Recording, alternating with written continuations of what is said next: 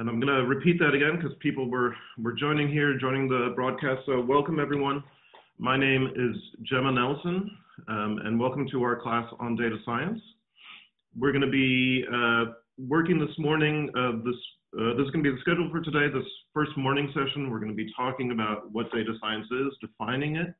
We'll have a midday break from 12.30 to 1.30 East Coast time. And then in the afternoon, we'll be doing a little bit of a deeper dive into the techniques, getting a little bit more technical, talking about uh, some of the vocabulary and uh, the detailed techniques of how these, how machine learning, how artificial intelligence is uh, accomplished. Okay. So that's how we're going to proceed today. If you want to um, uh, participate, have just a paper and pen handy. We'll have some little thought exercises as we go along. So um, just, you know, grab a piece of paper and a pen, and we'll get underway here in just a minute. Uh, I'm uh, just to let you know a little bit about myself. Again, my name is Jemma Nelson. I'm a biostatistician by training. Um, before that, I did some web development uh, in the educational arena.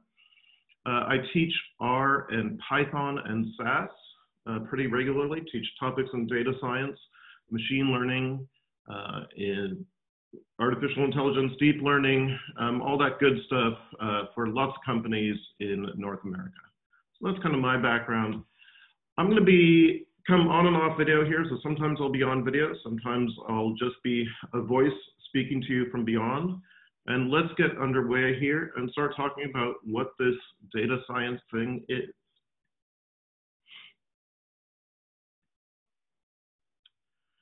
So what we're going to do here is start off by talking about a definition of data science. Defining that term, trying to describe who a data scientist is, trying to describe the data scientist's typical activities, and review some of the typical data science projects.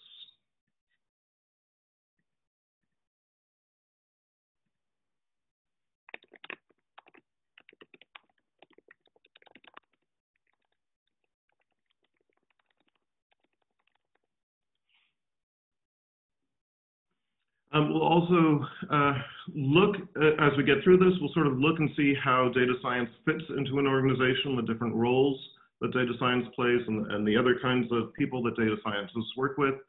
And then, like we said in the afternoon, uh, it's going to be a deeper dive into some of those techniques, those uh, algorithms, machine learning, supervised versus unsupervised learning, all of that good stuff.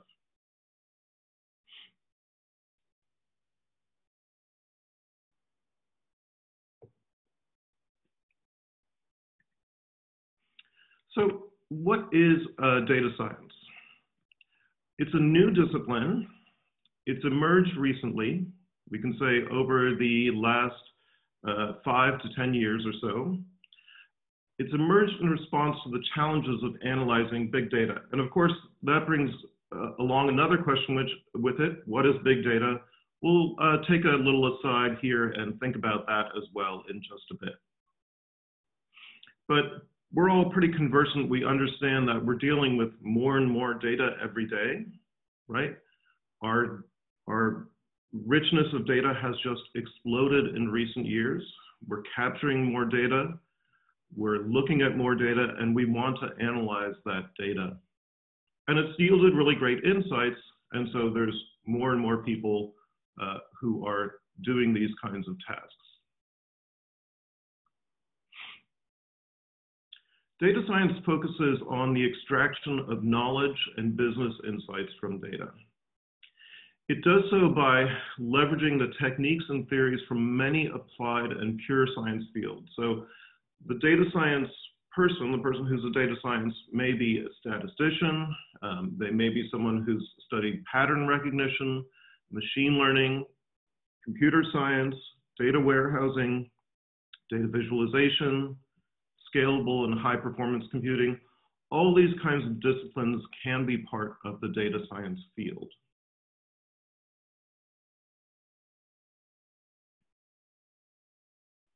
Now, as you learn about the field, you'll be encountering a lot of vocabulary. So we're going to try and take you through some of that vocabulary here and talk to you about what it means. Now, uh, some of these definitions move around a little bit. So these aren't always set. We're going to give you our best definitions here, but realize that some people may define these in different ways.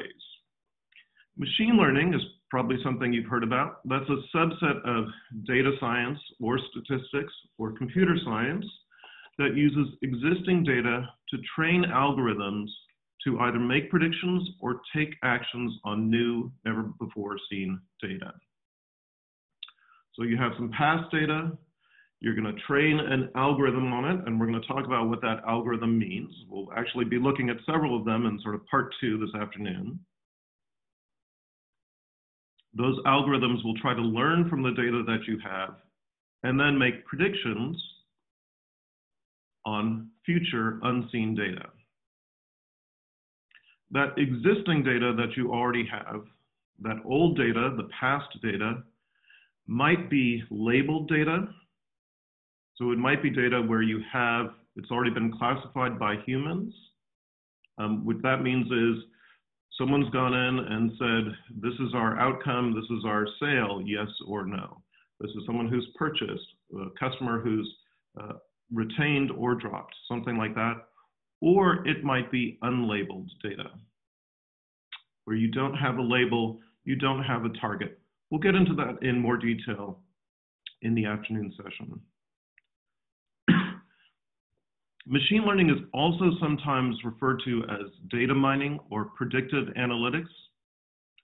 And again, many of these definitions, they're still evolving, they're, they're still changing. So it doesn't hurt to ask someone when they say a term, predictive analytics, data mining, what do they mean exactly by it? Are they talking about machine learning? Are they talking about regression techniques or classical statistics? Many of the, these things overlaps, and we're just trying to evolve our knowledge as the field evolves as well. So as we mentioned, data science includes, in addition to machine learning, statistics, advanced data analysis, data visualization, data engineering, and more. Artificial intelligence, which is also referred to as deep learning, aims at automating or augmenting or substituting complex human activities through a number of specialized computer-assisted solutions. You've probably heard artificial intelligence as a buzzword. It's something that's very much in the news, has been very much in the news recently. We use it every day, and we actually are surrounded uh, by it every day. So when you have a uh, movie website that recommends movies to you, uh, if you've been in a self-driving car, many of those solutions are based on deep learning through neural networks using artificial intelligence. It's something that actually has been around for a long time, but it's experienced a resurgence, a blossoming in the current age. And there's been a lot of breakthroughs, and you're probably already using it. You may not realize it, but it's surrounding you in many of the products that you're using.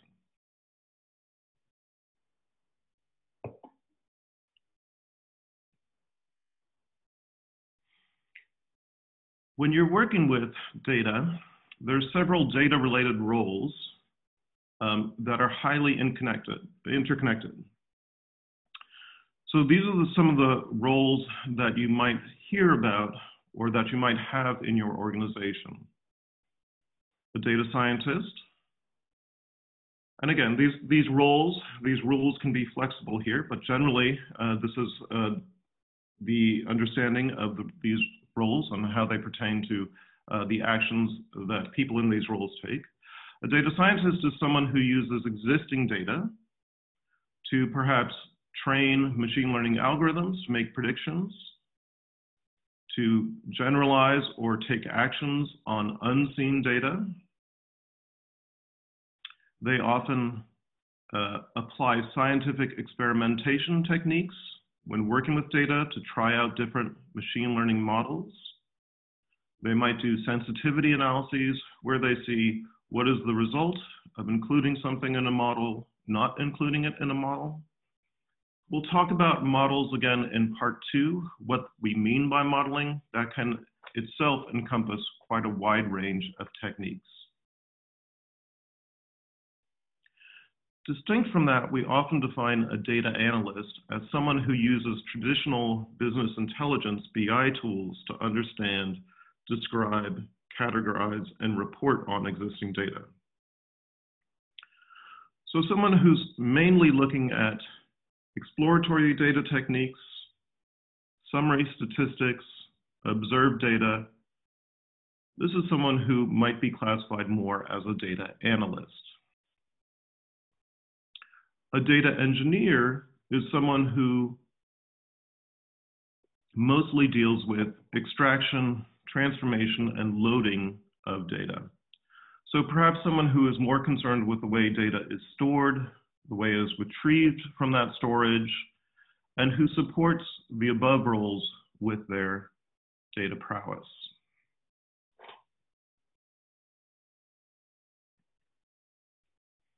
So here's a visual of the data science ecosystem.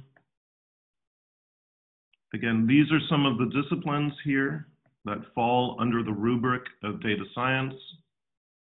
So mathematics, classical statistics, advanced computing, computer science, visualization, domain expertise, data engineering, an understanding of the scientific method, and a willingness to experiment or play around or have curiosity, something like a hacker mindset as well. These all contribute to what makes a good data scientist.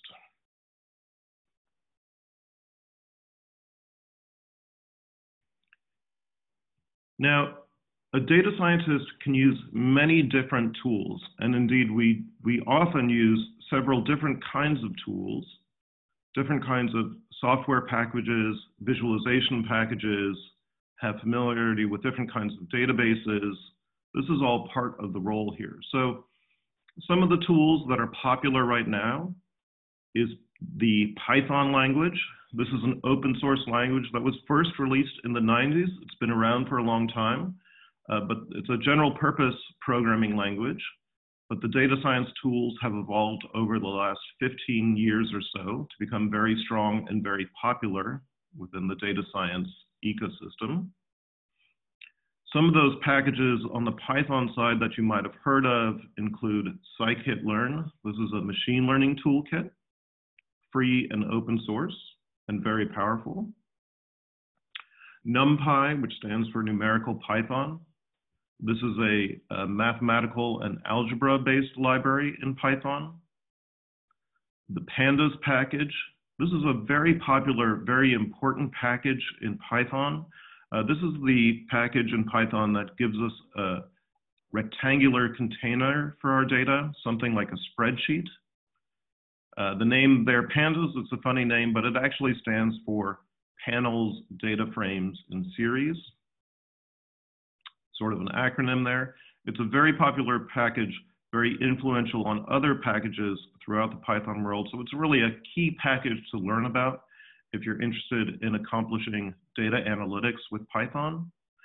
Matplotlib is a visualization library, as is Seaborn. We'll see a couple of these in some demonstrations uh, later in the morning and in the afternoon. One of the most popular development tools in the Python ecosystem are Jupyter Notebooks. This is a shareable web app-based platform that allows you to uh, mix Markdown with code cells and share reproducible research. I'll show an example of that in just a moment. We'll look at what these Jupyter Notebooks look like. Another popular uh, tool here is the Apache Spark Scalable platform. This is for big data analytics. You can interface with Spark through several different programming languages, through Python, through Scala, through Java. It has its own machine learning module or machine learning toolkit bundled within it. Spark is actually a um, It's a data storage platform. So it's a way to have big data stored in many different places on a cluster of computers. And it's how to retrieve those, that data from those many clusters of computers as well. To work with Spark, you become familiar with the Spark shell, and also you do it through Jupyter Notebooks. So you can see Jupyter Notebooks popping up in a couple of different places here. There's also the R statistical programming language. That's another open source language that was developed in the 90s, also very popular. R is really unique in that it was developed exclusively to do analytics and statistics. It's different from all other languages in that respect, all other programming languages in that respect. And then more recently, you might uh, also have heard of uh, TensorFlow and higher level APIs called Keras and PyTorch. There's a question here of advantages of using Spark over Hadoop. Spark is a little bit easier to use and it's a bit more modern platform than Hadoop. It sort of sits on top of Hadoop and PySpark in particular gives you a nice interface into using Spark, using this architecture that you have in order to do all the manipulations that you need for your data. Hadoop is great, it works very well, it's a solid architecture, um, but it's showing its age a little bit here. That's my opinion, so other people can disagree with me. Um, but uh, Spark, and in particular PySpark, gives you a sort of modern interface into that. The latest versions of PySpark actually give you a data frame container, which is based on that pandas library.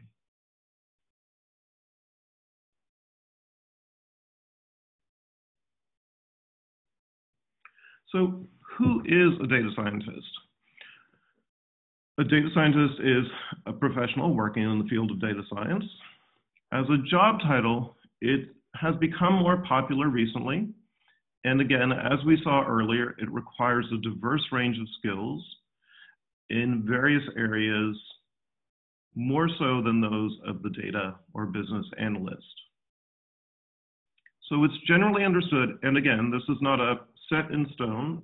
People define data science in different uh, ways. Um, when you're looking at uh, people who have data science experience or people who are looking to gain data science experience, they can have some or all of these skills.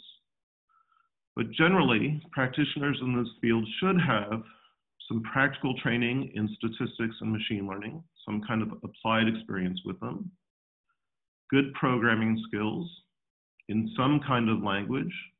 R and Python are very popular ones. Uh, many students who are merging from universities now are coming with experience in R or Python from many different disciplines.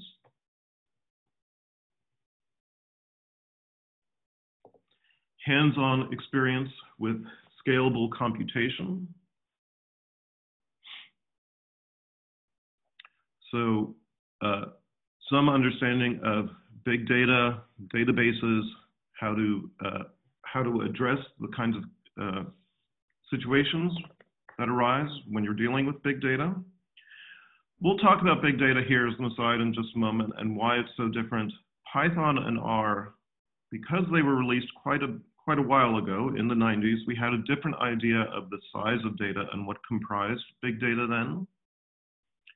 Both of those languages deal primarily with uh, data sets that fit into memory, so fit into, fit into RAM here. And as you can imagine, the scale of data that we're working with now often doesn't fit into memory, so that's why we have a variety of solutions, big data solutions that can address those kinds of challenges.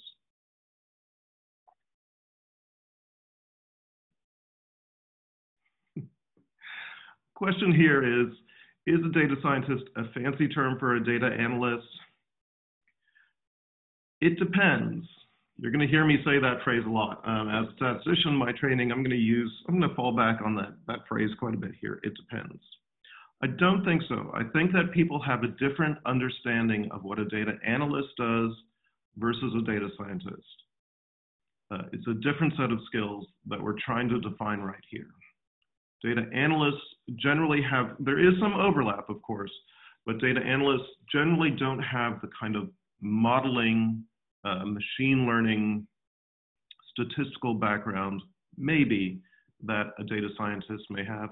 The data scientist also has generally uh, more experience in computer science or computational approaches.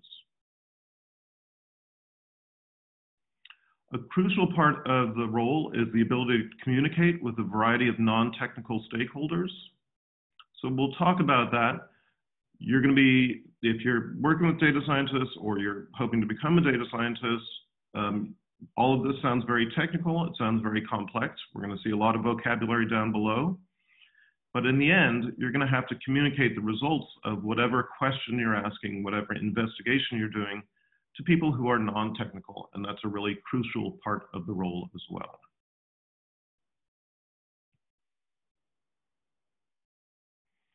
A couple of examples of data scientists. Uh, these are sort of famous historical examples. Jeff Hammerbacher built the data team at Facebook. He described the work done by their data science group as on any given day, a team member could author a multi-stage processing pipeline in Python, design a hypothesis test, perform a regression analysis over data samples with R, design and implement an algorithm for some data intensive product or service in Hadoop, and communicate the results of our analysis to other members of the organization. That's a pretty high bar. Not everyone necessarily has both Python and R experience, um, but it's not uncommon either.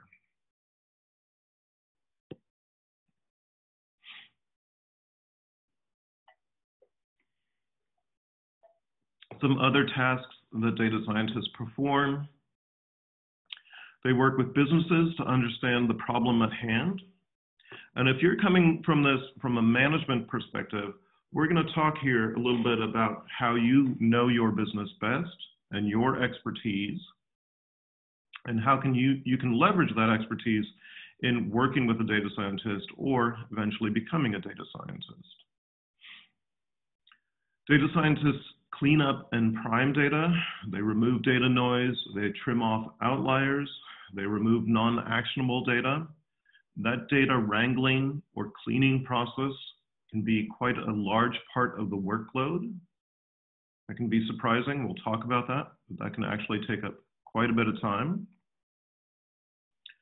Data scientists decide on what kind of statistical or machine learning model to use. So this is a key part of the role here, understanding what approach is appropriate and valid and will give you good results, and then implementing that approach, actually training the models or building them, verifying and diagnosing those models, validating that model with the business, and then working with software engineers to productionalize or convert that model into a practical application. So you do all this work, you're trying to make some predictive analytic model, you then want to implement it somehow, or your business probably wants to implement it. That might be in terms of a web app, that might be in terms of some other kind of application that takes the inputs to the model, generates predictions, and can then act on them in some way.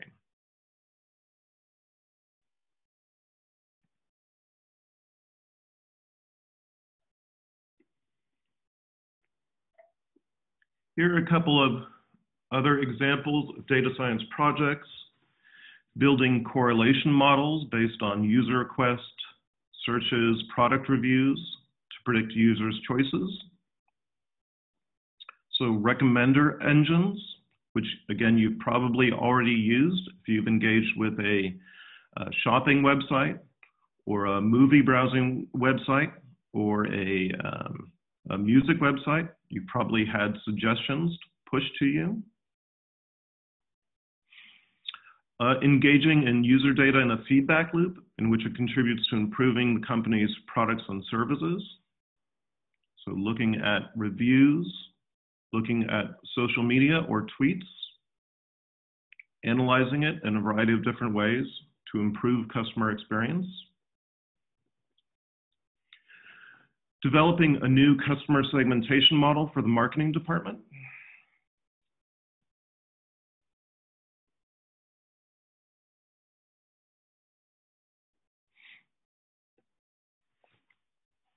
So uh, looking at your customers and trying to decide if they fall into certain clusters. Sentiment analysis, again, tracking uh, user input, social media, and then reacting to that. Fraud detection, looking at transactions, making predictions on what might be fraudulent or anomalous transactions. These are all examples of data science projects that are in use every day.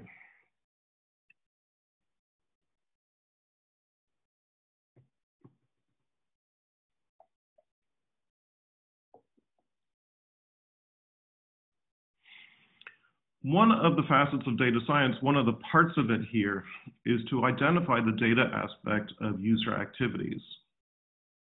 Now, we tend to think right now that we have lots and lots of data, and that's true. But the question that always uh, follows us is do we have the right data? Do we have good data? And we're going to think about this as an exercise here in a bit.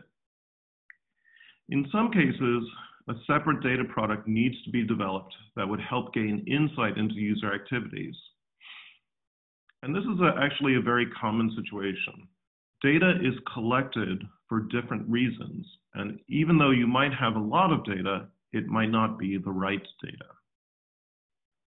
So an early data product on the web here was the CDDB, uh, CD database uh, built by Gracenote for the task of identifying CDs.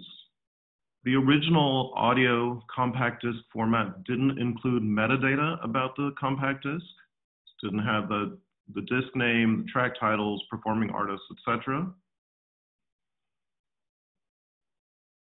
Gracenote developed a digital fingerprint of the compact disc, um, which could then be used to index the metadata stored in the uh, online database. Once that data product was in place, a whole range of usage and business analytics could be performed by using it. Think also of web page analytics, right? How those are collected and what can be done with those kinds of web page analytics to track users as they're moving across a company website. In the beginning, we just had raw web pages. We didn't include that kind of tracking. Um, but now that we have it, there's a lot that we can do with it in terms of making discoveries about how long our user lingers on a page, what they're interested in, how they follow through a particular website.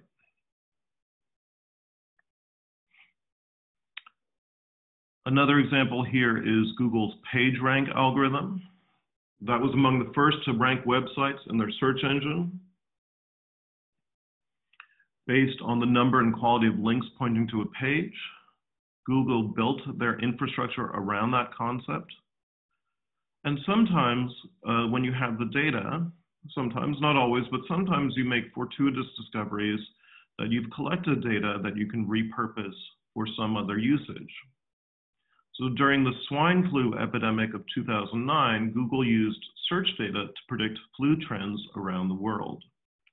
Google identified a correlation between how many people search for flu-related topics and how many people actually have flu symptoms. As a contemporary example of this, you might have noticed in the news articles about people's movement based on cell phone data. So there are databases that anonymize uh, cell phone tracking and uh, independent journalists can look at those and uh, data scientists can make visualizations and analyze uh, how people are moving around these days.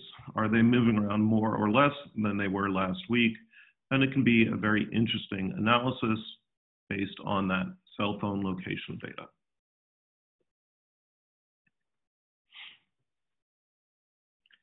There are some gotchas or some traps with data science not understanding the nature of the data at hand, not filtering out uh, information noise inside the data, or falling prey to the garbage in, garbage out principle. If you don't have good data, you're not going to get good results. I think one of the most common misconceptions about data science and predictive analytics is that you have a bunch of data, you're going to train an algorithm on it, and you're automatically going to get predictions. That's not necessarily true. If there's nothing predictive in the data, you will not be able to predict on it. So you may have a lot of data, but if the data you've collected doesn't actually correlate, doesn't predict with the outcome you're looking at, let's say how much money your customers are spending, then that data set isn't going to be able to make those predictions. Seems kind of simple, but we often forget about that. Just because we have a lot of data doesn't mean it's necessarily good data. Another trap here can be going too deep on the statistical side of things. As a statistician, we try to balance model capacity or complexity with what we call model parsimony, the simplest model, the most elegant model. Sometimes simple models, they may not predict as well, but they may be more explainable, they may be more appropriate, and they may be more effective. So sometimes we can make a, a big, huge, complicated model, but it's actually the simple linear model that may predict best for us or give us the best understanding of the situation at hand. And we're going to look at a couple of those here in a demonstration in just a bit. Not seeing the big picture, well, this is true in any business sense, right? Not seeing the forest for the trees. So getting lost in the details of an analytic approach and forgetting about what the driving question is. And again, that crucial part of communication challenges with business and other stakeholders, not doing the right thing or not validating intermediate results with business early in the project. So again, it's very common to uh, launch a complex statistical project, but expertise is really important. And as you're analyzing uh, a particular product, as you're going through and building a model, you really want to meet frequently with experts in the field to understand if your approach makes sense and has actionable items in it. So we talked about what data science is. We compared data mining with the emerging data science.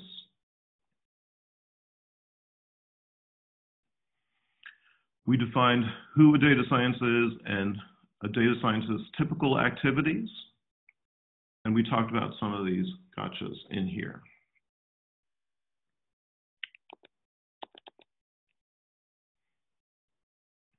I'm going to switch gears now and show you a uh, sort of the, the preparatory steps of beginning a data science project. So this is a demo, and we'll be working through it today. And we just have a fictional company data in here. And we're going to be examining it in different ways. We're going to be using, uh, to begin with, uh, a straightforward statistical technique called linear regression. Later in the afternoon, we'll do some machine learning on it. And again, this is pretty simple data here. The idea is just to go through an example of a typical data science workflow, simplified uh, for the time that we have available.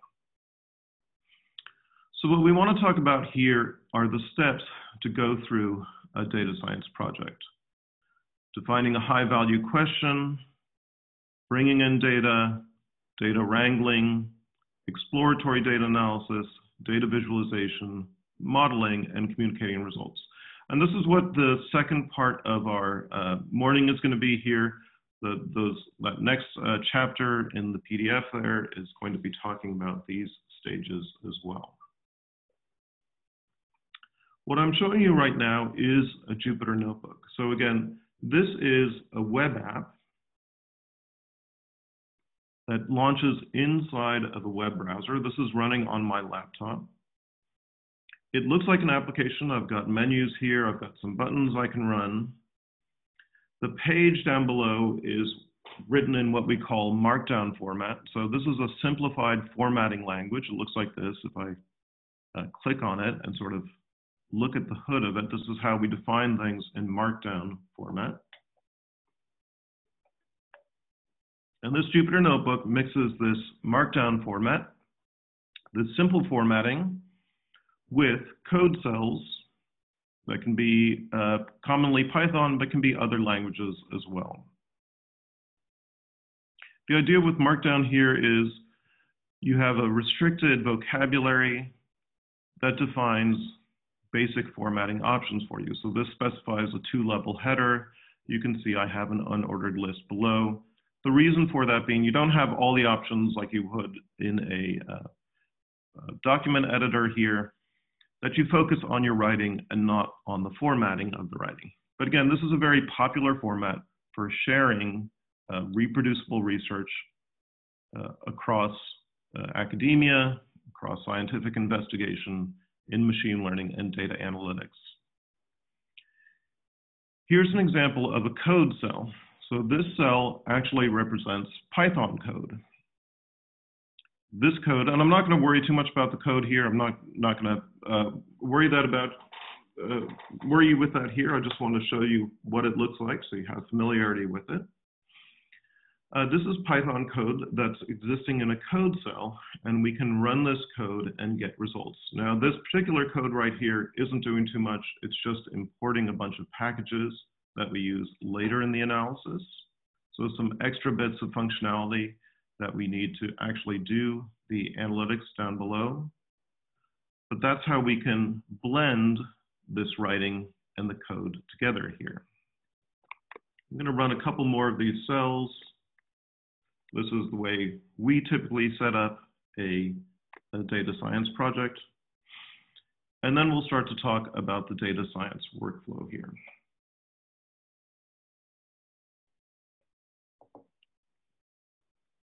We'll take a break here in about 20 minutes, so just another 20 minutes or so, and we'll take our first short little break of the morning. We're going to talk about this data science workflow, and the second part of our materials are going to go through this as well. This is another overview of the data science workflow. This is taken from an R book, R for Data Science by Hadley Wickham and Garrett Grolemund. And this is a really nice visualization of what we try to keep in mind as data scientists. These are the basic tasks and stages of the project that we go through importing data, bringing it in. Sometimes step one is much more difficult than it sounds. Tidying or wrangling or cleaning the data. We mentioned those activities uh, earlier. That can take up a large portion, a large percentage of the work here. Even though it's just a little word there in the workflow, that actually can take up quite a bit of time. Then we move into a central loop here of understanding our data. And in that understanding, we transform data, we visualize it, and we model the data. That sometimes gives rise to more questions. So we go back to transforming again, visualizing it some more, modeling it again. And again, this loop that we're going through deepens our understanding of our question or our data. And then finally, we arrive at a conclusion or we fail to answer the question, but we communicate those results. And what's driving us here from left to right is a high value question. So what is a high value question? We're going to launch an analysis here, and I want you to do some imaginative work here. So I'm going to ask you to have a paper and a pen ready here to just write down some thoughts.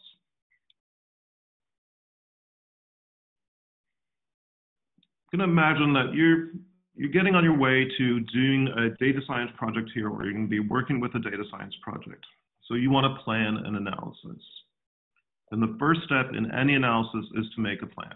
Remember, one of those gotchas was getting lost in the in the details, getting lost in the weeds. Having a plan will make sure that you stay on track.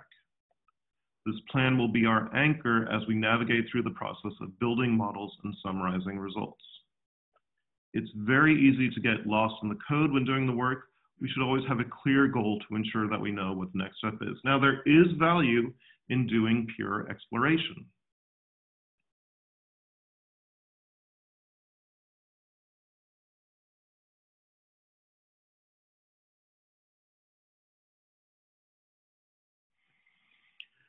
there is value in just playing with the data and trying different approaches here. But eventually, you know, we're all under deadline. We have to produce results. So we do want to have a plan and we want to stick to that code. So let's think for a moment about this high value question. How do we define uh, the business value of a data science endeavor? What makes a given data science endeavor either high or low value? Well, does it pass a test? And our simple test here is, based on the results of my analysis, someone in my organization is able to make a better business decision. That seems like a pretty simple test, but that can be a challenging one. So now what I'd like you to do is take a moment, get your pencil and paper out here, and consider a high value question for your business or field. Chances are you already have several in mind. Does your question pass the test? So I'm going to switch over to another slide uh, deck here, just a moment.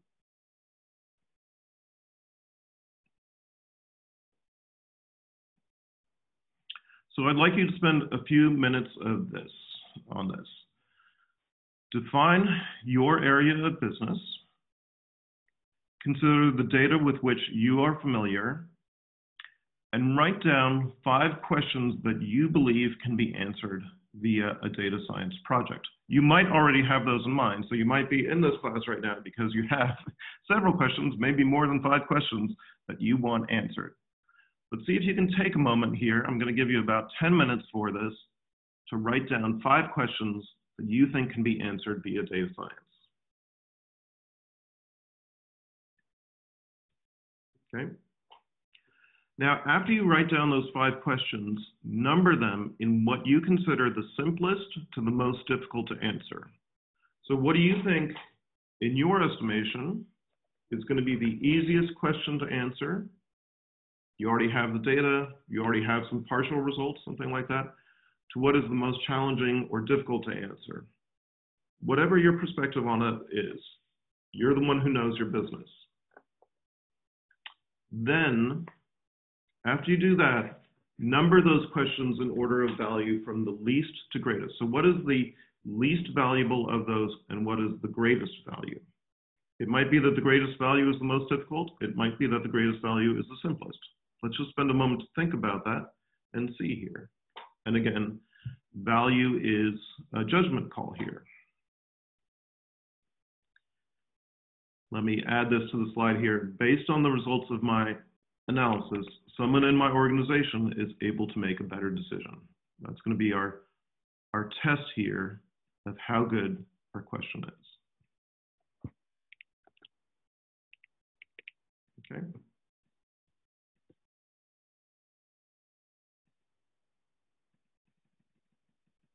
So take a couple minutes to do that here. Take about 10 minutes to do that.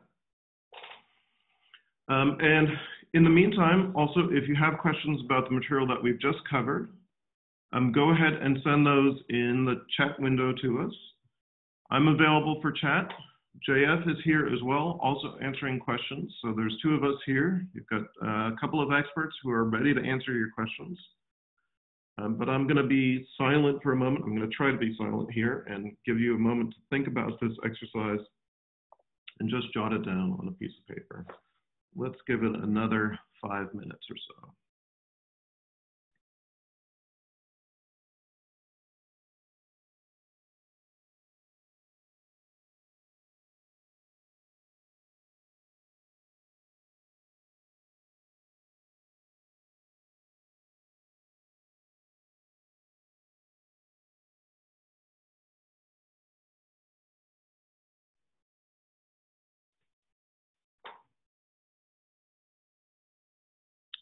We're going to come back to these questions. So I really do want you to write these down. If you want to participate, if you just want to listen, that's fine too. But if you do want to participate, take a moment to try to write down these five questions. Given what you've understood about the first part of this lecture, what data science can do, what it is as a field, think about what are the most important questions that you have that you think can be answered with data science.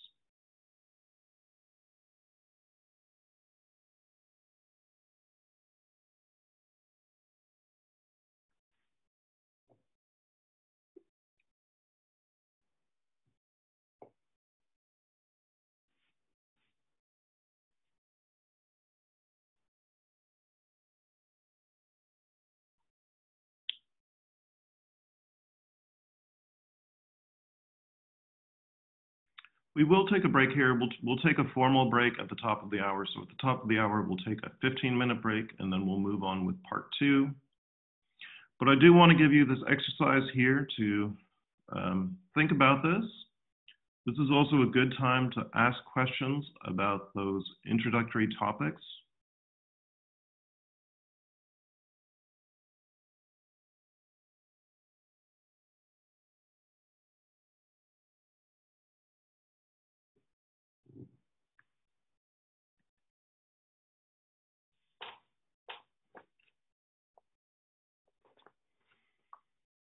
I'd also like you to spend this time thinking about what parts of data science are most puzzling to you. So what do you have questions about?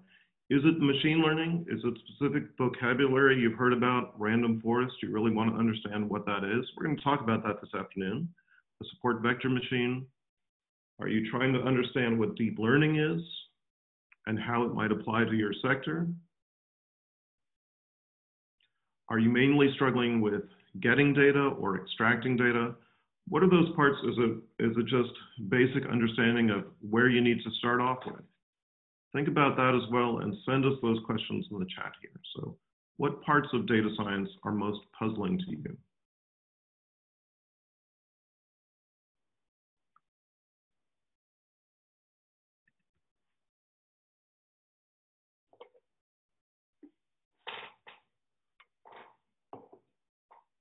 There's no wrong answer here, right?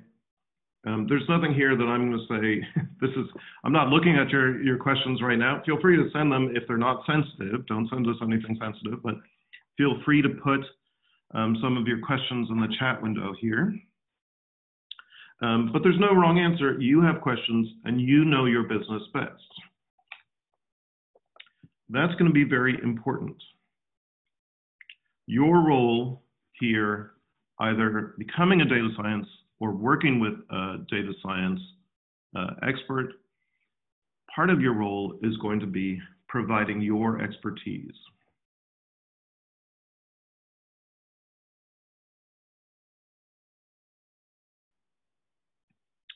Sure, there's a question here about the data science process diagram. Um, so I'm going to move off this slide and go back to this diagram here. This is the understanding phase. And again, this is from a book here called R for Data Science. Uh, I can actually, let me open up that link here. This is a great free book on the web. So check that out. But here is that understanding workflow, so transforming, visualize, and modeling. And I'm going to uh, borrow from Hadley Wickham. Hadley Wickham is uh, the author, one of the authors of this book in which this diagram is included. He's also an R guru. He's a developer. He's been involved in lots of R packages over the years, contributed a lot to the R community. And he talks about um, visualizing and modeling in two ways as complementary processes. So I'm, I'm paraphrasing from him here, but I definitely encourage you to check out some of his YouTube videos. He talks about visualizing as being able to surprise us. When we visualize data, we often make discoveries in the data. We see outliers, we see trends, we see things that we didn't expect. So visualization, he says, can surprise us, but it doesn't scale well. In other words, you can only see so many dimensions on a visualization. You have so many points that you can put on it, so many different categories. It just, you can't, sometimes if you have lots and lots of big data, you can't see into it that well. You can see large trends, but maybe not smaller trends. So he says Visualization can surprise us, but it doesn't scale well. Modeling, he says, is a complementary process that cannot surprise us because we have to make certain assumptions about the model.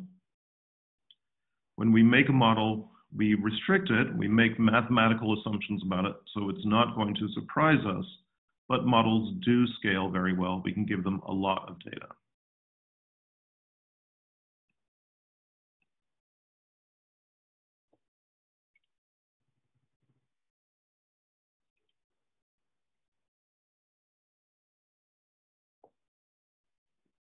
Great. So some of you are sending questions, and that's awesome. Um, keep those questions in mind because um, we're gonna we're gonna continue to refine them throughout the day here. Another question here is, does a model create a black box problem? And that can be a problem for some models, especially deep learning models, artificial intelligence models. These models can sometimes, and even some other machine learning algorithms, can have a problem with explainability. If you're looking for a model that can explain relationships, does gender influence sales? Does um, region influence sale amount? How, in what direction? Do gender and region together influence how much a customer buys? Those kinds of questions can often be answered not by machine learning models, but by simpler regression models. So something that we want to think about here is explainability.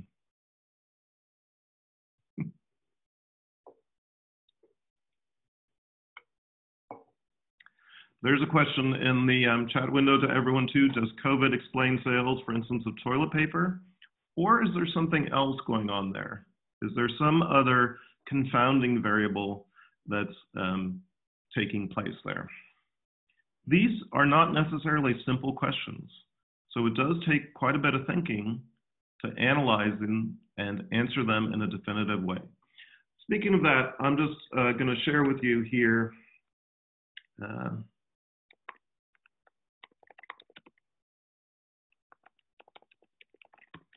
a website, a fun website that you're probably familiar with, you've probably run across as well. We'll talk about this idea of correlation. It's probably a term that you're all familiar with. Correlation is not causation, right? We all have that sort of drilled into our, our brains here. What does that mean? That means that two things can be happening together, but it doesn't necessarily mean that one causes the other. So this is a fun website. This is called Spurious Correlations. This um, is also a book, and you can see some surprising correlations here. For instance, the number of people who drowned by falling into a pool correlated with the films, number of films that Nicolas Cage appeared in over the years. And that might look like an alarming trend, and we would hope that Nicolas Cage would not appear in any more films, to protect people from falling into pools. We just need to, we need to, we need to put a freeze on his career there. Or maybe we need to reduce cheese consumption because it correlates highly with the number of people who died by becoming tangled in their bed sheets. Now, I don't know about you. I didn't know this was a risk. I mean, I think this is a, I think this is a, a a good way to go. You're at home, you're relaxed. I'm not sure about this, but anyway, um, clearly cheese and uh, bedsheet tangling are correlated, and um, you know we need to we need to reduce our cheese consumption here. No, of course that's false. This is a spurious correlation. These are two things that are happening at the same time, but it doesn't mean that one causes the other. It, this is a this can be another this is sort of a deeper gotcha here in statistical analysis. Just because you see two things that are associated that are happening, seem to be correlated, doesn't necessarily mean that they are uh, that one is causing the other. Okay, we're at the um, top of the hour here. Let's take a quick break. So just a, a little a little break here. Let's take about uh, 15 minutes and we'll come back and we'll continue working through that data science workflow. We'll talk about all the different pieces of that workflow and we'll build on the questions um, that you have developed here. Uh, but let's take a quick 15 minute break and come back at I have to do my math here and translate to East Coast time. So we are at 11 o'clock, so we'll be coming back 11.15. I hope I got that right. Um, but 15 minutes past the hour, whatever hour it is in whatever time zone you are in right now. Keep sending us questions. So as you have questions, um, uh, let me know, and I will put this website here. This is a again a fun one. The spurious correlations here to go check out. Read through it. It's kind of it's good for a um, I don't know if it's a laugh. There's some grim humor in here, but uh, you can check it out and and see some of those traps there. So take a quick break, come back, and then we'll continue on. Thanks so much.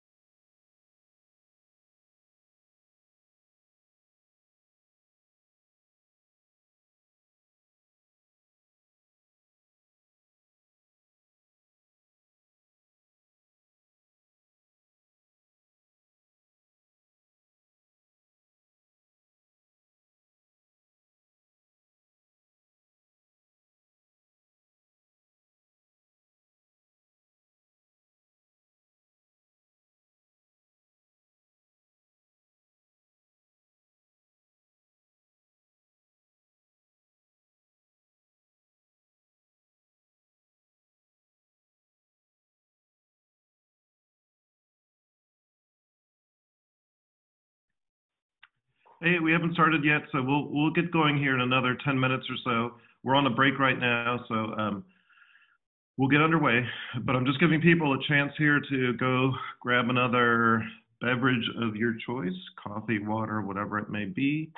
Um, look away from the computer. This is all about ergonomics as well. We want to make sure we don't um, burn our eyes out staring at a computer all day long. It's a little too easy to do these days. Um, so definitely take a break here, have a stretch um, if you can, and uh, uh, come back and we'll continue on. Just another, gonna give us another eight minutes here and then we'll get underway.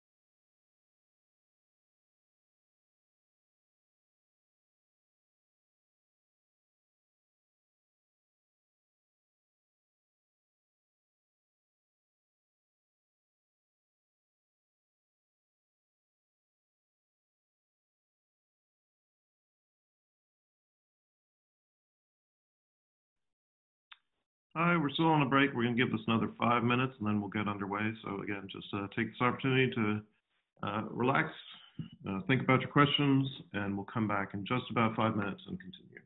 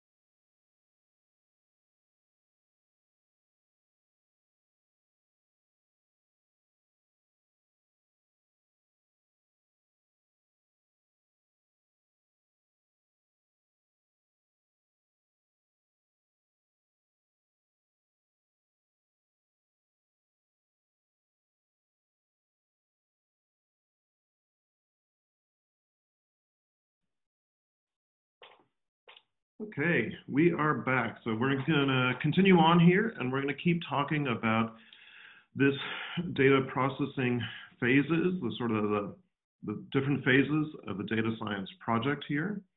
Um, so we'll look at these slides. We'll go back into that Jupyter notebook here and keep following along with that as well. That's intended just to be a simulation here of just sort of taking you through a, a simple data science project workflow. It's a little bit abbreviated. We're not going to go through all the steps in a detailed way, but should give you a, a general sense of the flavor of what it can look like. I want to um, answer a question here that came through on the chat during the break that I thought was a really great question, which is how much stats do you need to have to be a data scientist? Well, it depends. You're going to hear me say that a lot. Um, some people do approach the data science discipline more from a computer science background, so more from uh, computational. Um, that's where they're coming from. That's their entry into it. Or they come from business analytics um, as well. That's a very common pathway as well. And I think the question maybe isn't how much do you need to have, but how much do you want to have? Because having those that statistical background, you're going to find pretty quickly that you're going to want to acquire those skills and acquire that understanding because it's going to give you more insights, it's going to give you more tools. You're going to understand these algorithms, the processes that we're using in a deeper way. And I know that sometimes people have had bad experience with stats. Um, you might have taken a class way back in high school or something like that that maybe wasn't the best, um, maybe traumatized you a little bit. That's okay, but stats is actually very powerful. It's really interesting.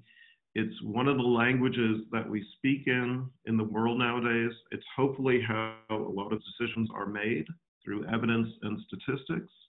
Um, so it's very important, I think, that we we do um, not shy away from statistics and we engage with it and acquire it as a tool if we want to call ourselves a data scientist.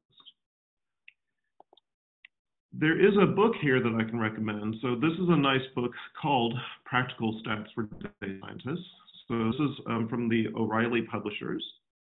And this is aimed just uh, to sort of that question directly. Um, this is kind of trying to give you a rapid, quick start onto um, what are the essential things you need to know in stats. Um, here to be conversant in some of the vocabulary in data science, uh, in the data science discipline. Um, this book is I believe, coming out with a new edition, second edition in June of next month. So you may not want to buy it. You may just want to go look for it at a library or, or see if you can borrow it from somebody here. It's a pretty common one out there, um, but there is a new version coming, I believe, next month. It's still on schedule. So just a word about uh, if you're considering buying it.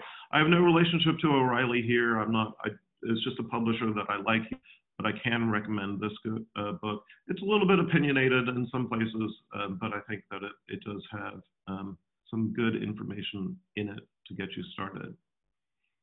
As we keep going through the day here, I'll also show you some other resources. There's a lot that's available online for free. Um, so there are some other good entire books available online about uh, data science and machine learning and um, practicing here that are available for free. So I will definitely try to point you in that direction uh, when we arrive at that point. Okay, so let's continue on with talking about this, um, these phases of the data science project here.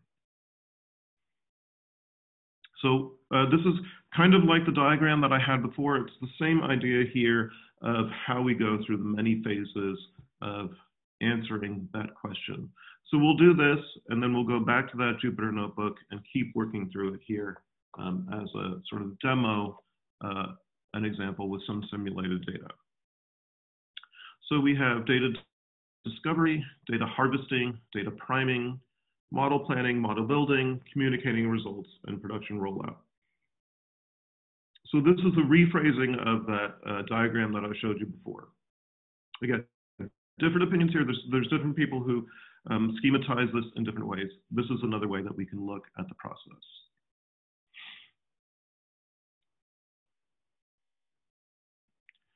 So this is, you know, before I showed you that simple diagram with the arrow going from left to right, here's a little more complex diagram that gives you some idea of the work that needs to be done to accomplish that, right?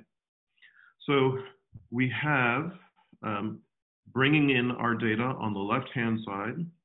So this operational data, data integration, external data, all that, these uh, three shapes on the left-hand side, this is about importing data, ingesting data. Then in the middle section here, we have that cleaning of data, which is in our other diagram referred to as the tidy phase of the data. And you can see some of the other activities um, associated with that. In this diagram, again, which is more detailed, it's also showing typical roles that are assigned to these uh, different actions. So someone who's bringing in data and cleaning data might be specifically a data engineer. In a very large project, these roles might be separated, and it could be that different people are doing different portions of this uh, workflow. A data analyst might be taking some of that cleaning data, uh, might be working with it and creating summaries of the data, making reports around it, analyzing summary statistics there.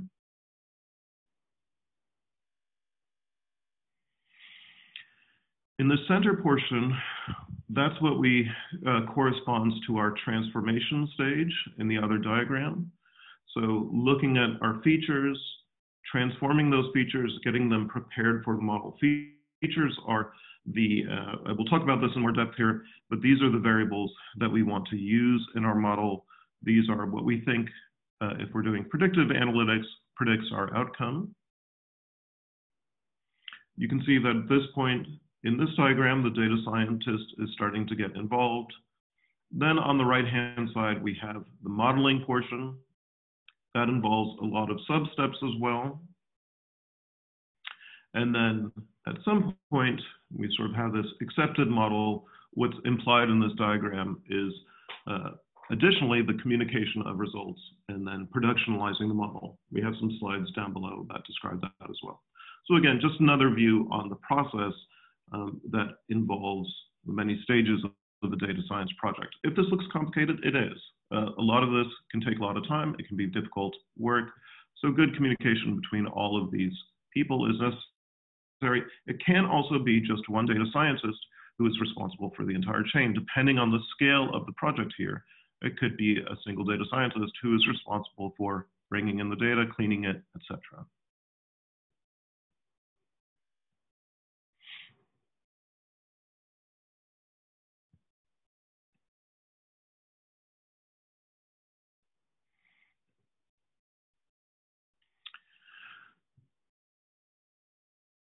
Here, um, one of the first stages is identifying the data that is important for your project, right?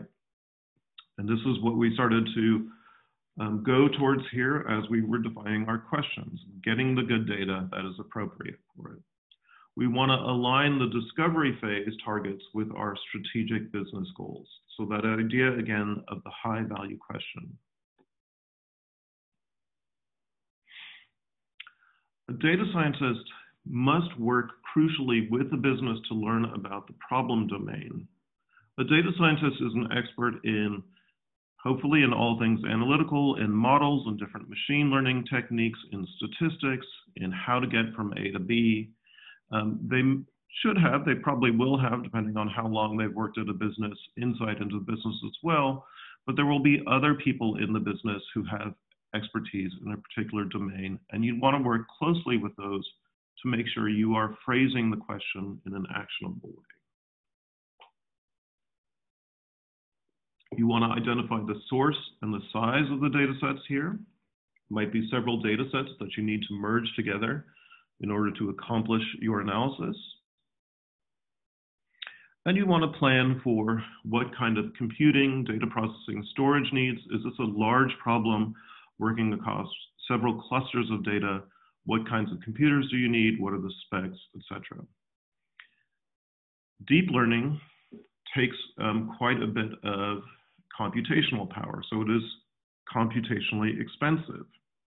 And when I say computationally expensive, I mean that it can take on the order of days or weeks to fit a model, a deep learning model. That's not uncommon. So that's something that you have to plan for. We'll come back to that idea later.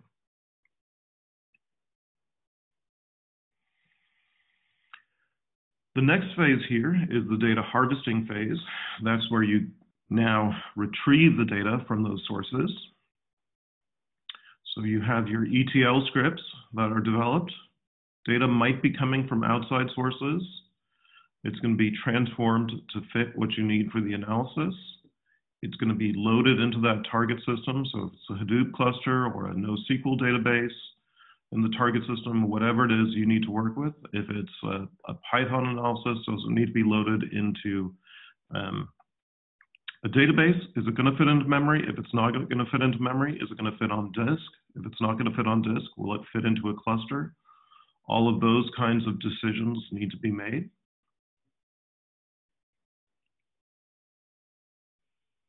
If you are retrieving data from external sources, um, sometimes that data will require additionally additional cleaning, additional transformation to make it conform um, to your uh, to other data that you may have. I've run into this commonly. Again, this can be a time-consuming task. Um, perhaps one data source uh, from an external vendor can have categories coded one way. Uh, your internal categorical data is coded in a different way, and it can be quite a struggle to get the two of them to match. but it's a fun puzzle. It's something that you work on, and eventually you figure it out.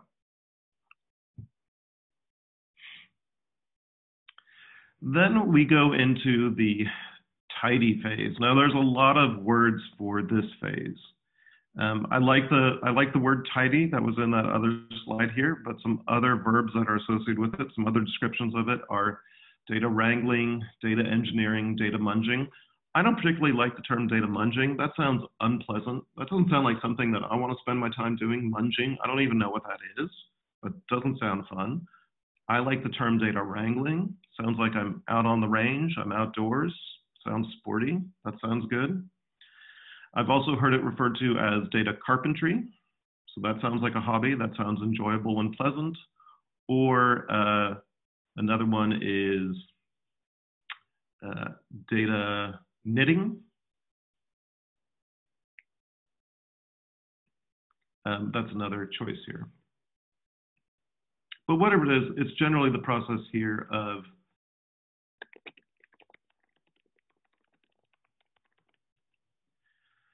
of, of, organizing your data and cleaning it up, of wrangling it, of getting it into the shape that you need. And we'll talk about that. We'll talk about the steps involved in this um, here in our demo as well. So things like trimming off obvious outliers, looking at corrupt or duplicate or missing or incomplete data records, those can really sideline an analysis, and we've got an exercise for the afternoon in thinking about missing data as well and talking about missing data in a more detailed way here. Additionally, in this step, data may be augmented or enhanced or transformed. So you may do things like bin data, you have a continuous variable and you want to discretize it or categorize it. You want low, medium, and high. You might normalize your data or scale it. Um, this is something that you often need to do as a pre-processing step for machine learning. You might have values on vastly different scales. Um, right, you might have a, a binary variable in your data set. So it just has a value of yes or no, zero or one. And alongside that, you might have a variable that's in the thousands or in the millions. For some machine learning algorithms to work efficiently, uh, to give you good results, you need to normalize those to a common scale. Features are engineered, so sometimes you have a date variable or you have several different variables and you need to transform them into something else in order to put day of the week, for example, to put into your data set or seasonality, something like that.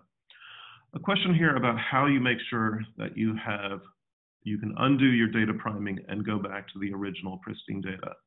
You must always have a source of your original data. You must always keep a copy of your original data. Don't ever work on the original data. Always copy it. That is incumbent on you, the analyst here, to make sure that, uh, that there is an original copy that you can go back to. It's very easy, it's very common to make mistakes as you're going along. We do this all the time. I do this all the time. Even just trying to parse a date, uh, if you write the code wrong or you supplied a bad format, you can have missing values uh, populate in your data. You want to make sure that you can undo that. So always work on a copy of your data.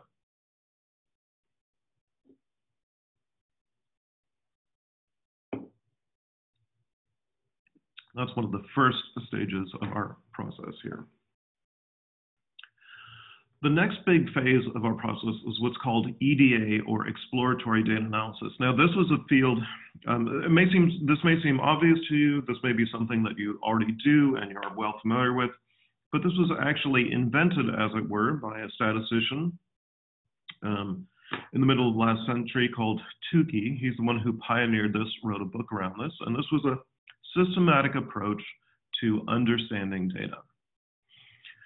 So EDA methods here, exploratory data analysis, and we'll, we'll run through some examples of this, are visualization techniques and quantitative summary statistics as well.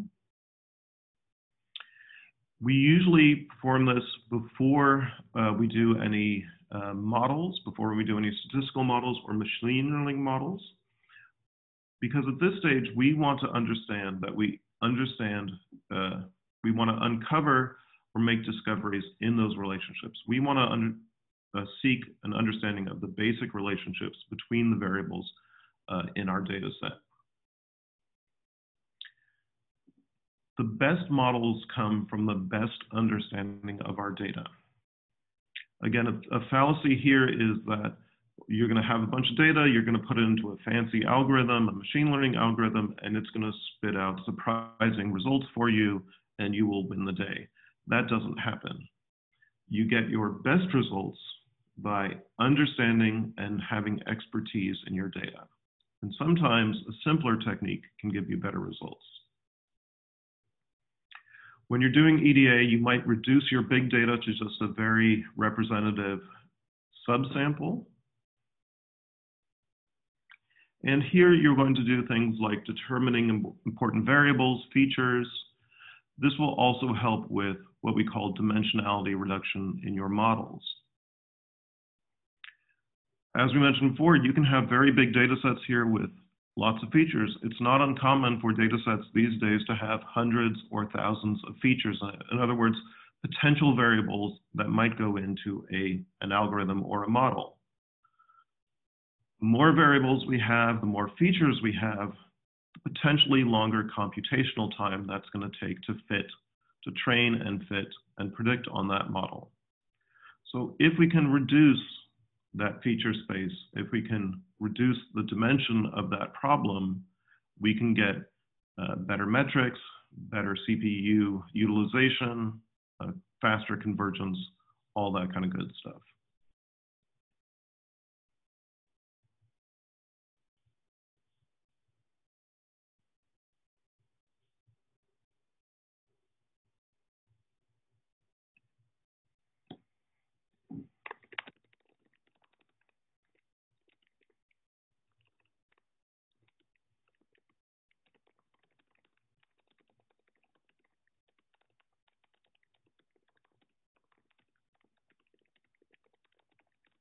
Just answering a question here.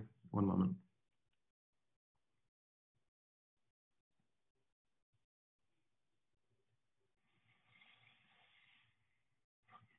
Okay, then our next phase here is the model planning phase. So we're going to select the appropriate model here or several candidates of model that fit the data and the project objectives. You might even do this earlier in the data analytics lifecycle. You might have a, an idea from the beginning of what kind of model you're going to fit. Now, in statistics, we have quite a rigorous um, way that we set up what are called uh, hypothesis testing. So um, we decide on a model up front and gather the data under what we call the null hypothesis. That's, that'll go a little bit deeper into the stats there, but we do um, often pre-specify a model when we start to think about our project.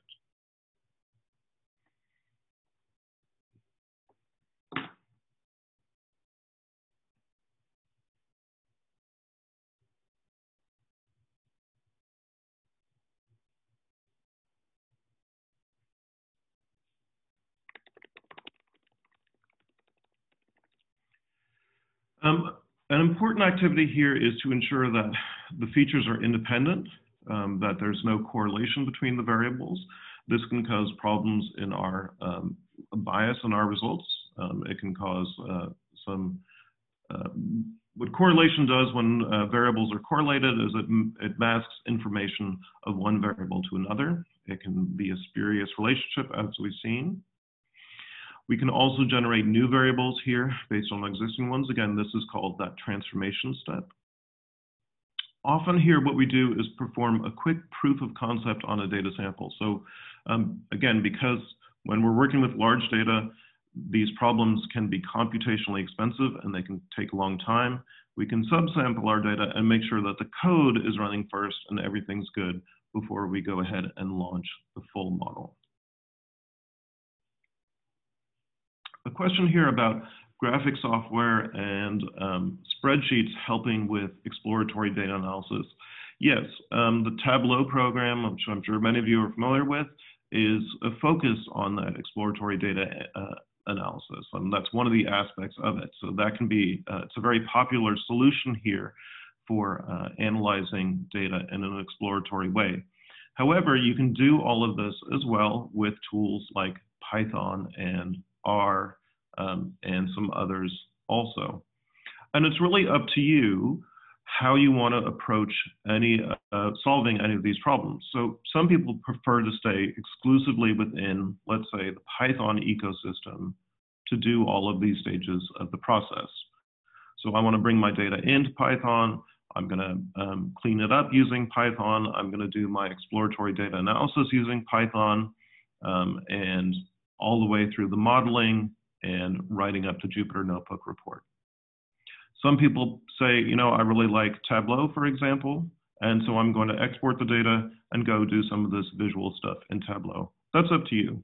Um, that's really up to you and how you can best optimize your workflow.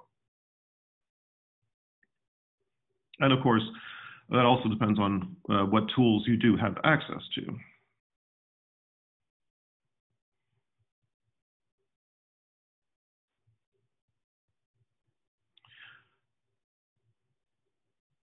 The next phase here of the process is building the model. So here, and we'll talk about this in a more detailed way this afternoon, so this will be uh, quite a bit of the focus of the afternoon session, is uh, looking at some demonstrations of how we split data up into training and test data sets for machine learning. We often make several models along the way, and we compare those models, and so we assess model metrics here. We try to understand how computationally expensive these models are, what resources, what kind of memory and disk space the models will require, and we try to, to establish those um, capacities so that we don't start training a model and run out of memory three days into the model.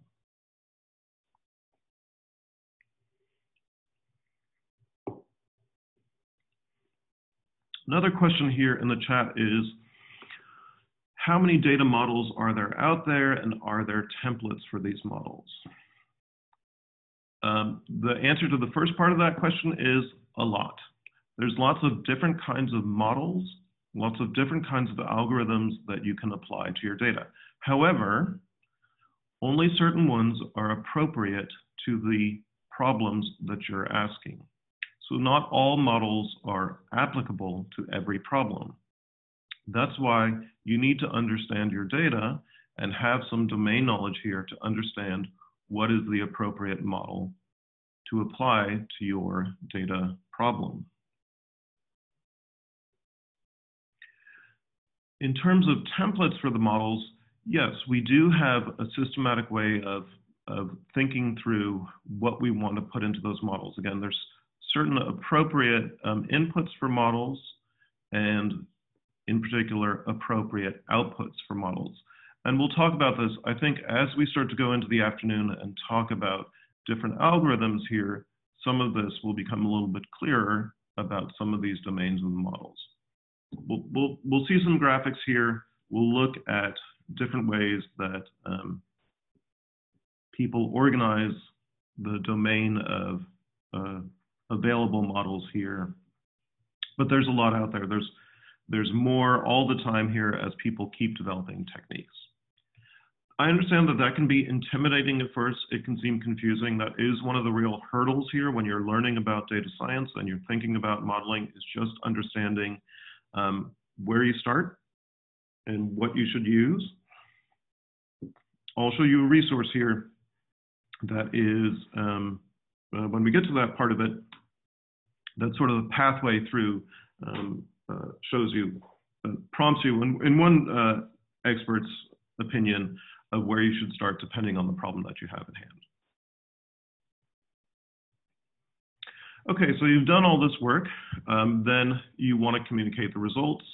So you write some kind of report that has visualizations, diagrams, um, tables, that summarizes the problem, summarizes your methodology, discusses any further questions that were arise uh, that arose during the analysis and that maybe suggest actions to be taken.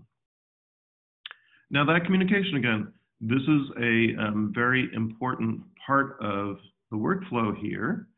Um, you may be presenting, or the data scientists may be presenting those to different kinds of audiences. Maybe it's going to be to non-technical people, um, people who are interested in the business.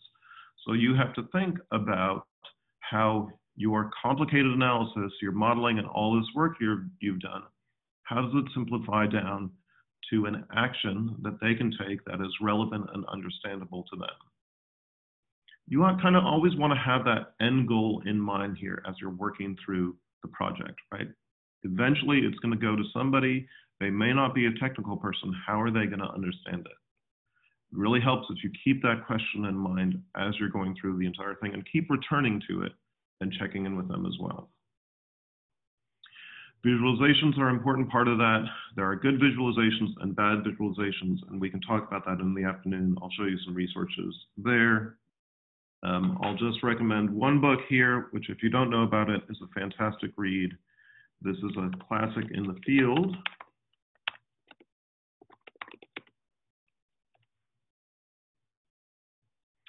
Um, this is an author called uh, Edward Tufte. And this book, The Visual Display of Quantitative Information, is a really great book. It's a beautiful book as well um, that talks about how we visualize data or how we present it. This is a, was a very influential book across uh, visualization um, data analytics. It's influenced, you may not realize it, but it's influenced a lot of the software that you're using in terms of the minimal um, look and feel to visuals. So things like Tableau, R, and Python were all influenced by this book. He has several books. I recommend starting with this one here and reading through it again. It's a very enjoyable read. You learn a lot. Um, it's really thinking about what's the important information on the page, what's the story that you're telling, what is the noise that you can take away. So a highly recommended book there um, in terms of data visualization. You can find it in the library too. It's a very common book. It's not something you need to buy, but you can, generally a colleague will have it, uh, someone will have it on their bookshelf, or you can find it in the library as well. Okay, so you've done all this work, um, you've communicated it, you've got a good uh, product, then one of the last phases may be a production rollout. So how do you take this model and deploy it, productionalize it? Um, so that may be incorporating the data science model that you've built into a piece of software. Maybe that software takes inputs from users and makes predictions, for instance, like a recommender engine. Now, one thing about uh, predictive models here is that they degrade over time. So part of that production rollout is also monitoring that model to make sure it's using the resources um, that you need. Um, but you'll see that models change over time. As we get new data and put new data into them, models can degrade. Um, because again, a model is only based on past information that it's seen. So models then need to be, and products like this then need to be retuned periodically. Sometimes that means putting new data into the model, running a new model. Sometimes that means completely changing the approach and going back to the beginning again. This is a whole, this is a whole nother part of the field as well. For instance, think about for a moment, if you have a model that classifies cars, and in your car database that the model's looked at, it has trucks and minivans and hatchbacks. So a small car, a minivan, and a pickup truck. Those are the three three kinds of cars that your database has, and you've trained your model to identify cars as being one of those three types. Well, what happens now if this year a new class of car comes on the market, let's say a Cybertruck?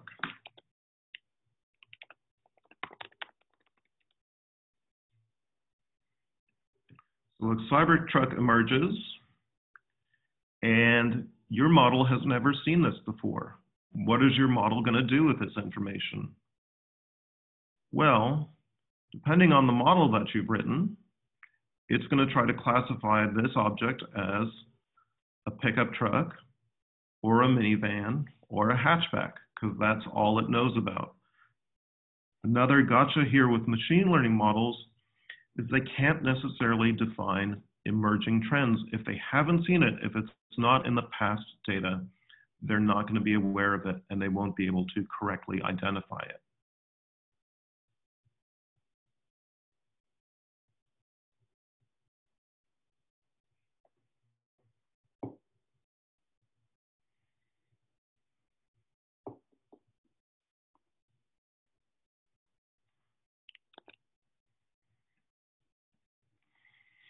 Okay, so we talked about these main data processing phases, data discovery, data harvesting, data priming, model planning, model building, communicating results, and production rollout.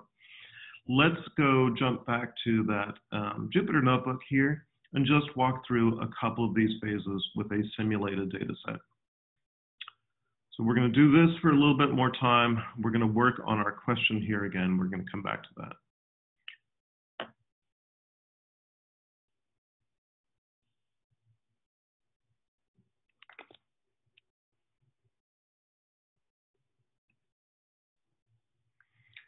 So here's our data science workflow diagram. This is just a simplified version. It's equivalent to what we just talked through, just a little bit simplified with fewer stages.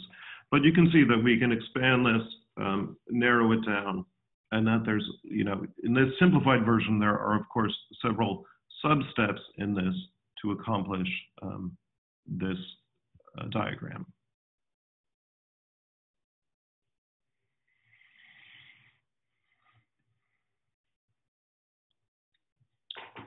Okay, so a little bit earlier, you thought about a question.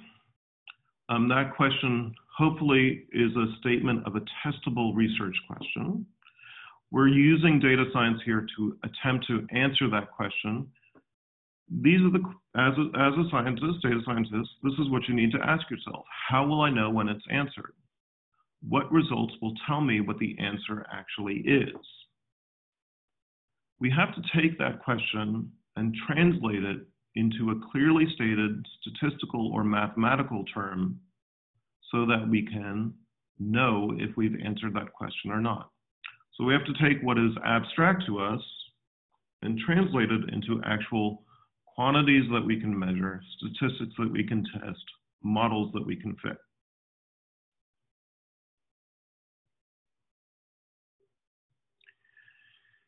You have a question Inherent in that question is some kind of quantitative construct. I'm sure that whatever question you thought about and wrote down, there's some way to measure the success of that question. In order to answer that question, we are almost certainly trying to make inference on some unknown quantity based on observed data. And this is a little bit of statistical talk here, this idea of inference or inferential stats here. In other words, probably we're looking at past data, but we want to make a statement about unseen data or future data, and that's called making inference. So in order to do that, we have to narrow it down to what we call a parameter of interest or a statistic of interest. And that will let us know how we can then make that inference. This goes back to that idea of how do we know what model to fit or how do we know what technique to uh, use to approach this. The first step in that is figuring out what it is that we're trying to measure. What is that statistic? Now, part of that is, as we mentioned, at first stage, identifying the data that we need to make that inference. Do we have the appropriate data? Do we need more or different data?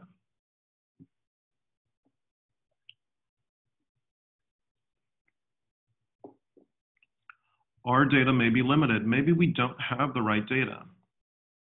There are always limitations. If we could easily calculate the answer, we wouldn't need statistics. If you're just answering a question about the past, you want to know historically what all your customers have spent in a given month in Januaries over the entire history of the company. Maybe you have that and you can answer that question definitively. But often we're not trying to do that. We're trying to take that past data and answer some other question, use that information and answer something else. Maybe we don't have fully complete past data. Maybe there's some gaps in our data. Um, that's a, a common case. So often we have limitations and we need to work around those limitations. We'll come back to this exercise at the end here, so we'll come back to that one. So here I'm going to show you again a simplified version of some of these stages in a data science uh, workflow. And we're going to do part of this this morning, um, and then we're going to come back to some of the more detailed models this afternoon. So we'll see how far we get in this demonstration right now, and then we'll come back to um, continue on this in the afternoon. As we mentioned, the first phase of a data science project is to bring the data into whatever toolkit we're using. In this example, in this Jupyter notebook, we're using Python. Don't worry too much about the individual vocabulary that we're using here.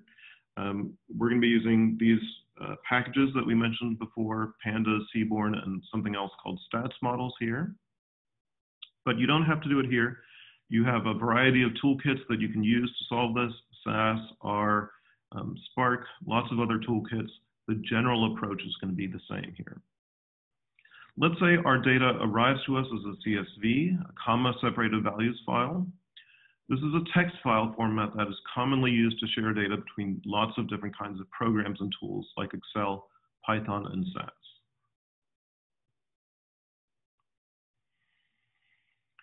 So again, here's that reminder. Always preserve your source data in its original format. Don't ever change your source data. Always make sure you have some copy of that source data to go back to. Now, many database architectures take care of this for you. You're going to be pulling off a copy of the data. When you're bringing it into Python here, you're reading it from a CSV file and you're creating an object in memory. So that's taken care of for you, but you don't want to rewrite over that CSV file. You want to make sure that you have that. Take it, put it aside, put it in Locker, keep it safe.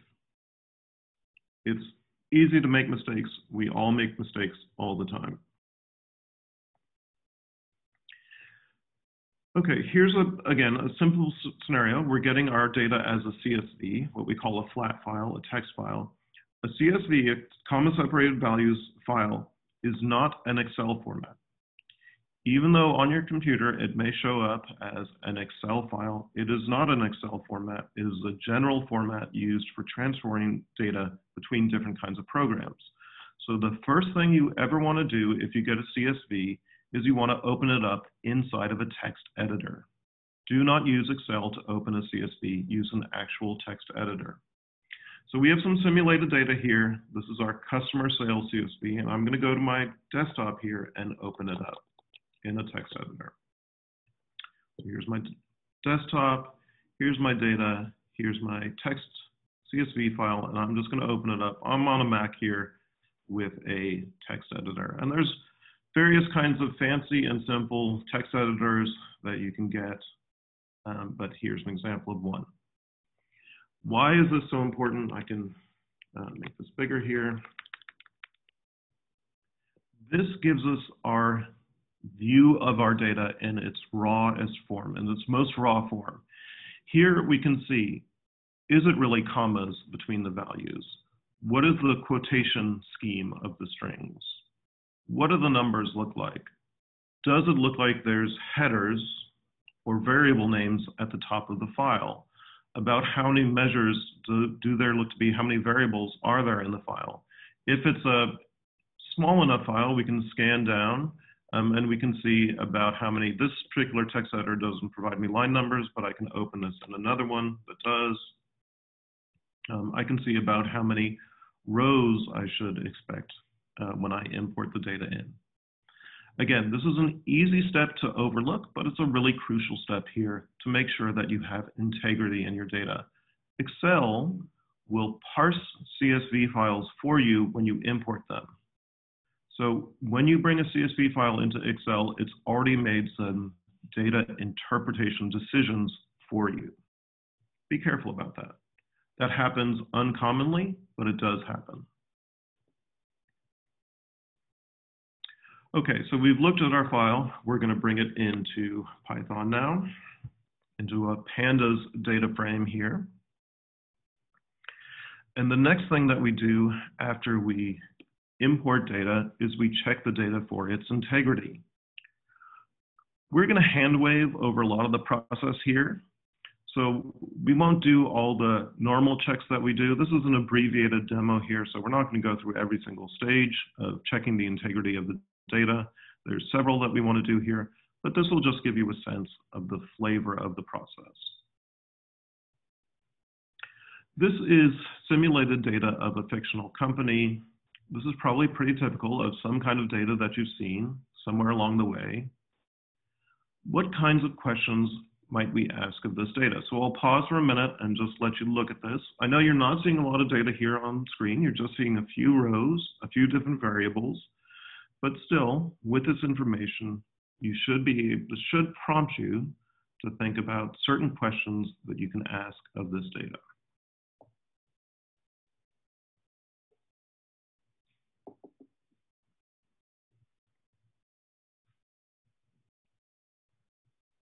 So I'll just give you a minute to think about that.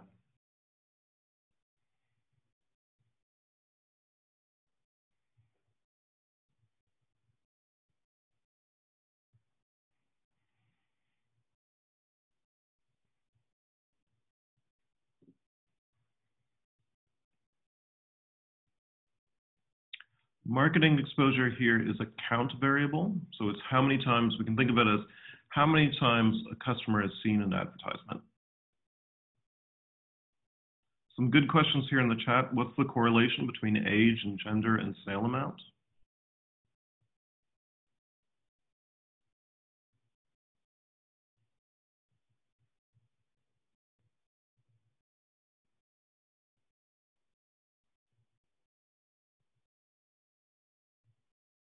We're going to investigate some of these questions. So further down, we're going to show, we're going to, we're going to go through some of those and we're going to answer some of those questions here.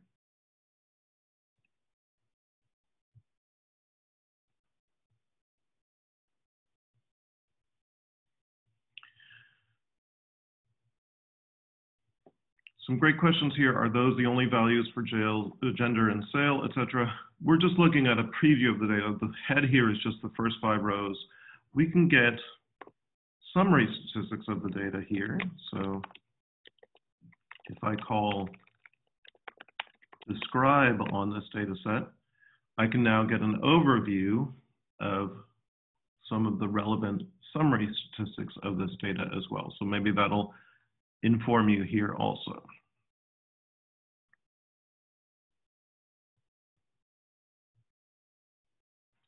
This is just a thought experiment. So here, it's just for you to think about what are the kinds of questions you could ask for this data. There's more variables out to the right-hand side here. So there's things like number of accounts and income of our customers here. But again, this is simulated data. These X variables are just abstract. So think of them as some kind of measure that we've recorded, but we don't know exactly what those are. We'll just treat those as abstract.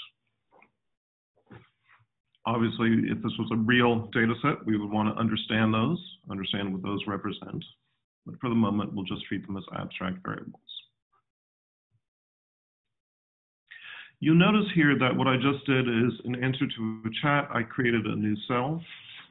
And then I typed in a little bit of Python code and I got the answer for that. So this describe function here.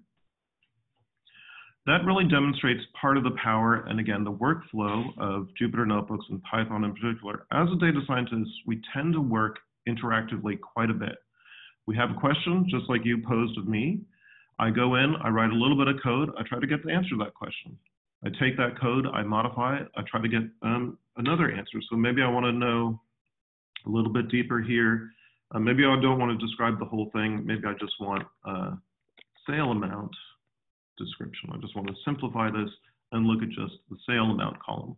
I can take that code, I can modify it, I can create another code cell, but this back and forth, um, this interactive way of working with the data is very natural to data science. It's very typical of the workflow that we do, and it's different than other coding practices. So if you think about people who are coding applications up, web apps, something like that, it's a different kind of interacting with code. This is one of the reasons that R and Python are very um, popular, is that they allow this kind of back and forth, looking up an answer um, and getting results immediately like this. Okay, so after we verify the integrity of the data, the next phase of the process is to wrangle or tidy the data.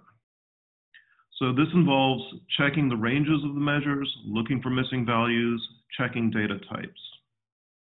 One of the things that we want to take care of at this phase in the process is encoding the data into a format consistent with what we call the philosophy of the data. And you're wondering, like, does a data scientist really do this? Yes, data scientists really do this. This is part of our workload. This may be someone else in the pipeline who does this, but it is something we need to verify. In the end, we're going to be doing the analysis, we're going to be putting it in the model. So it's something we at least need to check, but it may be something that we need to address as well. What do we mean by encoding the data in a format consistent with its philosophy? Well, if a variable represents a categorical quantity, we want to encode the variable as a categorical. If a variable represents a yes, no value, we want to make sure it is encoded with just two values. Maybe the strings yes or no, or numeric values zero or one. If it's a date-time variable, we want to make sure it's properly encoded as a date-time value with reasonable ranges. Data is always messy. This can be surprising to new analysts. It can be surprising to people who don't regularly work with data, but it proves true in practice. I don't care how, how many times someone tells you they're giving you a good data set, there's going to be problems with it. And it's incumbent on you, the scientist or the analyst here, to verify that, to check the integrity and to make sure that it is good data. Data cleaning is a lengthy process. Some experts estimate it takes up to 70 to 80% of the time on a project. That can also be surprising to people, but that proves true in practice. You may not believe me now, but it's absolutely true that we spend that much time working on cleaning and preparing data.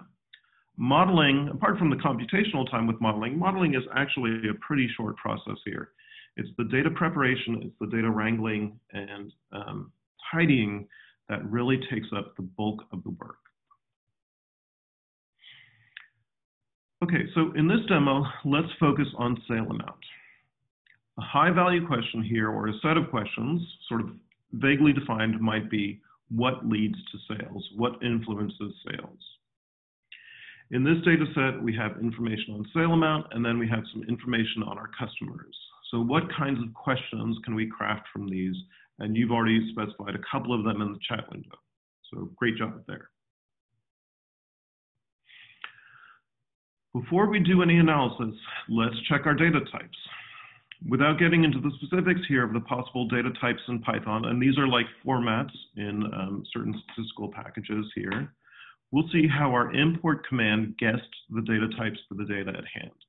So we read that from a CSV file. We just gave it a read command, said bring it into memory, put it into this data frame object, like a spreadsheet in memory. And this is what the pandas package guessed those data types were. So it looked through all the values and it parsed them and it assigned them to these data types. The object data type here is what pandas calls a string or character variable. Are all of these data types appropriate? Well, customer ID was currently brought in as an integer data type so a numerical data type. Should an ID variable be a numeric data type? Does it make sense to have an average ID, a mean ID, or a standard deviation of ID? Probably not. Should an ID variable, okay, so if it's not numerical, then what should it be classified as? Should it be classified as a categorical variable? Well, with an ID variable, we probably have a lot of unique variable, uh, unique values, right? That's the whole point of an ID variable is that it uniquely identifies all of our different customers. So we probably don't want to encode it as a categorical variable either. A categorical variable makes sense for a variable that has 15 or 20 unique levels or less. Think about how many colors you can put on a graph, uh, about how many dimensions make sense for that. Something like um, an address or a full name, that's not a categorical variable. Something like uh, risk categories, high, low, medium, or um, drink sizes, you know, venti, I'm never going to get these right. Venti, grande, I don't know what order they're in. Tall. No, I see I got those wrong. You probably know better than me, but you know, you you you know what I'm talking about. Small, medium, and large. That's a categorical variable. Let's just leave it at that. Okay, so for customer ID, we'll turn this into a string object format. And in Python, we do that with a little bit of code here that just changes the data type. And we can look afterwards and confirm, did we do what we thought we wanted? Yes, our customer ID is now a character object type. Now, in a real project, we do a lot more data wrangling. We check the data type of every variable. We probably have a lot more variables. We'd assess the amount of missing data for each variable. And in the data set as a whole, we would check the ranges of the variables.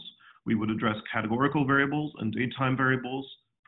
For, brevity, I know it's a little too late for that, but for brevity here, we're just going to assume that we've done that and the data is relatively clean. Okay? So here, the next phase of the process is exploratory data analysis. In this stage of the process, we want to understand our data. And there's a whole methodology for this. Again, we're going to present a very abbreviated version of it here. For exploratory data analysis, we want to look at one measure at a time, so a univariate exploration, and we want to understand that variable in relation to other measures, so bivariate or multivariate exploration. And we'll use a mix of numerical analyses and visualizations here, as we mentioned in the slides.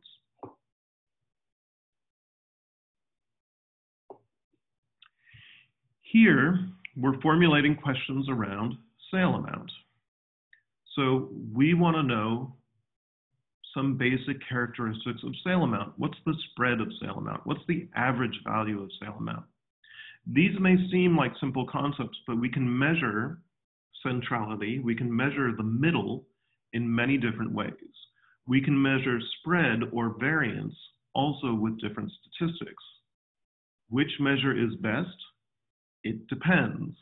It depends on your data and on the question that you're trying to answer.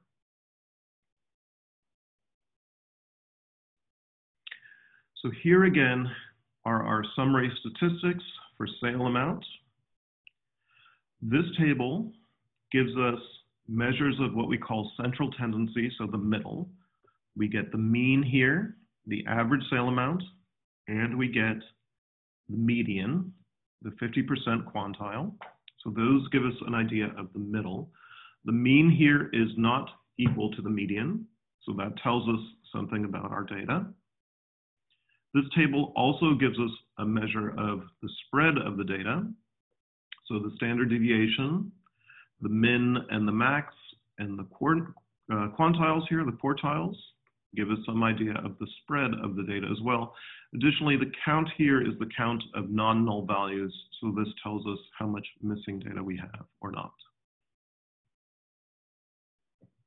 So this is one key component of statistical summaries. The other is looking at the data. We have a vaguely formulated question of what leads to sales. What do we mean by that? If we hope to answer the question, we have to be more specific about our measures. Are we interested in the biggest sale? Are we more interested in whether a sale happens or not, so a zero sale or some positive sale? Are we interested in the average sale amount?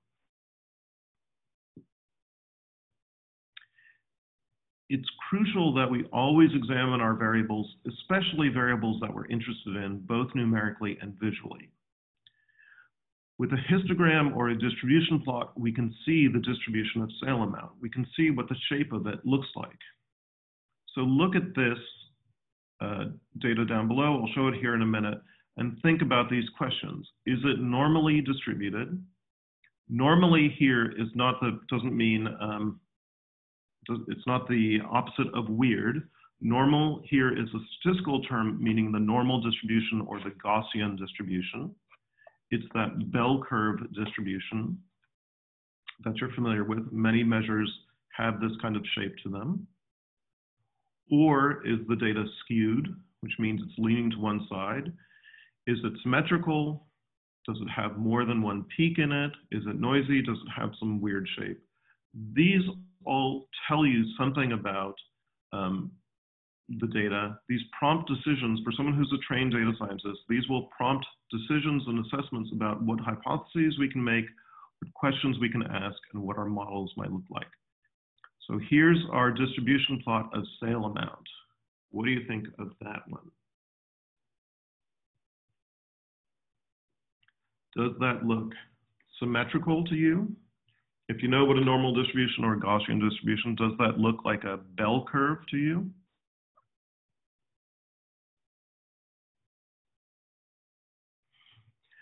Skewed, painfully skewed. I like these answers. That's great. Yeah, there's something really weird going on here. Well, it's not weird actually. This is pretty typical with cost or financial data. We have a very large point mass at zero.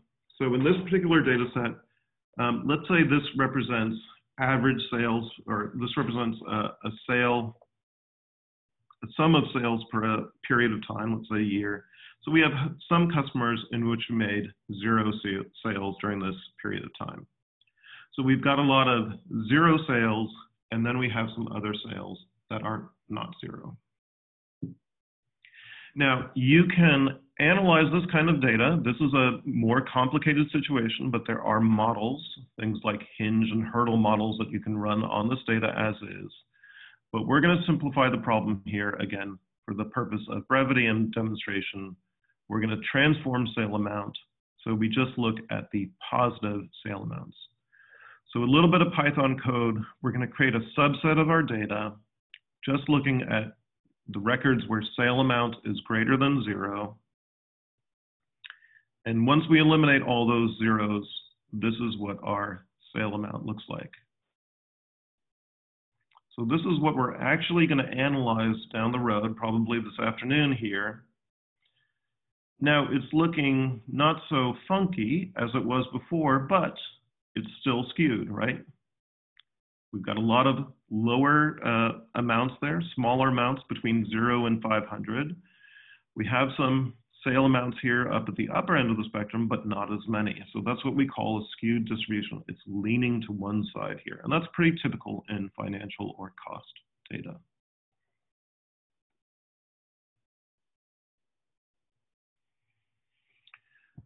So it's skewed here. What questions can we ask now? Well, let's focus on average sale amount. That might lead us to questions like, what traits in our customer lead to higher average sales? So our question has narrowed a little bit. It's changed subtly here, but importantly, we're focusing on a measurable summary statistic, the mean. When we say the average, we're talking about the mean. And you know, if you're if you've done a little bit of stats here, you know that we use the mean a lot. There's mathematical reasons for that. The mean is mathematically tractable. Um, it's nice to use in a lot of situations. Um, so we're going to choose that for our subsequent analysis down below. Now, it's not the only choice we have to make here. We could analyze the median. We could analyze quantiles of our data. So we could look at the 90th quantile of sales here. We can see what leads to higher sales. There are techniques for that, things like quantile regression. There are lots of choices. But again, going back to that idea of how do you know what approach or what model you're going to use? It's when you make decisions at this point. If you say, I'm going to focus on the mean here, then that's going to uh, restrict the kinds of models and the kinds of uh, techniques that we're going to use to answer that question. Okay, we're gonna come back to this after lunch, but I wanna go back to this um, next exercise here. So uh, you had started defining some questions. Uh, we want to, um, I want you to go back to those questions here. Oops, sorry about that.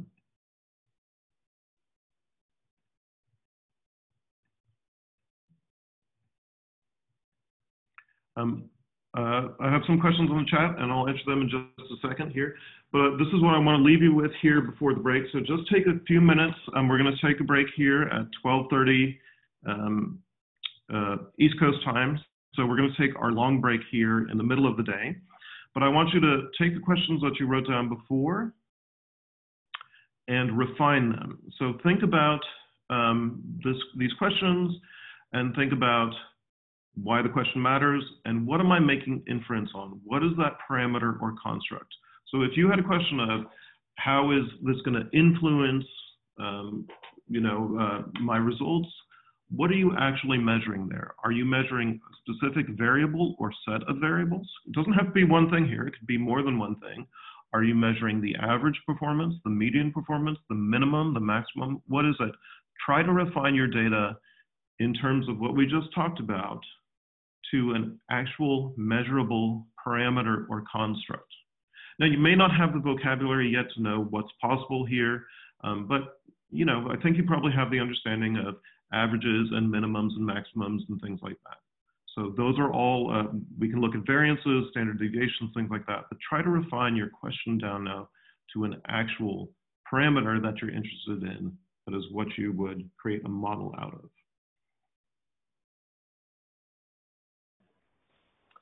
Hi, we are back and we're going to get underway again.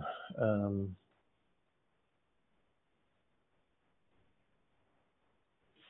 uh, a couple of questions as we get uh, underway here. Um, we'll continue on with the materials. Um, so we're going to we're going to dive back into this demonstration here and just go through a couple more scenarios, and then we'll go back to that um, those course notes and and talk in more depth about machine learning, different algorithms, uh, what is a model, all that good stuff. Uh, here, a question in the, uh, in the chat is if you can uh, use a geometric mean instead of normalizing.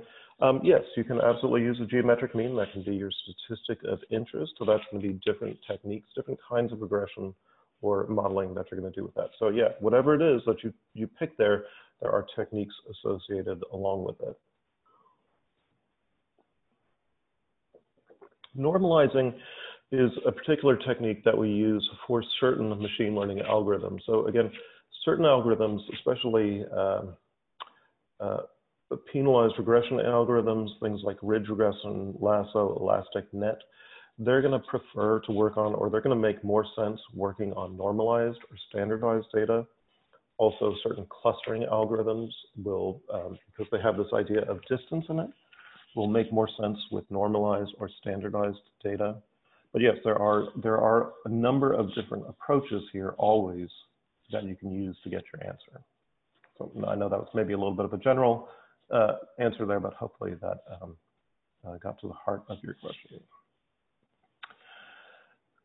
Okay, so we left off here. Um, we were talking about this average sale amount. We decided to focus down on that, the, uh, the mean here. And again, one reason is that in this case, the, the mean, as you'll, when you start to study statistics here, um, there's many nice things, nice properties of the mean in terms of the calculations we can do here. There's also laws like the central limit theorem um, that uh, empower some of the kinds of models that we want to do here. But in a simple way, we've chosen the mean here and we're going to move forward with that. So maybe we want to, um, as part of our exploratory analysis here, describe this statistic in relation to other variables in our data. So maybe, as some of you um, prompted in the questions, or maybe we're interested in average sale amount relative to, say, a trait of our customers like sex. We can examine that bivariate relationship here, the relationship between a continuous measure, sale amount, and a categorical or nominal measure, sex or gender here. In this example, sex is a binary variable that either has male or female.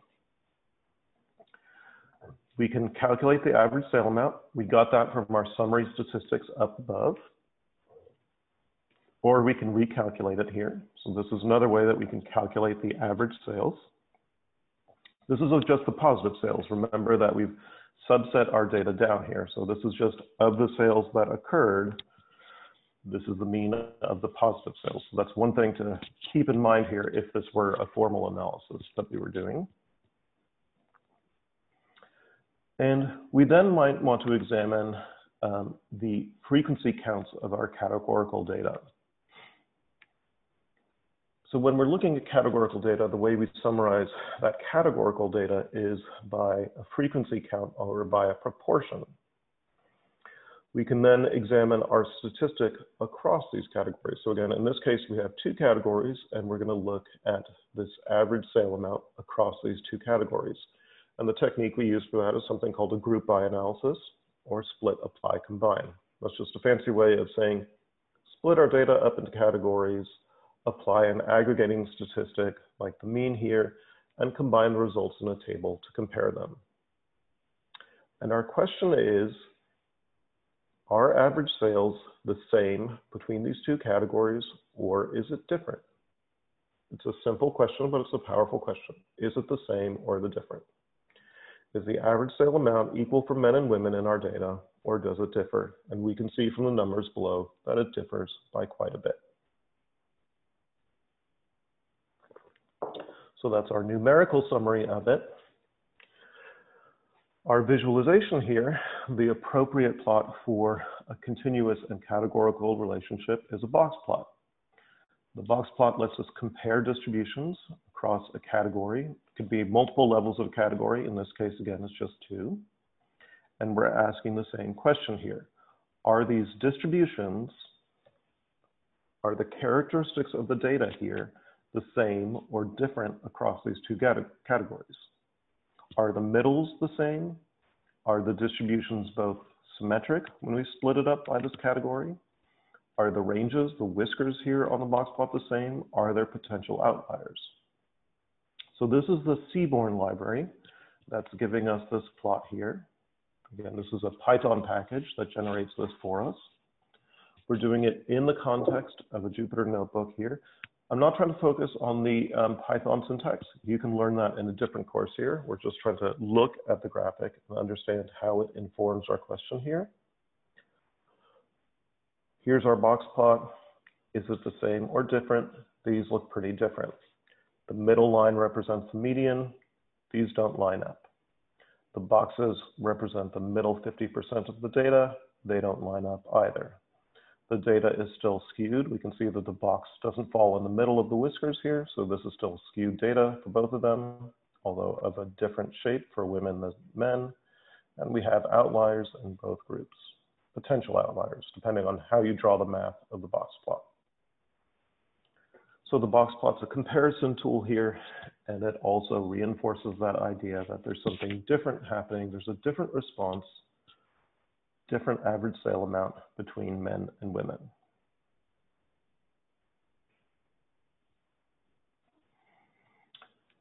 So we'll accelerate a little bit now into modeling this. Our question is, does average sale amount differ by gender or stated differently, does gender predict average sale amount? Now we can do this with something called a linear regression. This is probably a technique that you learned uh, sometime in high school or in college, a math technique. It's a pretty straightforward technique.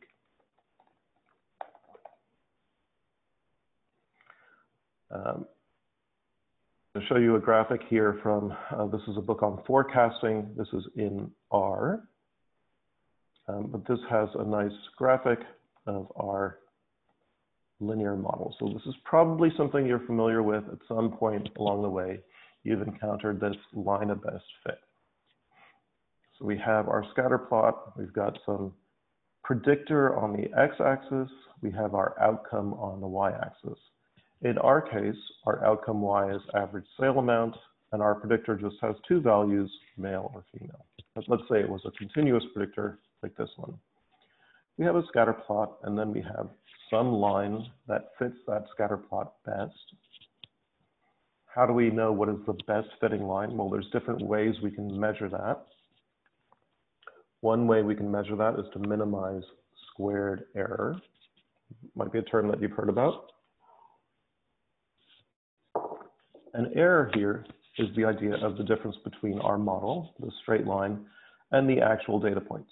So here's the actual data points. This green arrow is the error, or also termed the residual.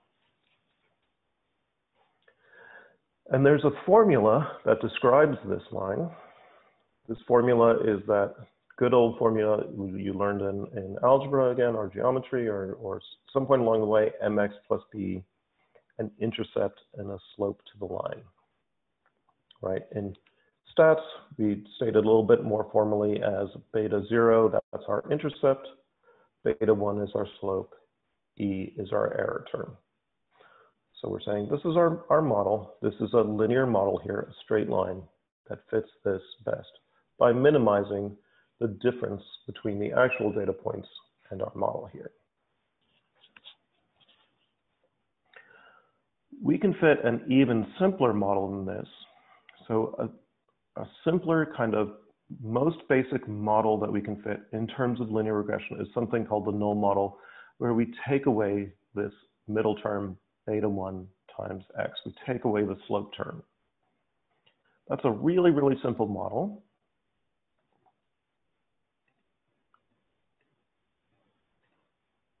Um, but it is a model called the null model. And so it just looks like this. The average sale amount is equal to some number plus some error around the number.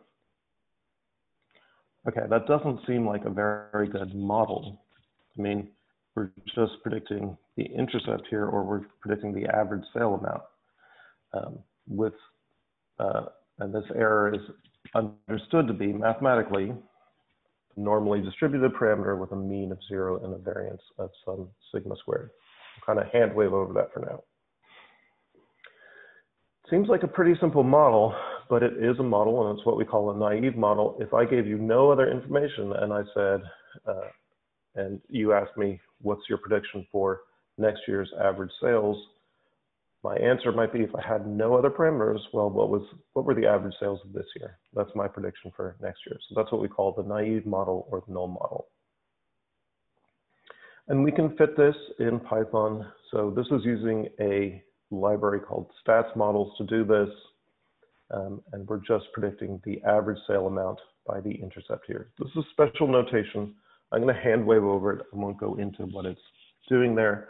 But this shows you a very, very simple model and what that model output looks like in Python.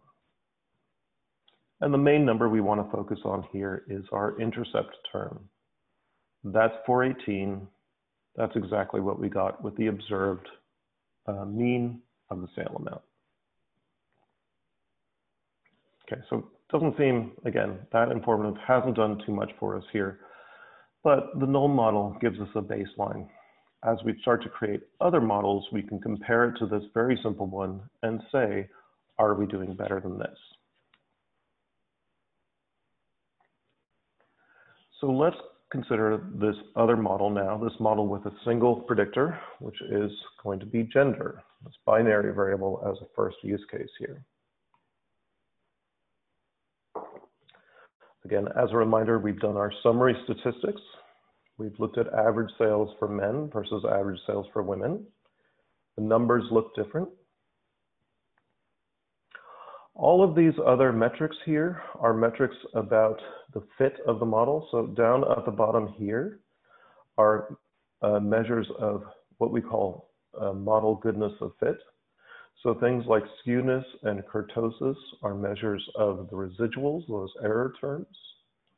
These help us describe whether this is a good fitting model or not, or whether we need to make a better fitting model. Um, this is what stats models reports. So some of these others, Tobin Watson, Jarque-Bera, again, are on the normality of the residuals um, and the uh, correlation of the residuals as well. Right now, we have such a simple model. We just have an intercept only. It's not a very good model. We have an R squared, which is like that correlation, telling us how much variability we've captured in the model and it's zero right now. R squared, generally, in a simplified way, we can say ranges between zero and one. One would be a perfectly fitting model. We're nowhere near that. But again, this is because we just have an intercept-only model. So let's add in a term here. Let's add in gender. Again, we can look at the numbers as we split them apart. Another way that we can compare them is by doing a a density plot or a histogram for the two groups. So this is for males and females.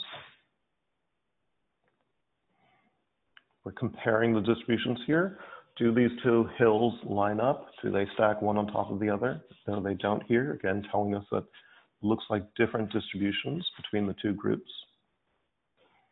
So this is the very simple model that we're going to fit. Average sale amount is equal to an intercept term plus some indicator variable for gender, plus some error.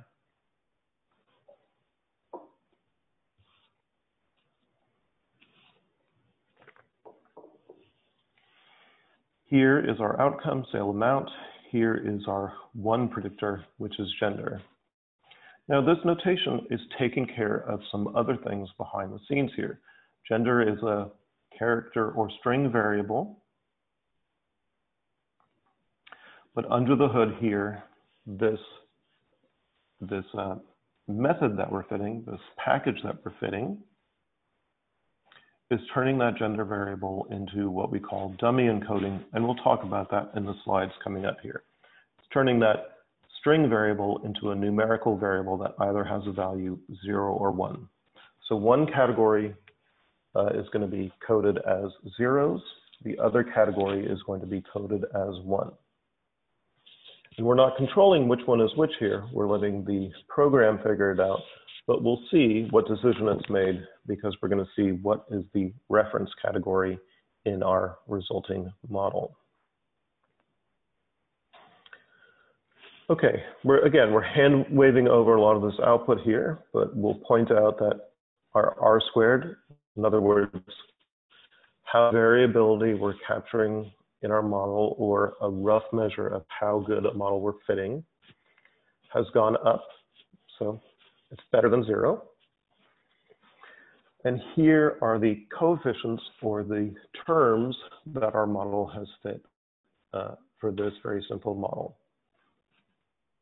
580 for the intercept,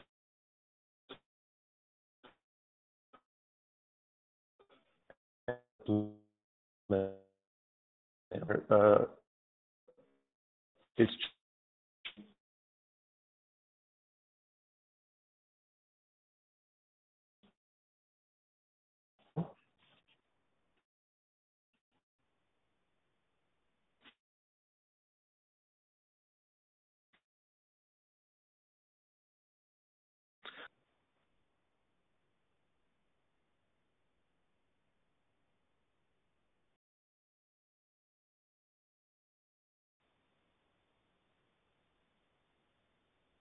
it will resolve here. Um, I'll try to keep talking through this. I apologize for that.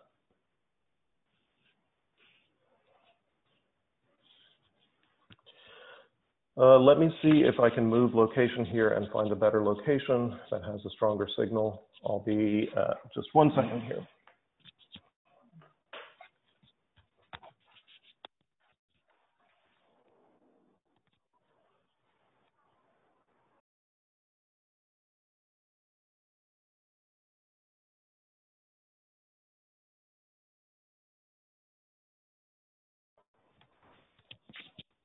Hey all, I've moved to a different location. Hopefully the signal will be um, uh, more stable here. Um, I wasn't far from where I started off this morning, but hopefully this will work. And uh, let me know if the audio issues continue. I apologize for that.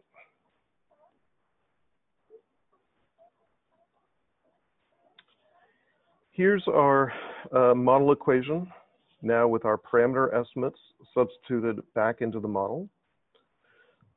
So here's our intercept term and our gender term. So what this is telling us is average sale amount, according to this model, we would predict it as 580.9 minus 285.4 if the customer is male. If the customer is male, this becomes 1. We subtract this number from our intercept. If the customer is a female, this term is zero and it goes away and we just have 580.9. Now that's pretty much what we got from our summary statistics there, but this model tells us some other things here. It tells us if that intercept term is statistically significantly related to the outcome.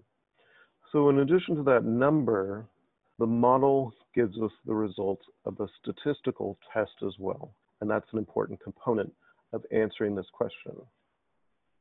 This is an inferential statistical test here. This is telling us the numbers seem different, they look different, but are they statistically significantly different? Based on the data that we have, do we think these results are unusual enough that we would say this is a true difference? This is what we call a p-value here, and that's the realm of inferential statistics and hypothesis testing. So there's a couple of extra important components that the model gives us beyond just the coefficient values here about our actual conclusions. In addition, we could keep fitting models and comparing models. So here, this is a simple model with gender. We could start to add other terms into this model. So we could then look at gender, uh, we could look at number of accounts, we could look at region, things like that, and start to understand these relationships between the different variables. We'll come back to that idea. So we'll come back to this, and we actually do have a, some, many of you proposed looking at the uh, relationship between sales amount and marketing exposure. That turns out to be a little bit more complicated relationship in this data, but we'll come back to that in, uh, in a session here in just a bit. Let's turn our attention now to data science algorithms and analytics. Uh, analytic methods. So we're going to talk now just about the general field of machine learning, what those different models are, and we'll also think about how do we know when to use which one to solve our problem. There is a methodology to this.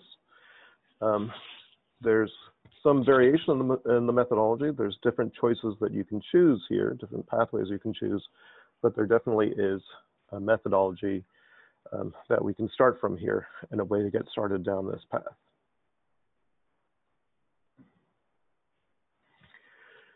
So you've probably heard or encountered the term machine learning. And you might have uh, heard these terms associated along with it as well. Unsupervised learning, supervised learning, and reinforcement learning. We're going to focus on unsupervised and supervised learning types as our main focus to get started here. Reinforcement learning is the use of machine learning in a kind of back and forth with the algorithm where we train the algorithm to select actions that maximize a success or a gain or minimize a cost. It's kind of like playing a game and you reward the algorithm at stages along the way. It's also a very successful technique, but we're not going to cover it in depth here. So let's talk mainly about supervised versus unsupervised machine learning. In essence, unsupervised learning tries to extract patterns without much human intervention. Supervised learning tries to fit rules and equations or curves to the data. Supervised learning defines a target variable that needs to be predicted or estimated by applying a supervised learning algorithm using a predictor, and uh, independent variables, features, and that target. So just like the linear regression that we just did, those two simple examples of linear regression, that's an example of supervised learning. We have a target, we had sale amount, so we knew what the actual value was. And we then wanted to understand the relationship between that sale amount and maybe another variable like gender. Classification and regression, like we just demonstrated, are examples of supervised learning algorithms. These supervised learning algorithms are built on top of mathematical formulas with some kind of predictive capacity. So the regression example is just one case, one kind of supervised learning. There's many other kinds of supervised learning algorithms. We'll look at a map of them here in just a second. Unsupervised learning is the opposite, as it sounds. With unsupervised learning, we don't have the concept of a target value that we're trying to find or estimate. We don't have labeled output. So we just have the data, but we don't have a target. One classic example of unsupervised learning is clustering, something you're probably all uh, already familiar with. If you're looking at your data and you're wondering if there's structure in your data, you're wondering if your customers fall into certain groups, but you don't know what those groups are and you don't know how many groups there may be, that's an unsupervised learning problem.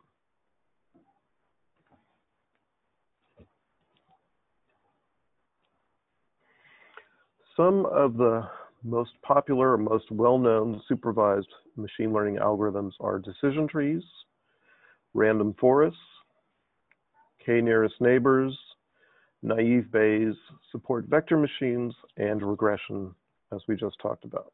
So simple linear regression, multiple regression, uh, weighted regression, many other quantile regression, many, many different types of regression.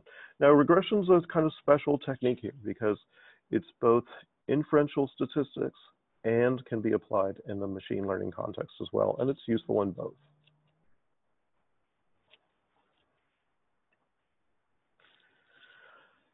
Classification examples of supervised learning are where we're trying to, we have our output that is discrete or nominal or categorical.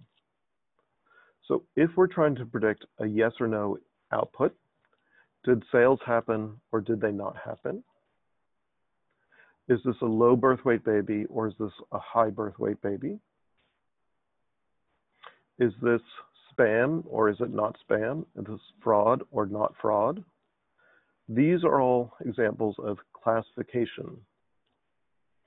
And from one of the uh, questions that uh, one of you proposed earlier, if we were looking at uh, project costs that were 30% higher versus projects that weren't, that's a classification problem.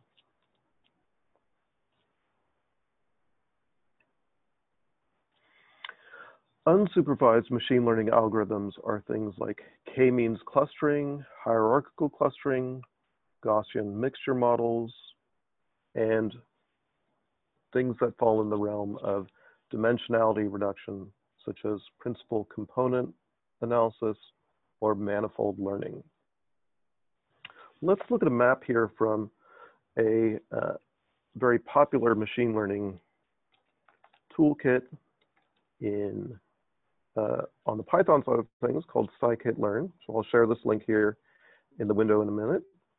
Uh,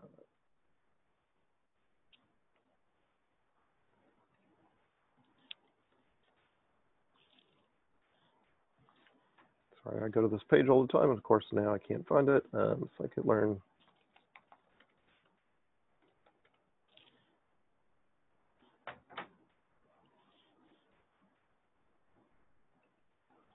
Uh, here we go. Okay, this is the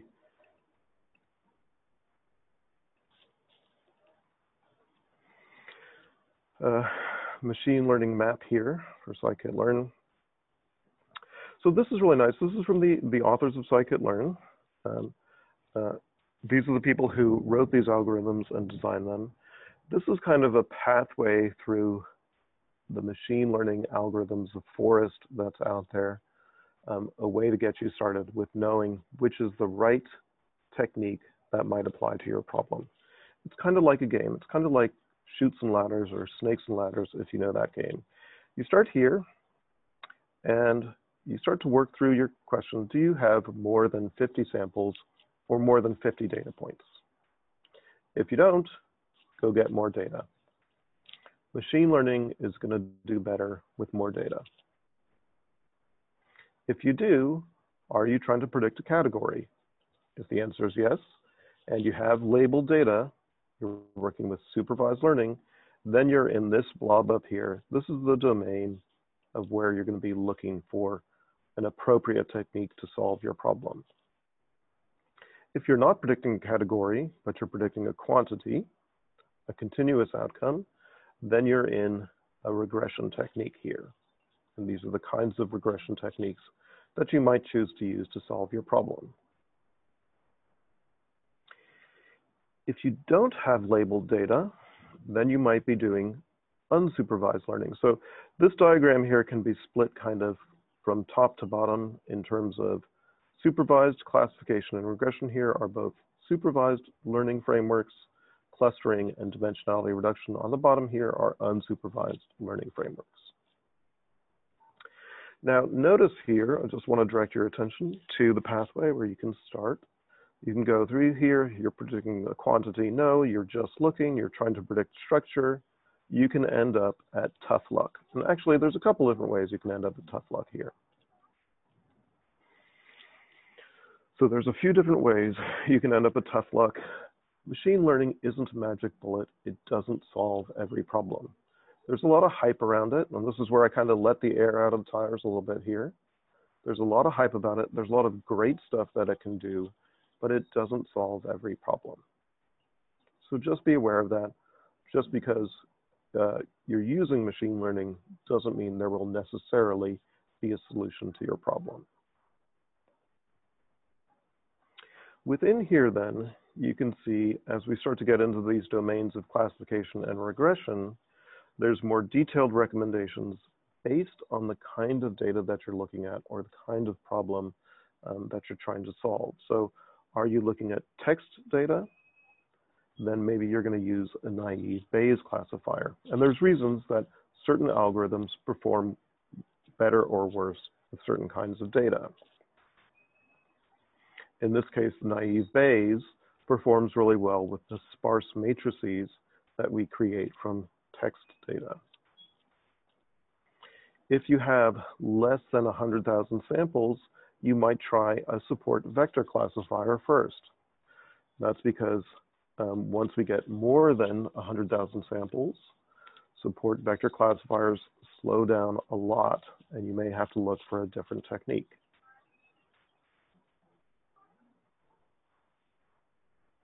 So depending on what your problem is, depending on what kind of data you have, this can prompt you to try certain algorithms first. We often try many different kinds of algorithms, many different kinds of models when we're trying to solve a problem.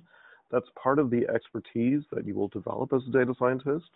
So eventually, you'll just have to take my word for it, you'll develop a knowledge and expertise around your data about what kind of algorithms are appropriate and work with it when you're learning, you can ask people who have fit problems, uh, uh, fit machine learning models to problems that are similar to yours, and that will give you uh, a way to advance forward as well. This isn't saying that this is the way you have to proceed, that you have to do a support vector classifier first and then naive Bayes. You can choose your own path through here. This is just one suggested way. This is the author of a machine learning library, so he has a lot of insight. This is the way he thinks about what he tries first.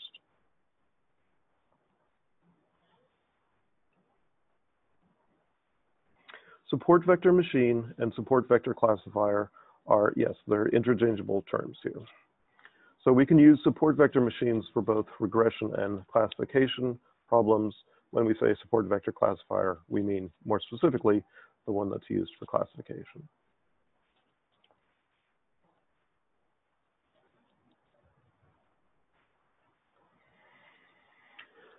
Clustering is that unsupervised learning pattern. That's where we want to do, uh, the classic example here is customer segmentation. We have a group of customers. We think they fall into three or five or 10 different distinct groups. We can do clustering to see if we can map those theoretical groups into uh, dimensions that we already have. So into descriptive stats are those customers who are more in the Northeast who buy more, um, who spend more on heating oil than customers in the South, for example. That's a kind of too simple example, but you get the idea. Um, are customers of one region or of one demographic type distinguished from customers um, with other buying patterns?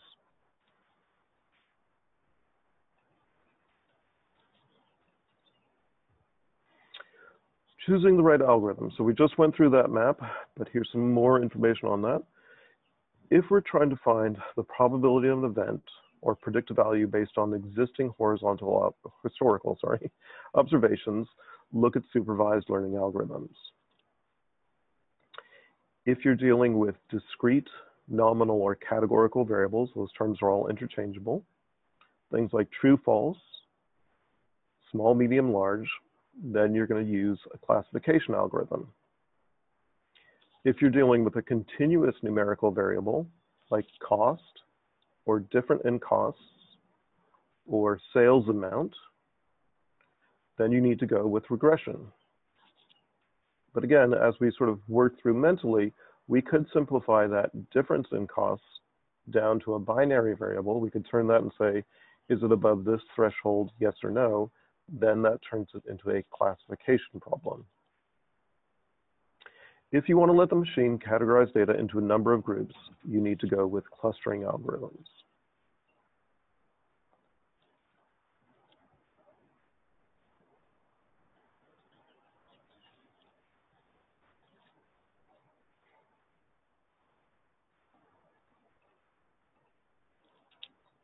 Some more vocabulary here. When you get into machine learning, you do have to um, learn some new vocabulary here. So this is part of what uh, the words that you'll be dealing with. When we talk about machine learning or data science and statistics, features are the variables that are used in making predictions. They're also called predictors or independent variables. They're the inputs to your model. A feature is similar to a spreadsheet's column some kind of property, some kind of trait of your customer, gender, marketing exposures, number of accounts, things like that. Those are our features or potential features. That value that we're trying to predict based on those features is referred to as the target. In regression modeling, we often call that the response or the outcome or the dependent variable. So again, there's a lot of uh, synonyms here. There's a lot of overlapping terms. That's just based on the different fields that these have emerged from. This is our output of our model. An observation or a sample is the registered value of a particular variable, a feature like temperature, and an individual uh, or an individual product's price or something like that. So that's a sample or observation. It's like the row of a table or a record. Another word for observations, samples, or examples.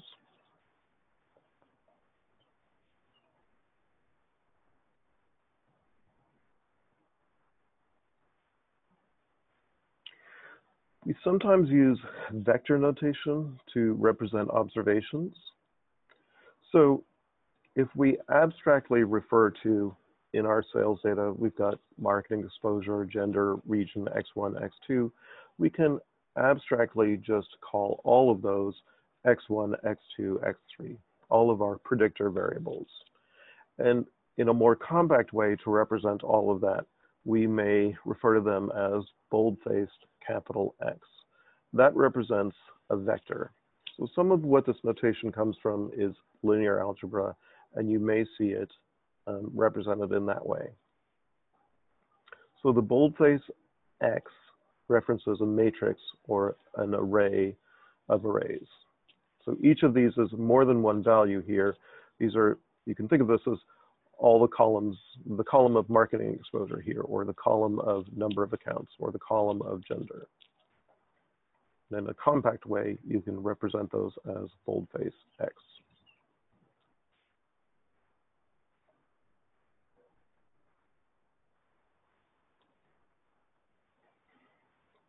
The label or the target is the value that you assign to the observation of what you're trying to predict. You can have labeled and unlabeled observations. The former, again, are mostly used in classification. The latter are found in clustering. In classification, labeled examples are used to train the model. After that, the trained model is fed unlabeled observations to try to have the model infer or guess the labels of those new unseen observations. So some examples of labels might be uh, software defects. So is this a major or a minor defect? Maybe a trading recommendation, buy, sell, or hold, an email category, spam or non-spam categorical labels can be binary. So it's very common that we have things that are yes or no, spam or not spam, fraud or no fraud. Or we can have multi-class labels. They have more than one value, small, medium, or large. That step up from the binary class to a multi-class is a step up in an order of complexity, and we need different techniques to work with that. Features can be of two types. So we can have continuous or categorical. Categorical features in turn are divided into nominal and ordinal. Categorical features that are nominal are ones that have no inherent order to them, red, green, blue. If that categorical feature does have an order to it, small, medium, and large, and that's an ordinal categorical feature.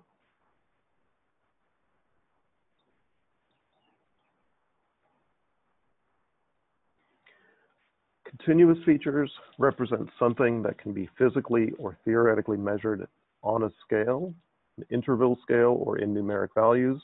Things like blood pressure, the size of a black hole, speed of a vehicle, humidity. These are all continuous features. They may have a scale that starts at zero or they may not.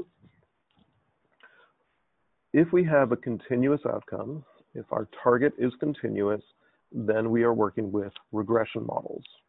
Regression models have that continuous feature output and we learn and predict and help answer types of questions like given past sales, what are the expected sales figures for next month?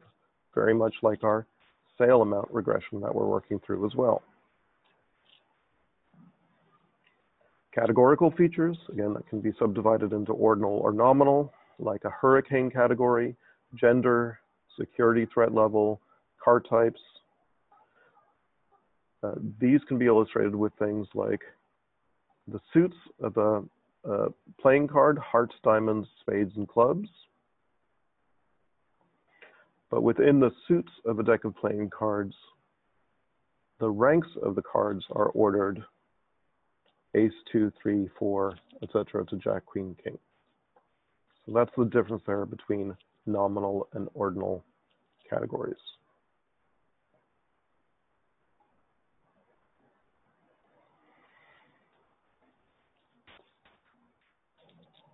Okay, let's um, turn our attention now back to this idea of choosing the right analytic approach.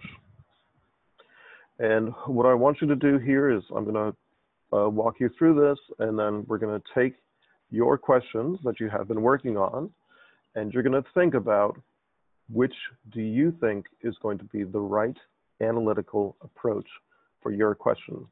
This is can be tough here, and sometimes there's more than one answer, but let's think about this is again here. So there's a lot of options when it comes to choosing an analytic approach to solve a business problem. How do you know which one you should pick? Let's review those options, and then we'll pick an analytic approach for different business scenarios. So the big overview picture here is, do we want to use descriptive or inferential statistics?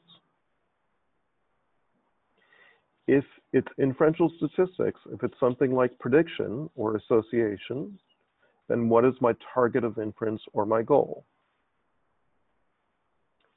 If you're trying to do something like quantify relationships between parameters, how much does gender influence sale amount? Do men buy more than women? Questions like that, trying to quantify that relationship between an income and a target. In that case, you want to use something like parametric models like regression.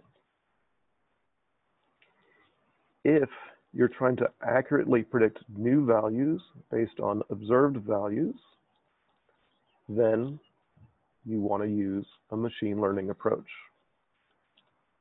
If you're just trying to find groups of similar observations in your data, that's going to be clustering or dimensionality reduction.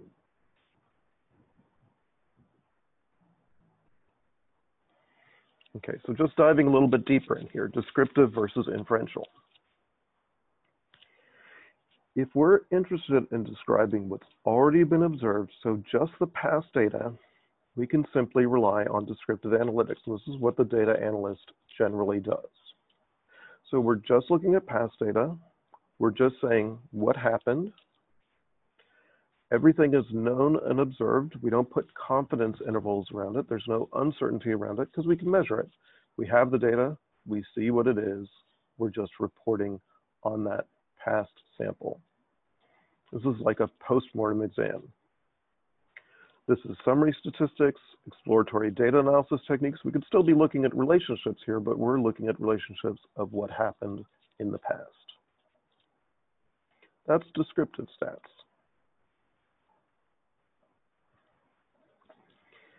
Inferential statistics here is if we're interested in using that observed sample, that past data, to make broader statements about the data that we haven't seen yet.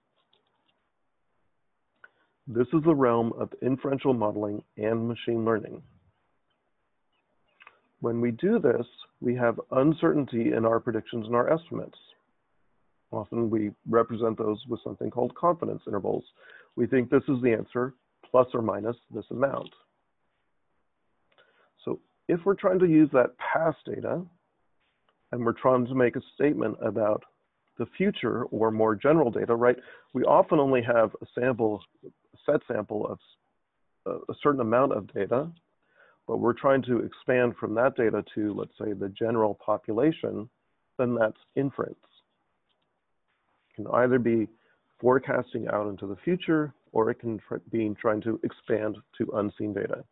That's inferential statistics. Now, within inferential statistics, if you're interested in understanding the relationships between variables, if you want to know, does X influence Z? By what amount? But is that a positive or a negative relationship? Is that working together with another variable? Is that being defeated by another variable? if I want to put a formula around it, all those kinds of questions that really are going to what are the drivers of a business problem?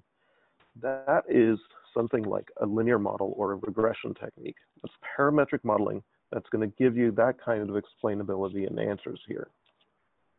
The output is summarized as the shape of the relationships between the variables. How is marketing exposure related to sales? We're going to do that model here in a minute. If you're interested in accurately predicting some outcome variable as a function of the observed inputs, then pick a machine learning technique. The output is predictions, or a summary of how good those predictions are. The relationships captured by the model may be hard to explain. This is what we refer to as a black box. One of the downsides of machine learning is that you don't have that same explainability of how X leads to Y. But that's okay because your goal here was only prediction. Predicting fraud, for example, so we can shut down a credit card.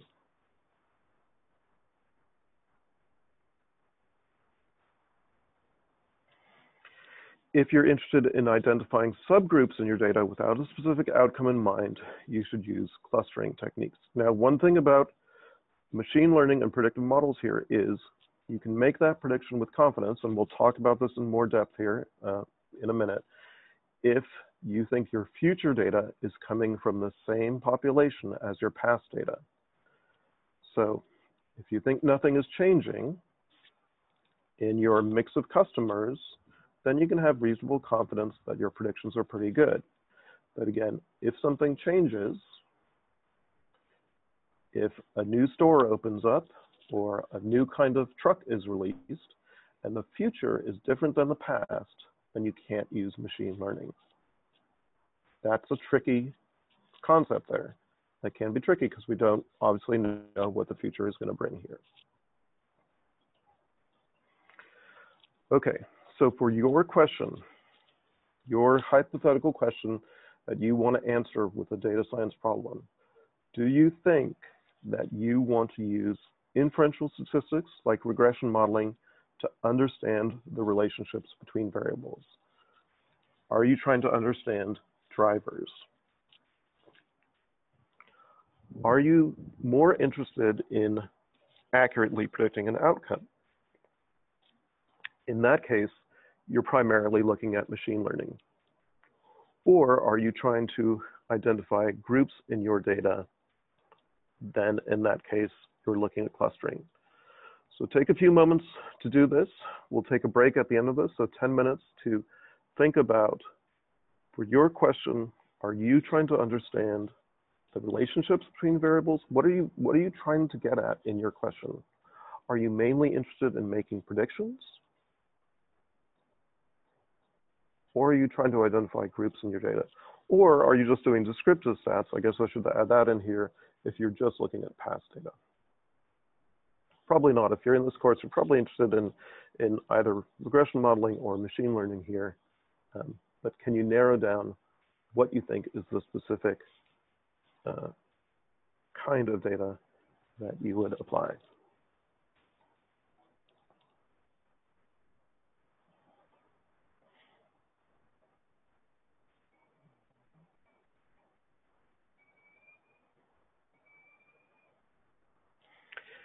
And again, if your goal here is prediction, if you think it's machine learning, you're basing it on the assumption, a pretty strong assumption, that the future is going to look like the past. As we are all painfully aware of now, that's not always true. there are curveballs that come at us from all different directions.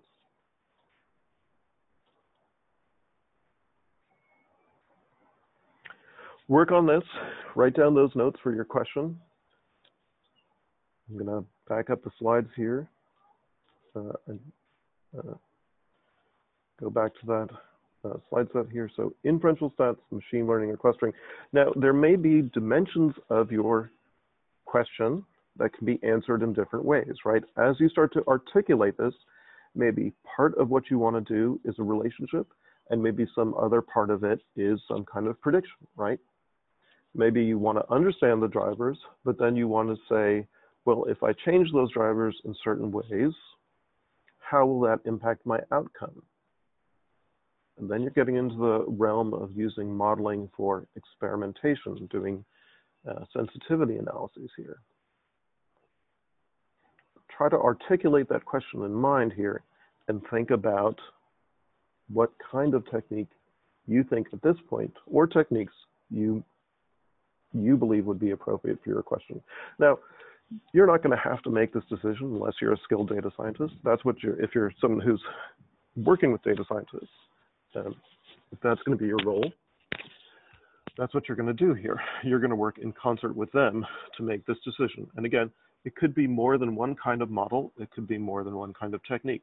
But this will go into back into your project plan, your data science plan. As you articulate this, you're going to say, well, I think we need a regression model to answer this part of the question. And then I think we need a machine learning model to answer this part of the question.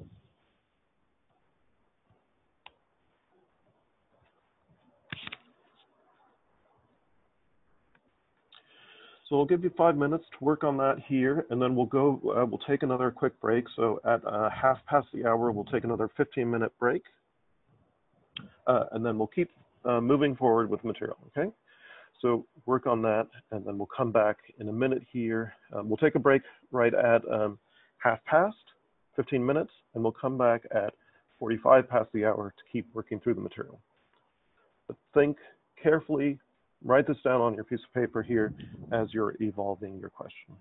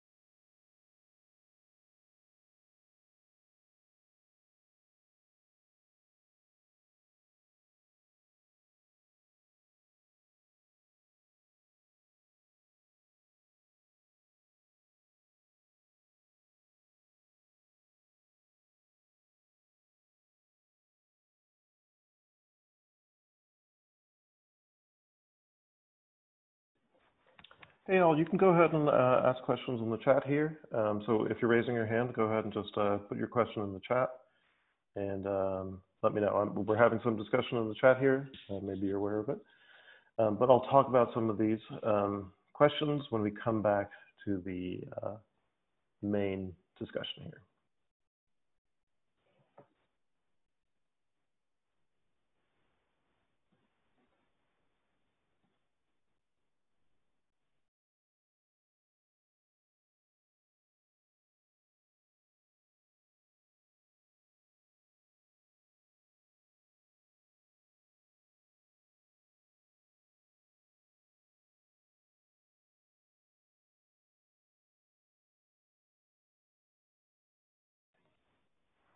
So if you have a question, go ahead and put it in the chat. We're going to take a little break here, a little 15 minute break. Um, I'm going to try and move positions again to get better audio. So uh, I will do that, and hopefully when we come back here, everything will be sorted out. Thanks so much for your patience on this. You know, we're um, working in different situations and just trying to, um, subject to the whims of Wi-Fi, as it were.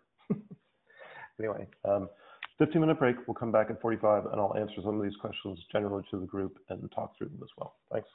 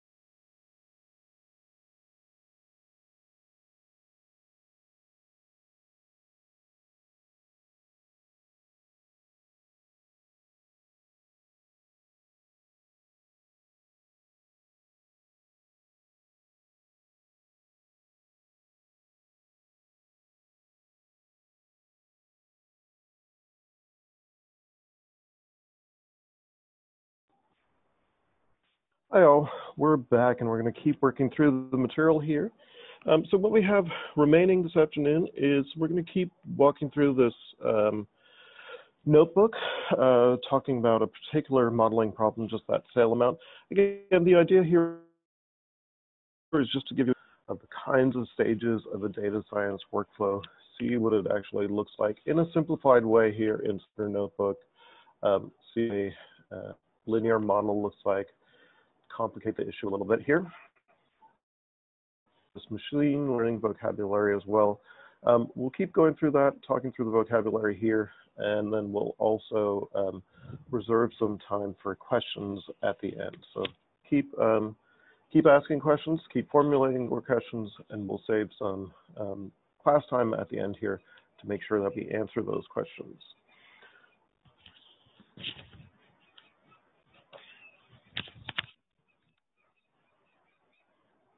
See here if I could.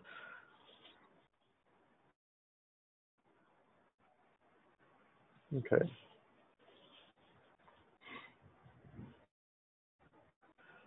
Sorry about the audio problems. I don't know what's going on. I've had a pretty good connection, of course, today. Seems to not be doing that. So just let me know. I'll keep trying to find a good place to do this. I'm very close to the, the Wi-Fi, so again, I don't know what's going on here, but um, let me know. I'll I'll keep trying to solve it, and I apologize for the um, for some of the audio issues here. Okay, a, couple of questions here. Um, uh, one of you was asking about this this idea that we had about looking for project costs, and we're looking for overages in product costs. Is that an inferential regression modeling approach or is it a machine learning approach?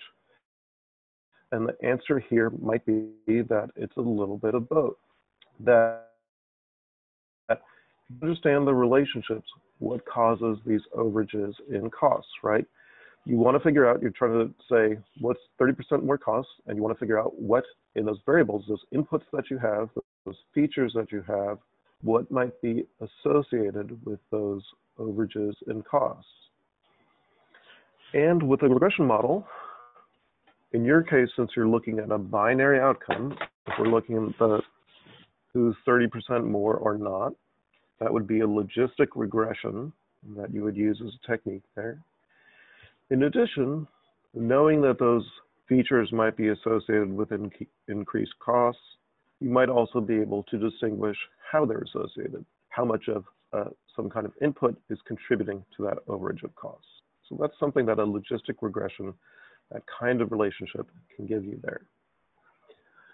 But then, understanding the relationships, you might then want to take it another step and make predictions. So it might be that you're looking at both kinds of models here. You then want to take,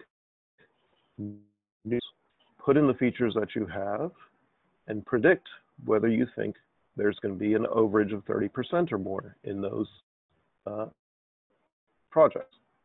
So that's a great example of using both of these techniques, both kinds of modeling here, both kinds of inferential statistics, both a regression model and perhaps a machine learning model to answer that question.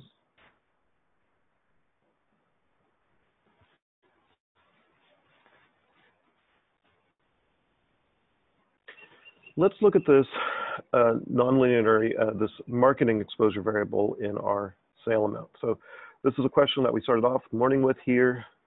Our uh, our sale amount, average sale outcome that we're looking at, and one of the natural questions was, how might marketing exposure be associated with that? Well, what, what can we do with that? We can do our explore towards and look at a graph of marketing by sale amount. And when we do that, we're also putting on a linear model onto this graph. So we're putting on a line of best fit. Uh-oh, that relationship doesn't look great.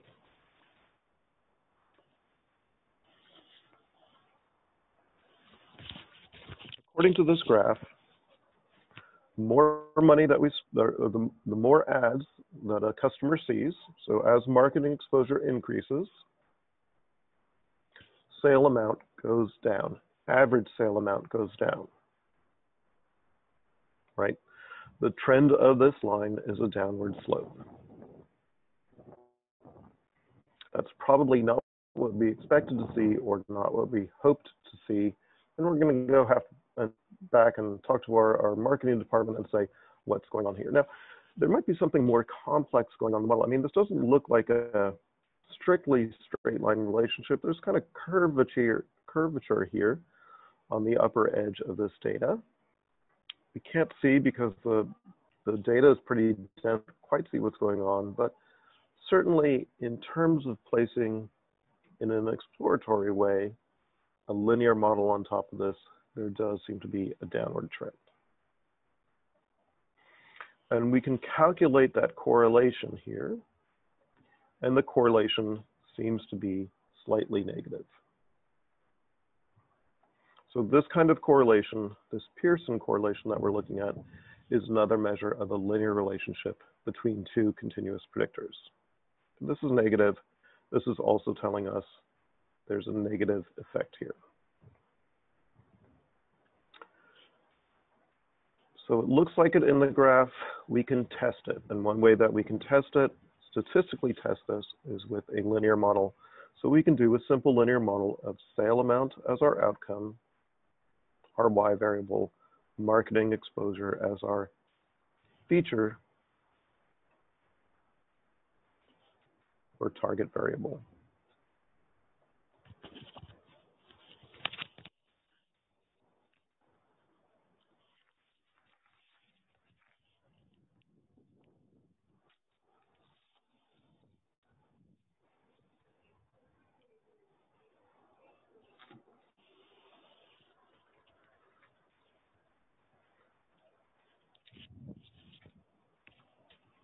Okay, I'm uh, I'm talking, so I think that.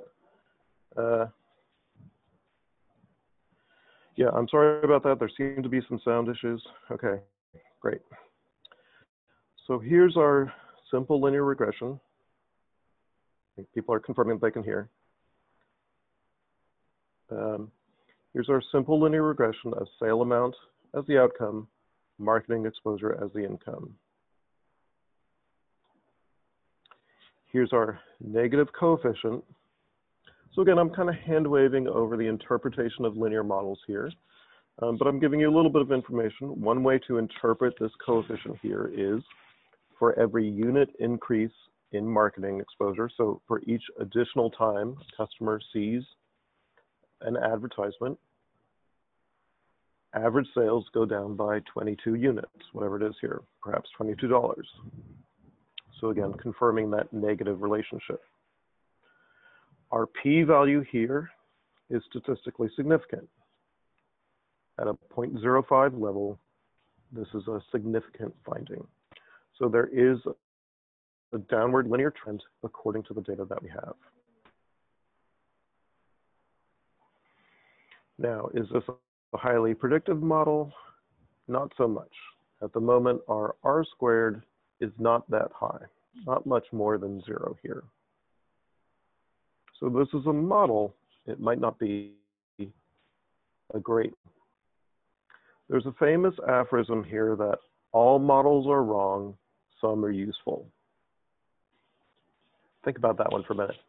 All models are wrong, some are useful. So what does that mean? It means that part of the reason that we're modeling here part of the reason that we're trying to answer these questions is for utility. We're trying to answer, does there seem to be a relationship between marketing exposure and sale amount? What is that relationship? Is it positive or negative? Okay, so maybe we need a more complex model to understand this relationship in a better way. And again, I'm trying to sort of simulate the thinking process of a data scientist here. Now, data scientists have rules and tricks under their belt one of them is making a more complex model in a variety of different ways. What if instead of a straight line, we look to see if a curved line would fit this model better? Maybe that will give us a better fit to the model. There's ways that we can do that visually, and of course, there's ways we can do that computationally. This is the way curved line visually to the model. And what we're looking at here, this is a, an adjustment we've made in our plotting method here. We've asked it to do what's called a LOWESS curve here. And we're comparing this to the straight line model and seeing if this new model, which has more capacity, more flexibility, curves, and indeed it does. So the, this hints to us that maybe we need some other kind of relationship here beyond just a straight line relationship between the target and the feature.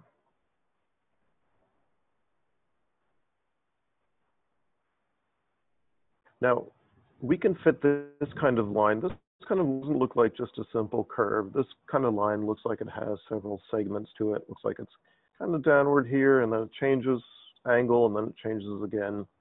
There's a flexible kind of curve that we can uh, create in a model like this called a spline curve.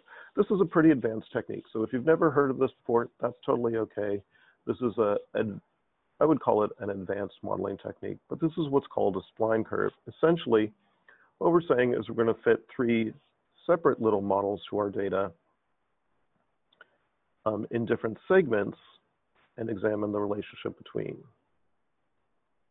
Now, I'm sorry, I'm just fast forwarding a little bit here. We can specify that those segments are either curved or that they are straight lines. So this orange line that you're looking at is a spline model. It has three segments to it but we're restricting those three segments to be linear. And that looks more or less like the LOWESS curve that we had before. So this is what we call a more capacious model. It has more capacity. It can fit our data a little bit better and give us a better model. But that still is a downward trend here. Whichever one of these models is kind of sine wave that we're looking at or the straight line, still the overall effect looks like a downward trend from, the, from reading from left to right. So we still have that same overall picture here of marketing exposure being negatively associated with sales. The model. So perhaps we go back to the marketing department and we talk to them about this and they say, oh yes, those ads were targeted towards women. Okay, well that's useful information for us to have. We probably would have known about that ahead of time, but let's just pretend that we didn't. We're going to go back now and say that we need to include gender in our model as well in some kind of way. So how do we include gender in the model as well? Well, we can go back to our exploratory data analysis and remember that loop that we had of transformation and visualization and modeling. That's what we're in right now. We're going over and through that loop several times, trying to understand these relationships in the model. Our main question here is, what's the relationship between marketing, exposure, and sales? It turns out that may be more complex than we first thought. So we can take our linear model plot that we had before, and we can separate it into two columns by gender. So we can make what's of the plot. Now, when we, we see that the relationship for men stays approximately flat. This line is pretty much a flat line, but the trend line for women is increasing. So as women see more ads, they tend to spend more money. We have two different curves here, one rising, one essentially flat. There's a couple of different terms for this. Uh, the main term that we want to call this is interaction. So when we have two variables that are working in concert to affect the outcome, that's what we call interaction in our model. In other words, it's not just one or the other. It's not just marketing exposure. It's not just gender, but there's a complex relationship. Women who see more ads spend more money. For men, the relationship, men spend less money, and it doesn't matter how many ads they see. It's a more complex relationship than can be described either by just the relationship between gender and sales or between marketing and sales. It's an interaction. They are reacting differently depending on how many ads they see and the gender of the customer. We can code that have the idea of a relationship like that. We can put it into our model. We do it with what's called a, an interaction term, a multiplicative term here. And I'm getting a little bit technical. This is, again, a little bit more advanced. But hopefully the idea is clear here, is this often happens in real life, that it's not just one variable at a time that's affecting the outcome, but it's several variables in complex ways. It's called an. We can create a model interaction term in it. Our R squared is higher than it's been to date, so this is at the moment our best model. We can make predictions from that model. So the way to make predictions from this model is we make a dummy data set of marketing exposure 0 through 15 and gender male or female. So it looks like this data set. And we pass it through the model. And we get predicted sale amounts. Then with those predicted sale amounts, we can make a visualization that looks like this. So these are our models. This is the orange model here is for men. The blue model is for women. And this adheres to those curves that we saw in the data when we did the exploratory data analysis. Again, this is called interaction here, where we have two different responses based on two variables working together. This is a scenario. Interaction is something that's difficult to detect. You often know about it because of expertise in your field. You have historical data. You know that terms tend to interact together. That's why you know about interaction, and you might guess to put it in your model.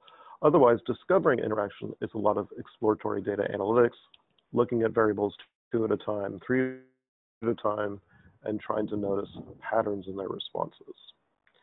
But the idea here, again, is just to give you an example of the kinds of thought processes that we go through with the data science workflow. And the reason you might choose to do this kind of modeling is because you're trying to understand this relationship. You want to know how does marketing exposure affect men or for women? Then, understand those relationships, you can experiment or you can make predictions. You can say, okay, now that I have a female uh, with uh, a male with zero marketing exposure, what's my predicted sale amount there? What about a female with zero marketing exposure? What's my predicted sale amount versus a female with who's seen 10 advertisements? There's my predicted average sale amount.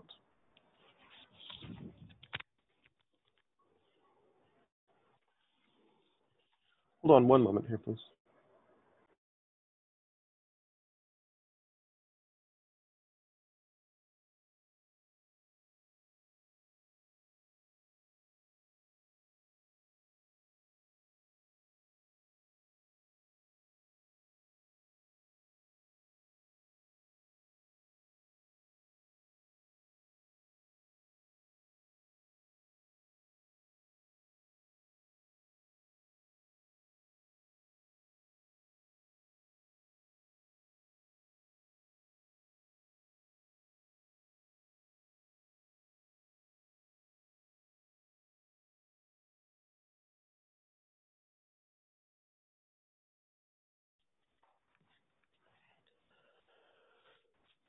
Hi all, I apologize for all of that. Um, I was in several different positions here. I'm right by the router now. Um, we're all, uh, there's several of us working here and we're all getting messages that the um, connection is unstable. I don't know what's going on. Seems like it's a nice day outside, um, but I do apologize for that.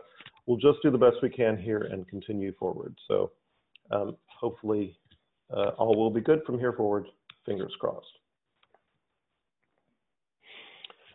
Splines here in this model, this is called a spline model. These are these segments of the model. So uh, as I scroll back up here, this is taking the model and these splines refer generally to types of curves here, but in this case, they refer to the different segments that are in this model. Again, spline, spline modeling here is an advanced technique Um, but the idea that I really wanted to hammer home there was the idea of that interaction.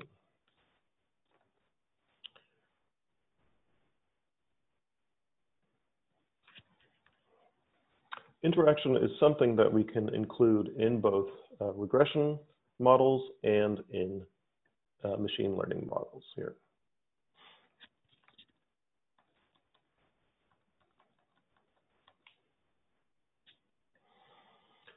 Okay, so what is a model? Well, as we've seen, we've worked through several models here. A model is that formula. It's an algorithm. It's a prediction function that establishes a relationship between features and our output labels. A model is trained to predict or make inference on labels or predict values. When we're talking about modeling, now Modeling can encompass both regression models and machine learning models. What we're talking about now, in the context of this slide, is more of machine learning models. When we talk about machine learning models, there's two major life cycles, which is the model fitting, the model training, whereas where we let the model learn from our labeled observations, maybe fitting several models, maybe tuning those models, adjusting what we call hyperparameters to get the best model. And then when we arrive at our best candidate model, the next major life cycle phase of the model is inference, is making those predictions.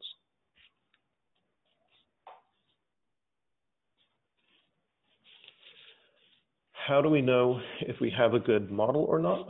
Well, we evaluate the model.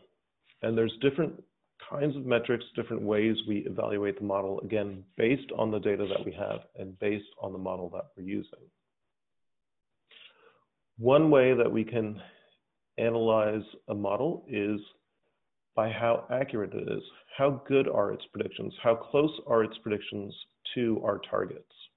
Remember, we have targets, we have past data, so we can compare predictions of our model to that past data and quantify how close they are.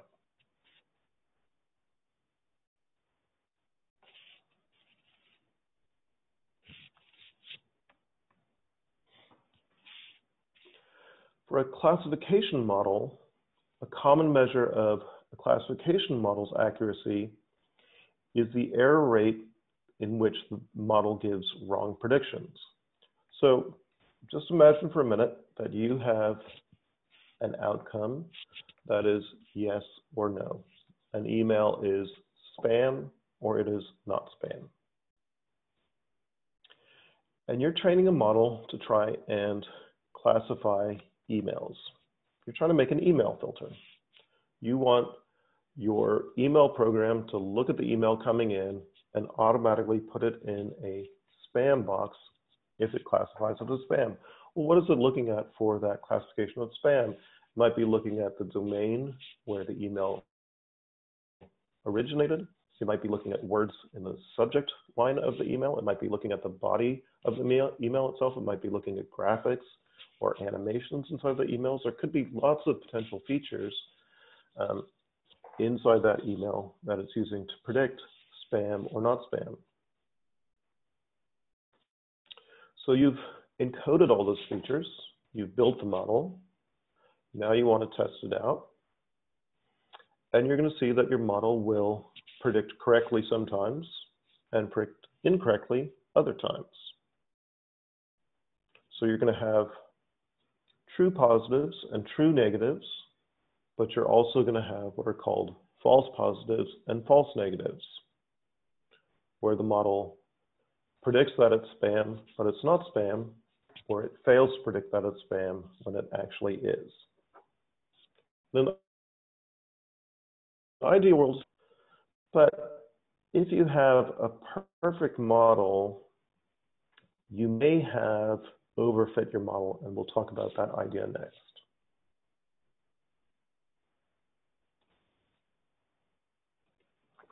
For classification scenarios, the way that we evaluate how well a model performing, one way that we can evaluate is with something called a confusion matrix. And this is a table, a two by two table that counts up the number of true positives. These are the correct predictions. It's a spam message, and we predicted it's a spam message. Patients who are classified as having the disease. True negatives, a message is predicted as not spam, and it is not spam. Patients are correctly classified as not having disease, as healthy, and they don't have it. False positives, which is also called type 1 error, uh, that's where we label a message as spam, but it actually isn't. Or in a, our uh, medical scenario here, some healthy patients have wrongfully been classified as being ill, or false negatives, type 2 error, where uh, we've missed spam and it's gotten through. It's actually a spam message, but we predicted it wasn't. Okay, now, what is worse? To predict someone has cancer when they don't have it, or to miss a prediction, say that they don't have cancer when they actually do? Which is a worse scenario? So which kind of mistake is worse here? To predict someone has cancer when they don't have it, or to miss a diagnosis and say that they don't have cancer when they actually do.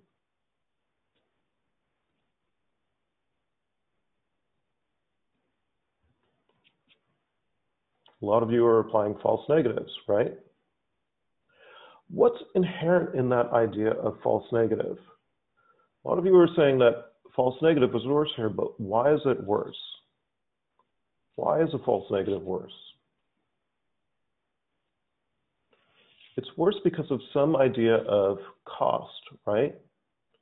Cost in terms of what it costs to miss that diagnosis, right?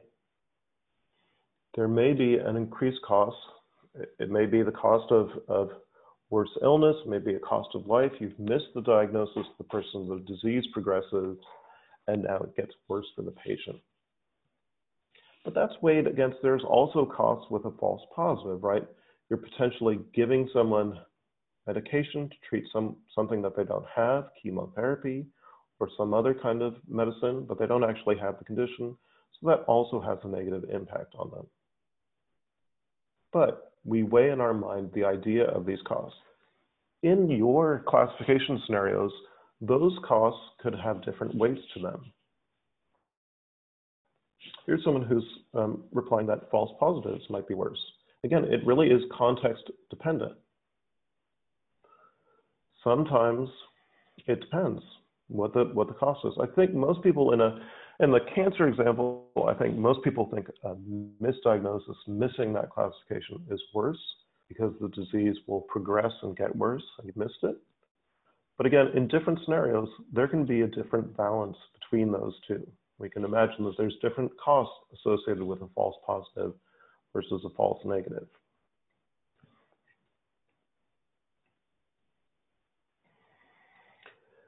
This is what a binary classification confusion matrix can look like. So we have predicted class, yes or no, true positive, true negative, false positive, false negative, and actual class, yes or no.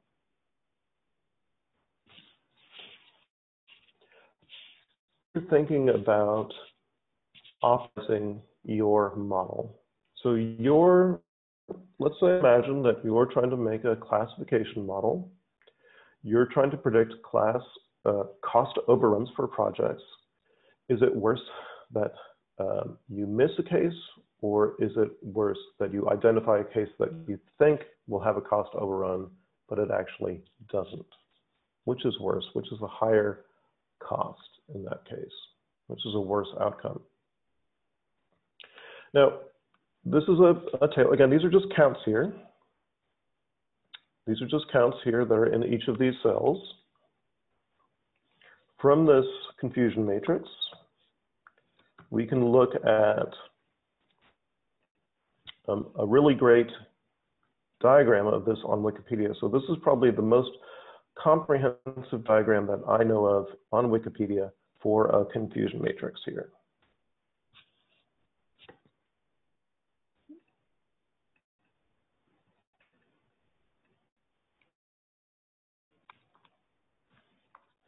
Okay. So here our confusion matrix are true positives and true negatives, false negatives and false positives. Be careful when you're looking at confusion matrices from different software. Sometimes these cells are in different arrangements. Sometimes it's reflected, false positive will be up here, false negative uh, up in the corner, things like that. So just, just be aware of that and be careful about this. What's also important in confusion matrices when you're looking at them is how you set up the problem, what's considered success or what's considered failure. Of course, that's going to flip this as well. But around the confusion, a lot of that we derive from the confusion matrix. So these are terms that you have also probably heard of in a machine learning context.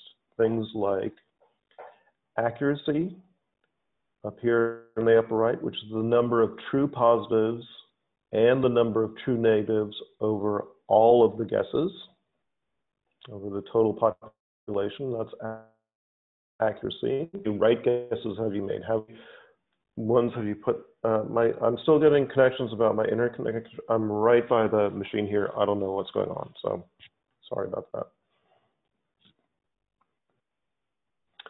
Um, accuracy is one measure. Some other measures are things like sensitivity or recall. This is the number of true positives out of those that actually were positive.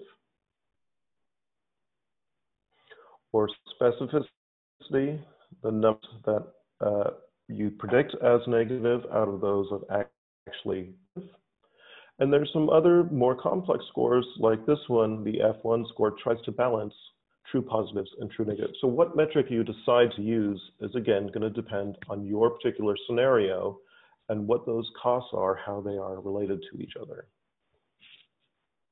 That's something again that you will often look for expertise. Someone who's been working with this problem will say, this is the particular metric or metrics that we want to use to judge this model. Now, when we set up a machine learning model, uh, when we began the process, we split the model into something called uh, training and test data sets. We don't use the same data for training our model that we use for testing it.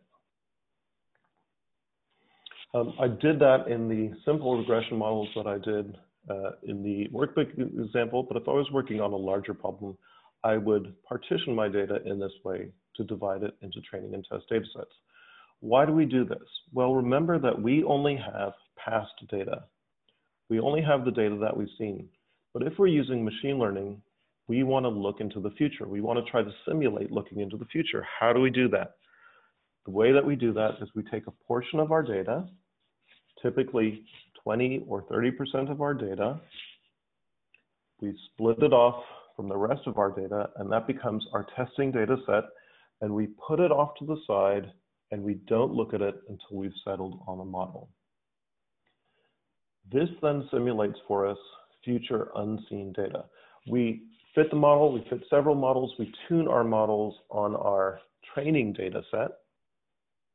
And there's a variety of techniques that we use to get the best model out of that but we reserve that 20 to 30% of our data for testing because that gives us confidence. That's the only way that we can simulate the future, and that gives us confidence that our model will perform well with new unseen data.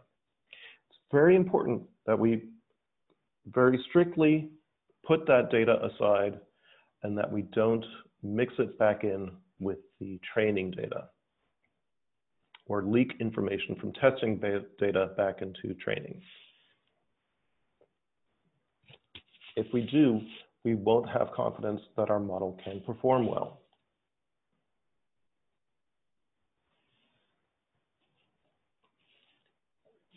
One thing we can additionally do with our model is we can take, uh, and this is uh, validation or cross-validation. There's a couple of different ways that you can do it here.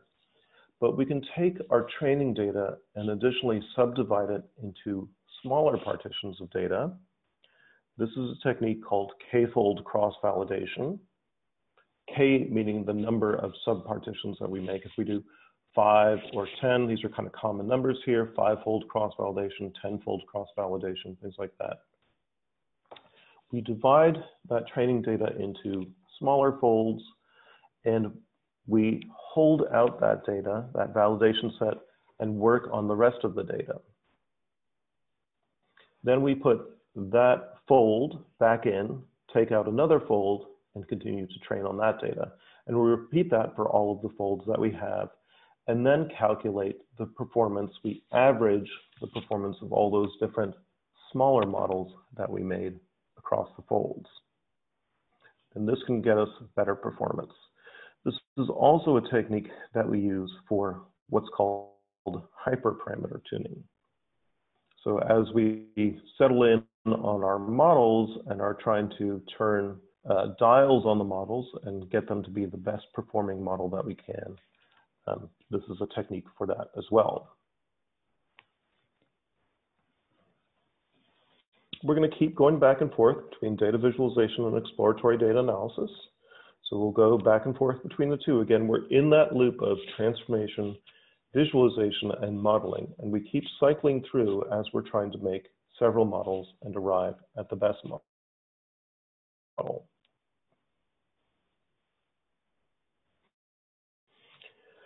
The process of creating or transforming predictors from the raw data is called feature engineering or feature extraction. So when we're doing things here like scaling our data, normalizing it, creating synthetic features based on the original data, dropping features that might have high correlation with other ones that we already have. This is all in the realm of feature engineering. And what we're trying to get down to here is what are the relevant features? We can have very large data sets that have lots and lots of potential features in them. We want to know what are the pertinent ones. Adding additional features means a lot of extra dimensions potentially a lot more computational time.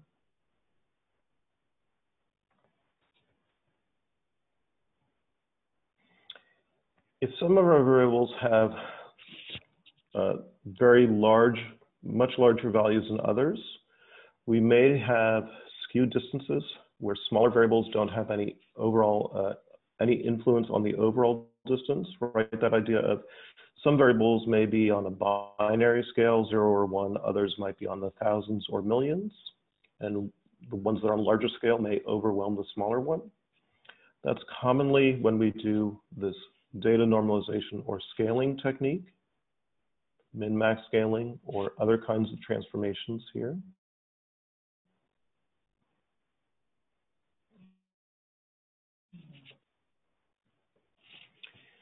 If we have variables that are correlated with each other, we may create synthetic features out of them. So we might take two variables that share variance, are correlated, and we add them together in a mathematical way to come up with a new synthetic variable, x3, for example, here.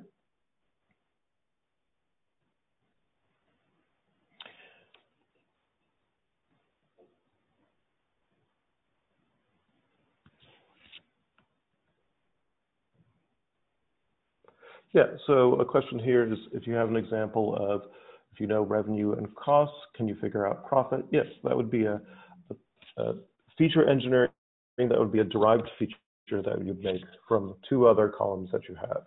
So you have birth date, you need to calculate age, or you have a date and you need to calculate um, age of uh, length of employment, something like that. These are all kinds of feature engineering statements.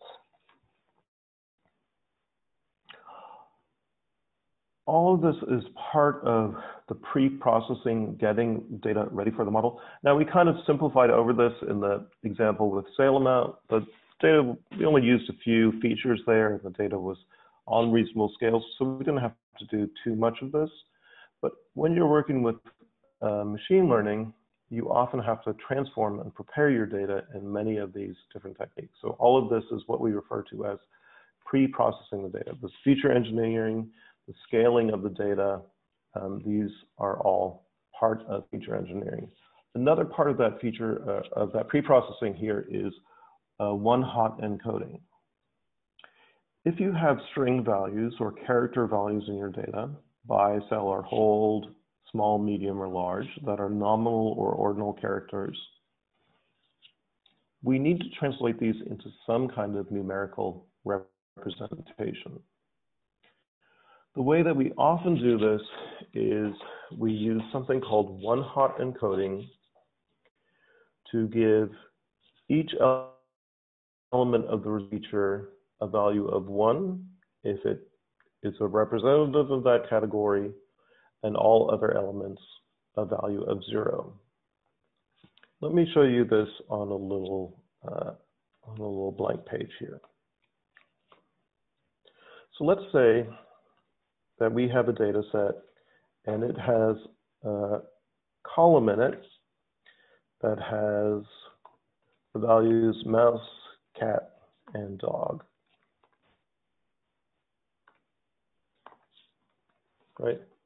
We've got these categorical variables in our data.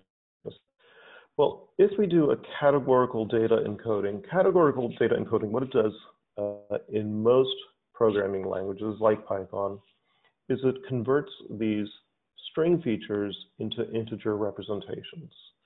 So for example, one possible way to encode this numerically is to say, um, we'll just go from top to bottom here. Mouse is represented by one, cat is represented by two, dog is represented by three, and so forth. So now I've re-encoded uh, this string feature into a numerical feature. And then along the way, I keep some kind of mapping table that tells me a one represents a mouse, a two represents a cat, and a three represents a dog. Well, that's one way to solve this problem, but for many machine learning algorithms, if they see an encoding scheme like this, they might think, that's one way of putting it, that a cat is the average of a mouse and a dog. Because cat is a two here, the average of a one and a three is a two. So conceptually, the algorithm doesn't know what these quantities represent. Um, might think this is a numerical quantity. It might think that then a cat is the average of a mouse and dog, whatever that means. Kind of a strange thought there, but that's what it would mean. So what can we do? Well, we can turn this into a different kind of encoding, which is one hot encoding, where we say we're going to have three different uh, columns instead. We're going to have a column that represents if that record is a mouse. So if this record is a mouse, that column will have a one in it. It'll have a zero in the cat column and a zero in the dog column. For the cat, this is not a mouse, so we'll have a zero in that column, a one in the cat column, and a zero in the dog column. For a dog, a zero in the mouse column, a zero in the cat column, a one in the dog column, etc. You get the idea here, right? So it's going to expand this out to one hot or dummy encoding that looks like this.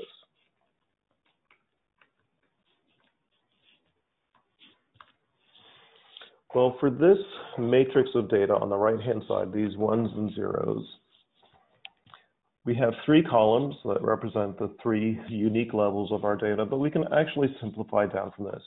Um, a mouse here, a one in the mouse columns mean that both cat and dog have to be zero. So we can actually get rid of one of these columns. This is a linear redundancy. We don't need this because this information is encoded in the other two columns. If it's a one here, the other two have to be zero, so we can get rid of that column. And that's what becomes what we describe as the reference category here. So this is an example of what, this is what we need to do with categorical or string variables in machine learning algorithms in order for them to be interpreted in the model. We have to turn all those categories into unique indicator variables like this. Here's another example of that buy, sell, and hold, right? We've mapped those into three unique columns here.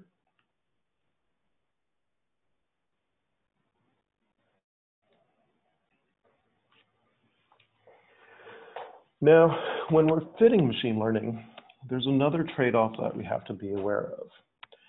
if we train a model on data that we have, observed data with targets, computers are pretty smart and it can learn. And we, if we give it unlimited time and unlimited cycles to train on that data, we could potentially make a very well fitting model, a perfectly fitting model, or what we refer to as an overfit model. This is a model that fits our training data very well, but it doesn't generalize to new data.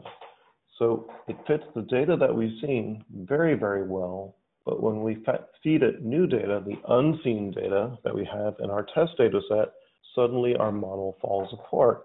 That's a, a condition called overfitting, and we want to avoid it. It's a problem that plagues machine learning here. This is one of the main reasons that we split our data set into training and test so that we can compare performance on both of these partitions and balance our model, address this as needed.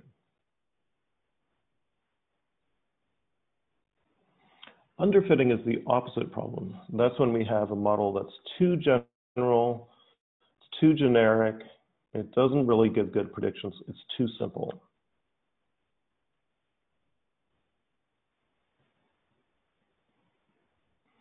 A good model strikes a balance between bias, uh, bias here, that underfitting, and its overreaction to variance. This is called the bias, bias variance trade-off here. And we're looking to balance that in our best fitting models. One way that, we can balance bias and variance is high bias is but low variance is we have made predictions and they're all clustered together. So they have low variance, they're all close to each other, but they're not near the target. We haven't hit that bullseye in the middle there. We've got predictions that are, that are close to each other, that are not showing a lot of variance, but they're off the mark. They're not hitting our target. On the other hand, we can have high variance predictions um, but low bias. So these are all around the target, but they're equally spaced around the target, but they're not close to each other, right? So this is another scenario where we have high variance, but low bias. Ideally, of course, we'd like low variance and low bias. We'd like to have all our, our predictions close to the mark with as little variance as possible, but that's rarely the case. We're usually trying to balance between the upper left-hand corner and the lower right-hand corner, this trade-off between uh, low variance and high bias and high variance and low bias.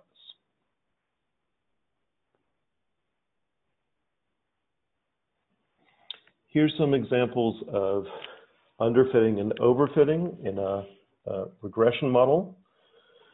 So here we can see that the data is curved, but we fit a straight line to the model. So it's um, not, it's uh, overshooting the data points here on the hand side. It's too high for those. It's, it's uh, overshooting the data here on the left-hand side as well. It's undershooting here. So there is a linear trend to this data, but it's not fitting the data that well.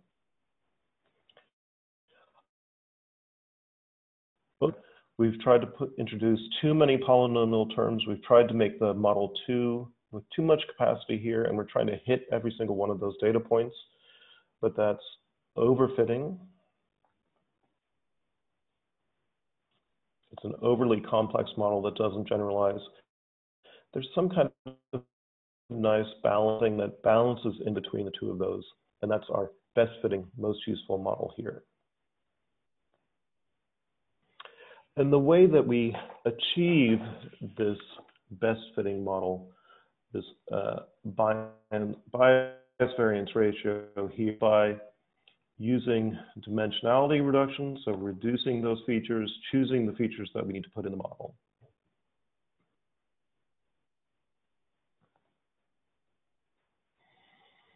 Another term for that is regularization. So when we put a penalty on our model and we tamp down certain features, that also addresses this bias bias variance relationship. Sorry, I just can't say that word this afternoon. Bias variance relationship here.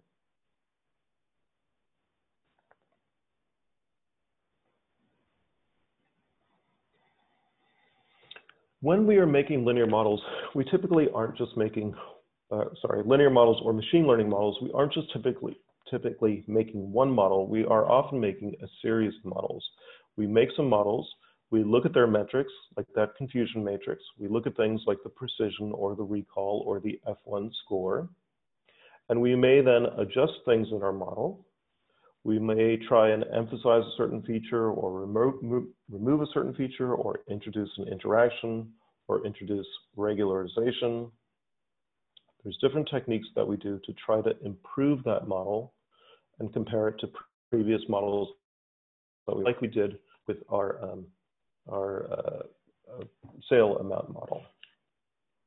Sort of went through several different stages of putting different things in the model, different parameters and features in the model. That's a, a simplified way of doing this as well. And we would compare the model based on some metrics, maybe like an R squared here, or some other measures of the model, like in our classification models. That's a back and forth uh, approach. Ways to do that computationally, to do that programmatically with stepwise selection. Um, so there are approaches to that. And one of the exciting features in machine learning right now is the effort to make, um, to automate some of this process of fitting many different kinds of models and figuring out what the best possible model could be. So one example of that here is a product called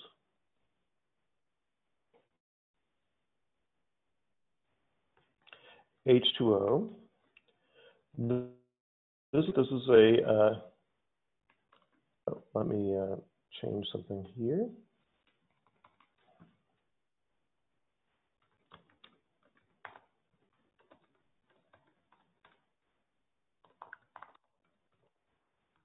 Sorry about that. Um, this is the H2O here is a uh, commercial company, but there's a free version of this software available.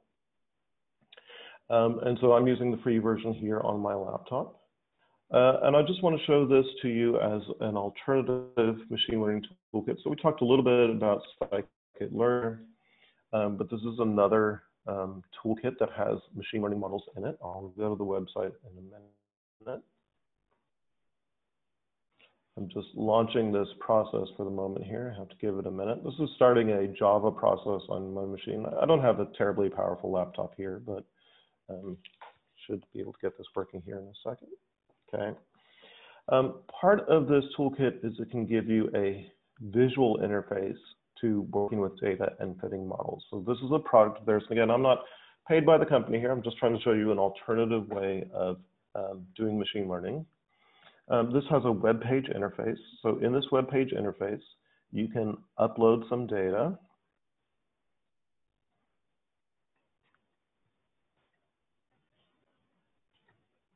So this is our just our customer sale uh, data frame here. Customer ID, sale, sale amount. I'm going to specify that the customer ID here is a string, not a numeric variable, but otherwise I'll just leave it as is. It'll parse the file, it'll upload it. It's really just still on my disk here, but it's putting it into a Java kernel that is an engine that's working in the background here. I can look at my data. I can look at individual measures here. Here's my sale amount histogram. So you can do some data exploration, some validation, all that kind of stuff here.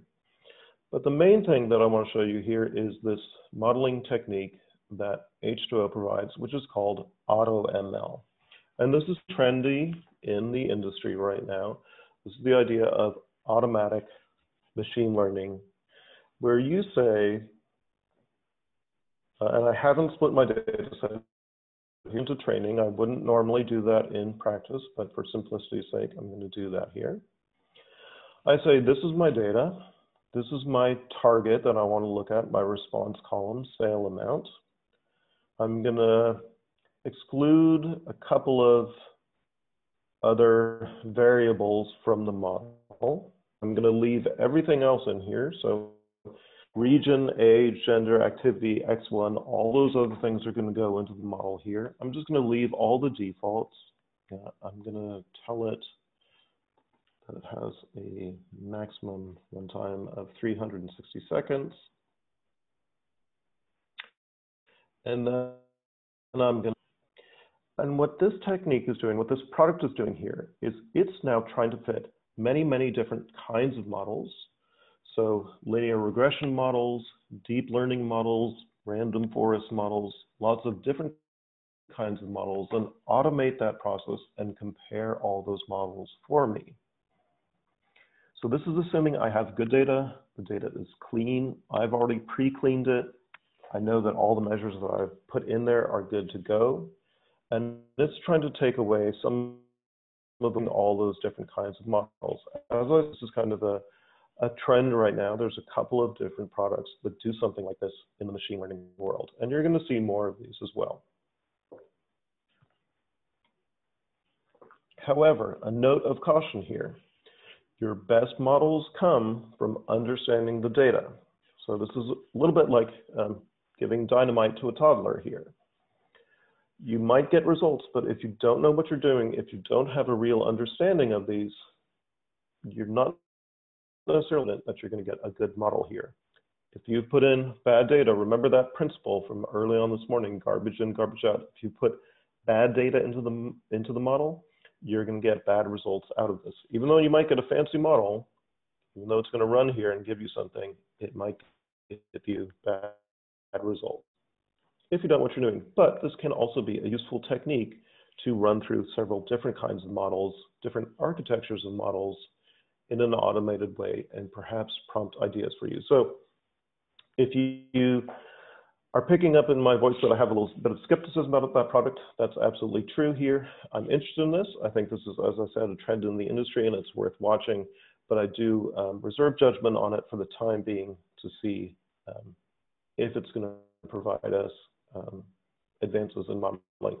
There's lots and lots of work being done in machine learning right now. There's lots of different companies, Google, Apple, Facebook, um, H2O, lots of other companies that are attacking these kinds of problems now. So there's a lot of competition. There's a lot of products coming out. Um, we have a lot to choose from. I just wanted to show this to you as an alternative.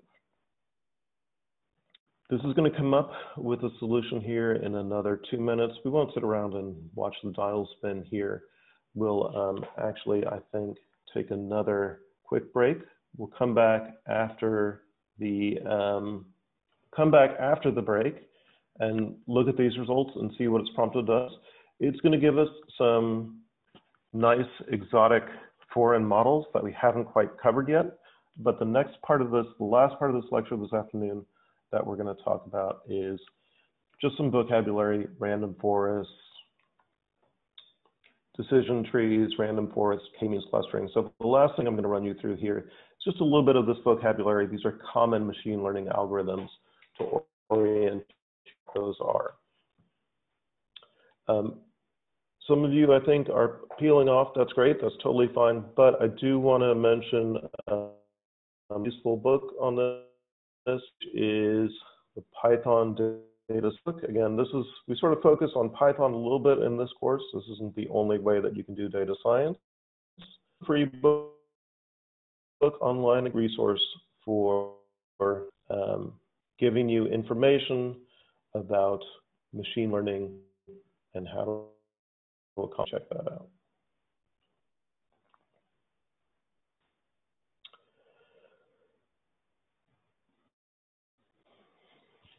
Let's take our last break of the afternoon here. So let's take another 15 minute break. We'll come back at the top of the hour. We'll finish up with that vocabulary about decision trees and random forests and clustering.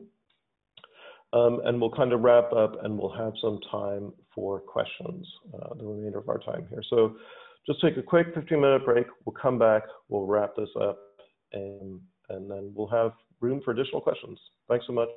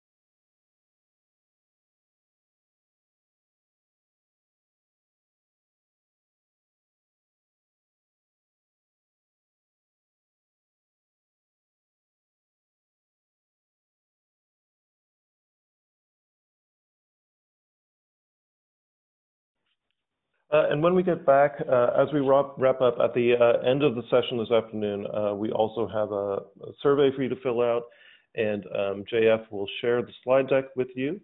Um, so we'll come back and uh, be sure to get those materials before you sign off today. So again, just a quick 15-minute break. I apologize for my internet connection here. It's been really good. I don't know what's going on today. But thank you for your patience and just a little bit longer to go and we'll wrap up here. Thanks.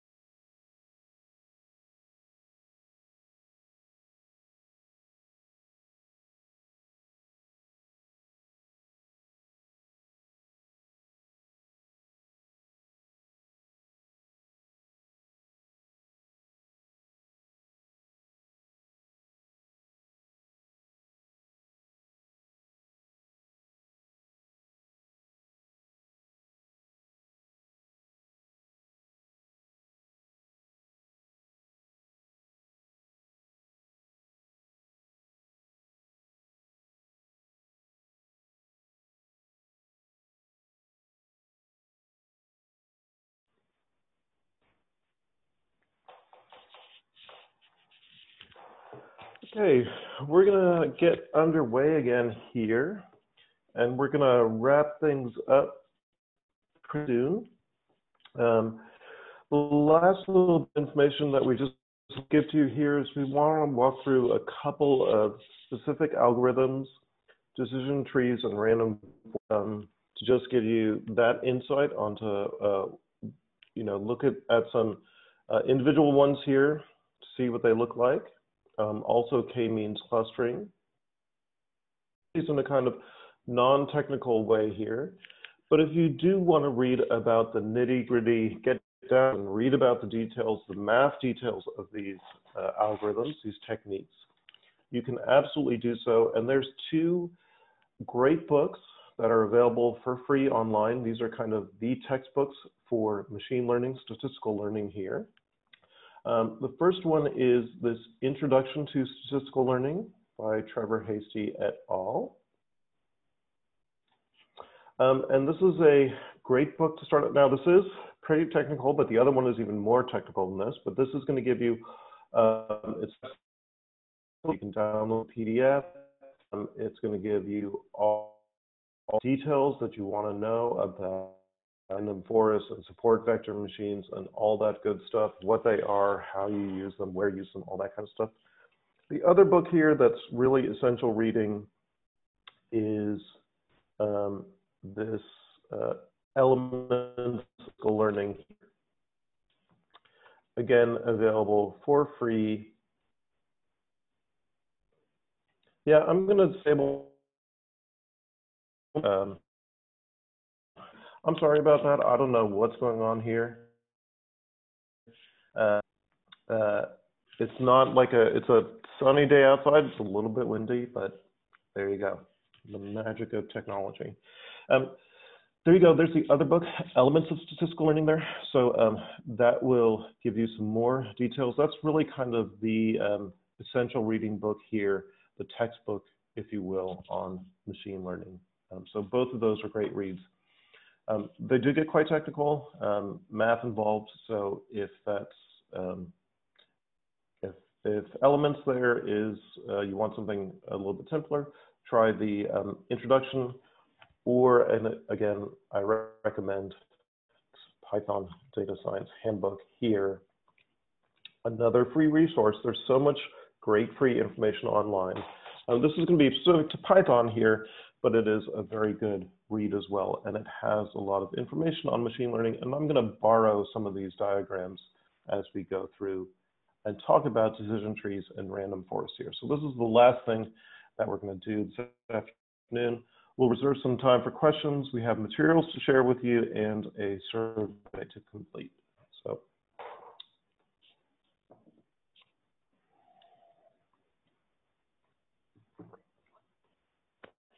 Decision trees. Decision trees are um, decision support algorithms. They're supervised learning process, means that we use a, we have targets there. We have, the way a decision tree works is that we have decision points, we make rules. Um, at each decision point, an event is associated with some consequence, cost or time probability. They're widely used in decision analysis to help identify a strategy that most likely leads to reaching our goal. A decision tree has a root and it has branches with leaves on it. Traversing from the root to a leaf is controlled by these classification rules. A branch represents an outcome of a test and a leaf node represents a class label, that category of um, that we're trying to predict. These are one of our most commonly used classification algorithms. They're really computationally efficient for both training and testing phases, although they can, um, they can take a long time to fit. They're very human friendly for interpreting the results. In some cases, they're not very um, accurate, but one of the problems with decision trees and random forests, uh, well, with decision trees in particular, is overfitting. So we can give our computer our data, we can fit a decision tree on it, and we, if we give it enough time, it can perfectly classify the data. But that classification won't necessarily generalize to new results. So to back off on that overfitting, we commonly prune our trees. We make these decisions, uh, these branches shorter in order to uh, generalize. Let me show you another example of this. And again, this is from the uh, data science handbook here. So this is available online for free here. This just gives us some nice visuals. So here's an example of a decision tree. And you've probably already used some process like this. It's like that game of 20 questions, right? I'm thinking of something. What am I thinking of? Are you thinking of the animal? Yes. How big is the animal? Is the animal bigger than a bread box? Yes. Then we go down one branch. Does the animal have wings? Does it have two legs? Yes or no? And as we go through the different rules here, eventually end up at a classification of that animal that I'm thinking of in this example. Well, in an abstract way, let's say that we have data that looks like this. And we have data here with four different colors. Uh, I don't know if anyone's colorblind, but there's four colors here in the graph. We have a red, kind of yellowish color, a kind of blue color, and a kind of purple color. Four different kinds of data on this, in this space, on this XY plane. Let's say we want to divide this up into zones that classify these data points. Well, the way a decision tree works here is that it will make a rule. So for example, here, it might make a rule splitting the y space at this line here. So y is greater than whatever number, let's say 10 or less than 10, and it divides the space with this rule.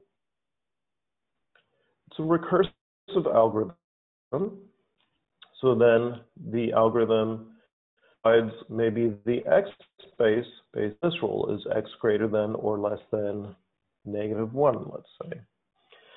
And the algorithm keeps subdividing and subdividing the space with additional rules till eventually it arrives at a complex classification boundary. What we're trying to do is create a set of rules here that classify, classify data points into individual zones. So this is the way a decision tree works here. And we might end up with something like this some kind of complex classification boundary that puts the data points into their correct zones.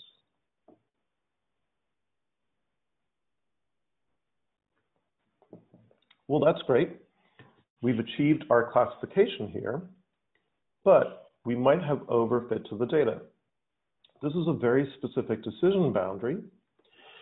This works great for this particular data set that we have, but what if we throw some more new data points on the map? Are we necessarily going to capture them? Should there be these little sections of yellow or whatever it might be here in which uh, this data, data decision boundary is winding around?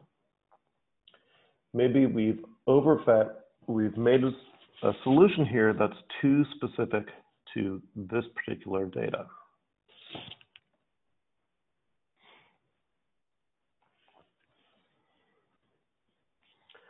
So we can use decision trees.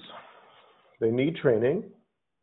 We grow the tree to train them. This is uh, to to train them. This is a potentially time-consuming phase. So one thing about decision trees is they can be a little bit slow. Then you can start using that decision tree once you've grown it to classify your test data. That's usually pretty fast and that can help you. But as we mentioned, decision trees can be too specific for the data that you have. They can overfit to that data. So how do we protect against that? Pruning is one technique. Another technique is to use many decision trees and make an ensemble of estimators here. So the idea is that instead of just fitting one tree, we fit many trees. We maybe we give them less time to fit here, but we fit many more of them, and then we average or summarize the results in some way. There's different ways we can, think of it generally as averaging, but there's different ways we can um, vote among the results to make the decision boundary. So what we end up with is a less specific, more generalized boundary that will generalize to new testing data in a better way. We'll get better results with new points that we throw on the map here. So an ensemble of trees is a forest. And the random in the name uh, refers to randomly selecting subsamples of the data to put into that forest. We can use random forests for both classification and regression. So in what I just showed you, uh, we did a, a, classification example, but we can use random also for regression. Check uh, the data science handbook for some examples about that.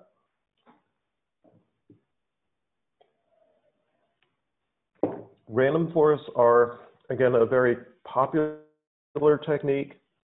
They can work in a lot of different situations. They can do multi-class classifications where you have features, categorical features, you don't have to normalize or scale your data for random forests, so that's another benefit of them.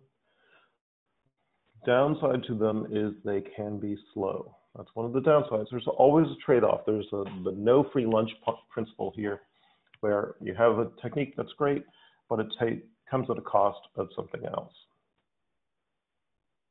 Okay, one other, this is going to be our last topic of the day. One other algorithm that we want to talk about here is clustering.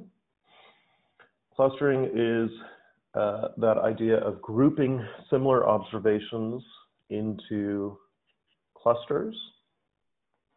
It's an unsupervised machine learning algorithm. We define some kind of criteria that defines membership in one group and excludes it from another group. That criteria is usually something about distance. There's different clustering algorithms here, but they usually have some kind of metric of distance. How are we calculating how close a data point is to a, another data point? Does it belong to a group or not belong to a group? One of the key differences between clustering and classification is that in classification, we have to know the criteria for classification. This is not the case with clustering. It's unsupervised. We don't have targets here. K-means clustering is probably something you've encountered before of it. It's a pretty straightforward algorithm to understand. We'll look at some graphics here to understand how it works. So I'm going to kind of split this data set with a graphic, uh, the slide here with a graphic from the machine learning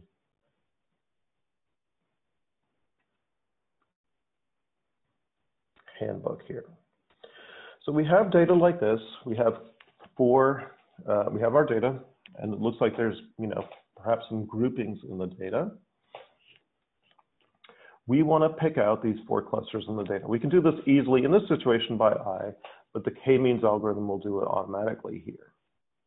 So the way that it works is it's an iterative process. First of all, the k-means algorithm throws some points on the map here. We tell it how many clusters we're going to look for, and it then throws four center points or centroids onto the map.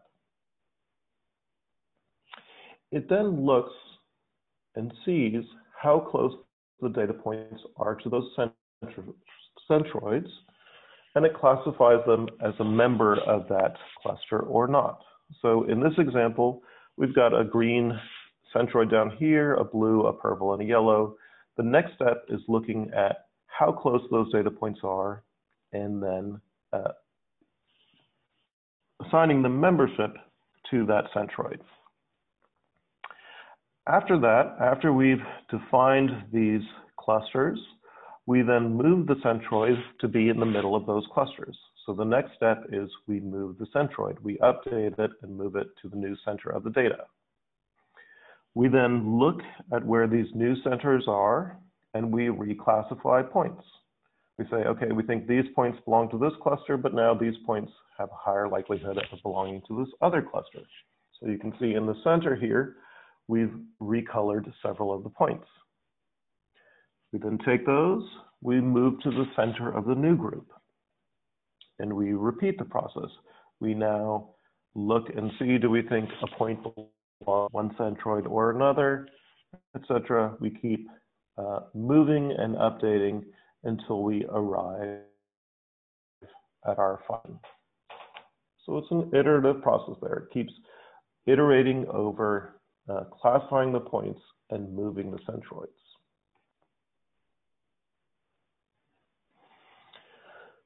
Inherent in that classification is this idea of distance.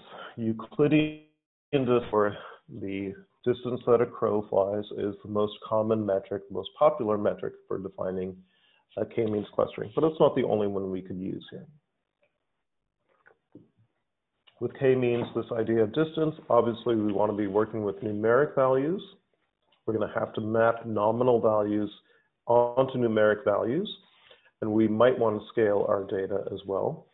The algorithm is computationally intensive here, so it can be slow, but it's always going to converge. If you tell it to find four clusters, it will find four clusters.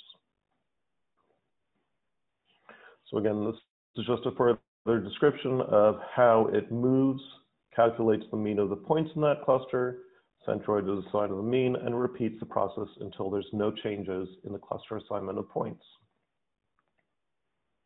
This is a, another example of that graphic here.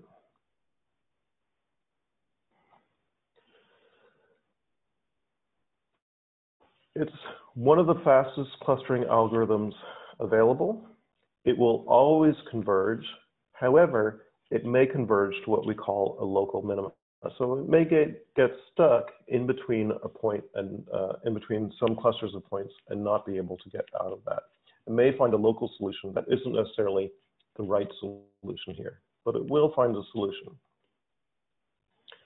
The other thing is because of that random assignment of points at the beginning, the scattering of points here, if you run the algorithm more than one time, you might get slightly different results. You might get different cluster centroids, um, because of that initial centroid assignment.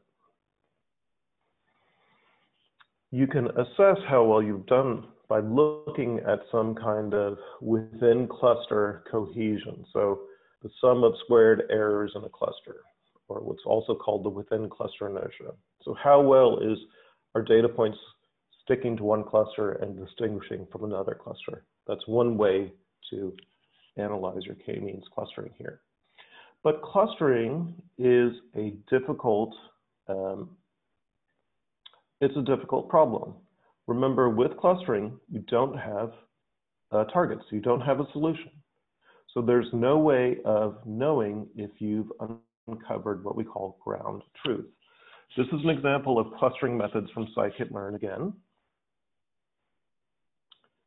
Um, here's a description of k-means. Uh, but as you go through here, uh, the clustering uh, articles on scikit-learn, it will tell you that don't overinterpret your clustering results. We have no way, since we don't have a ground truth, we don't have a target to compare to, we have no way of knowing if we really do have three clusters or four clusters or five clusters. We set that in the k-means algorithm, we set that parameter a priori before we run the clustering. There are some metrics silhouette scores and things like that that we can assess to see if we found the optimal number of clustering, but it's a hard problem. Here in scikit-learn, this is another great graphic that if you are interested in clustering, shows you different algorithms of clustering and the situations in which they perform best. So again, and the traits of your data different algorithms will perform better or worse. For instance, here in this graphic, uh, this fifth item down on the first column, this is k-means, nice cookies of data, nice blobs of data. This performs really well. We've put the data in the appropriate clusters. It looks good. But up here above these long forms of kinds of shapes of data down a little bit. It looks for this it looks for these shapes here, uh, these radii around the clusters, and it tries to force points into that globular form. It doesn't do so well with these kinds of situations, with this concentric data or these croissants here, right? We have to look to other algorithms, things like agglomerative or hierarchical clustering, that will perform better in those kinds of situations. So it really depends on the data situation at hand. Different kinds of data will perform better or worse with different algorithms. In addition, this is a nice table because it tells you some other parameters in your clustering problem that will prompt which kind of algorithm you want to use, which kind of methodology. Are you looking for a large, maybe you want to use this method? Or are you looking for uh, not so many clusters? Are you not sure how many clusters you have? Some of these methods will automatically pick the number of clusters for you. Some of these methods, like DBSCAN here, will not force every point to a cluster. It'll leave out some points as noise.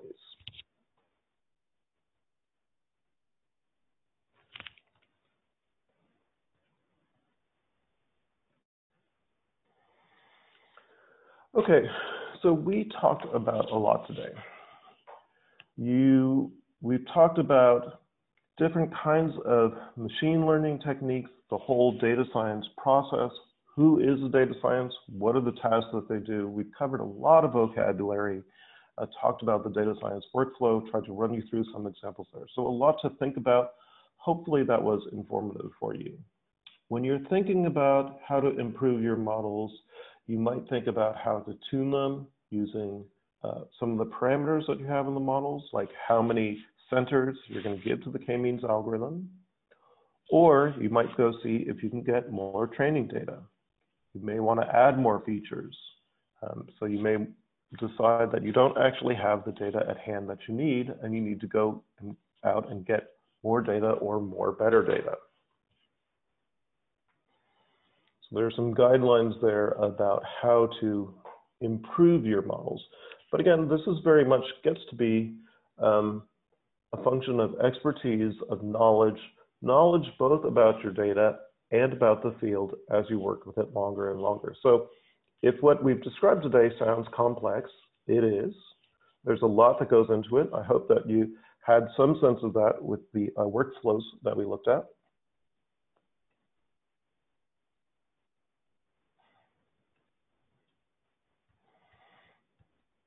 So again, I think keeping this in mind, you know, we are often focused on the modeling process. We're really interested in that. We want to accomplish that, but there's all these steps that take us into that process. And those steps are really crucial. Bringing the data in, cleaning the data, make sure, making sure that it's properly encoded. Our models and our techniques that we use are based on what kind of data we have, what those measures are that we're working with. So it's really important that we solve these problems upstream, that we're working with good data, that we've properly identified the data that we want to look at and it's categorized correctly, it's encoded correctly, so that we solve, so we spare ourselves headaches downstream here.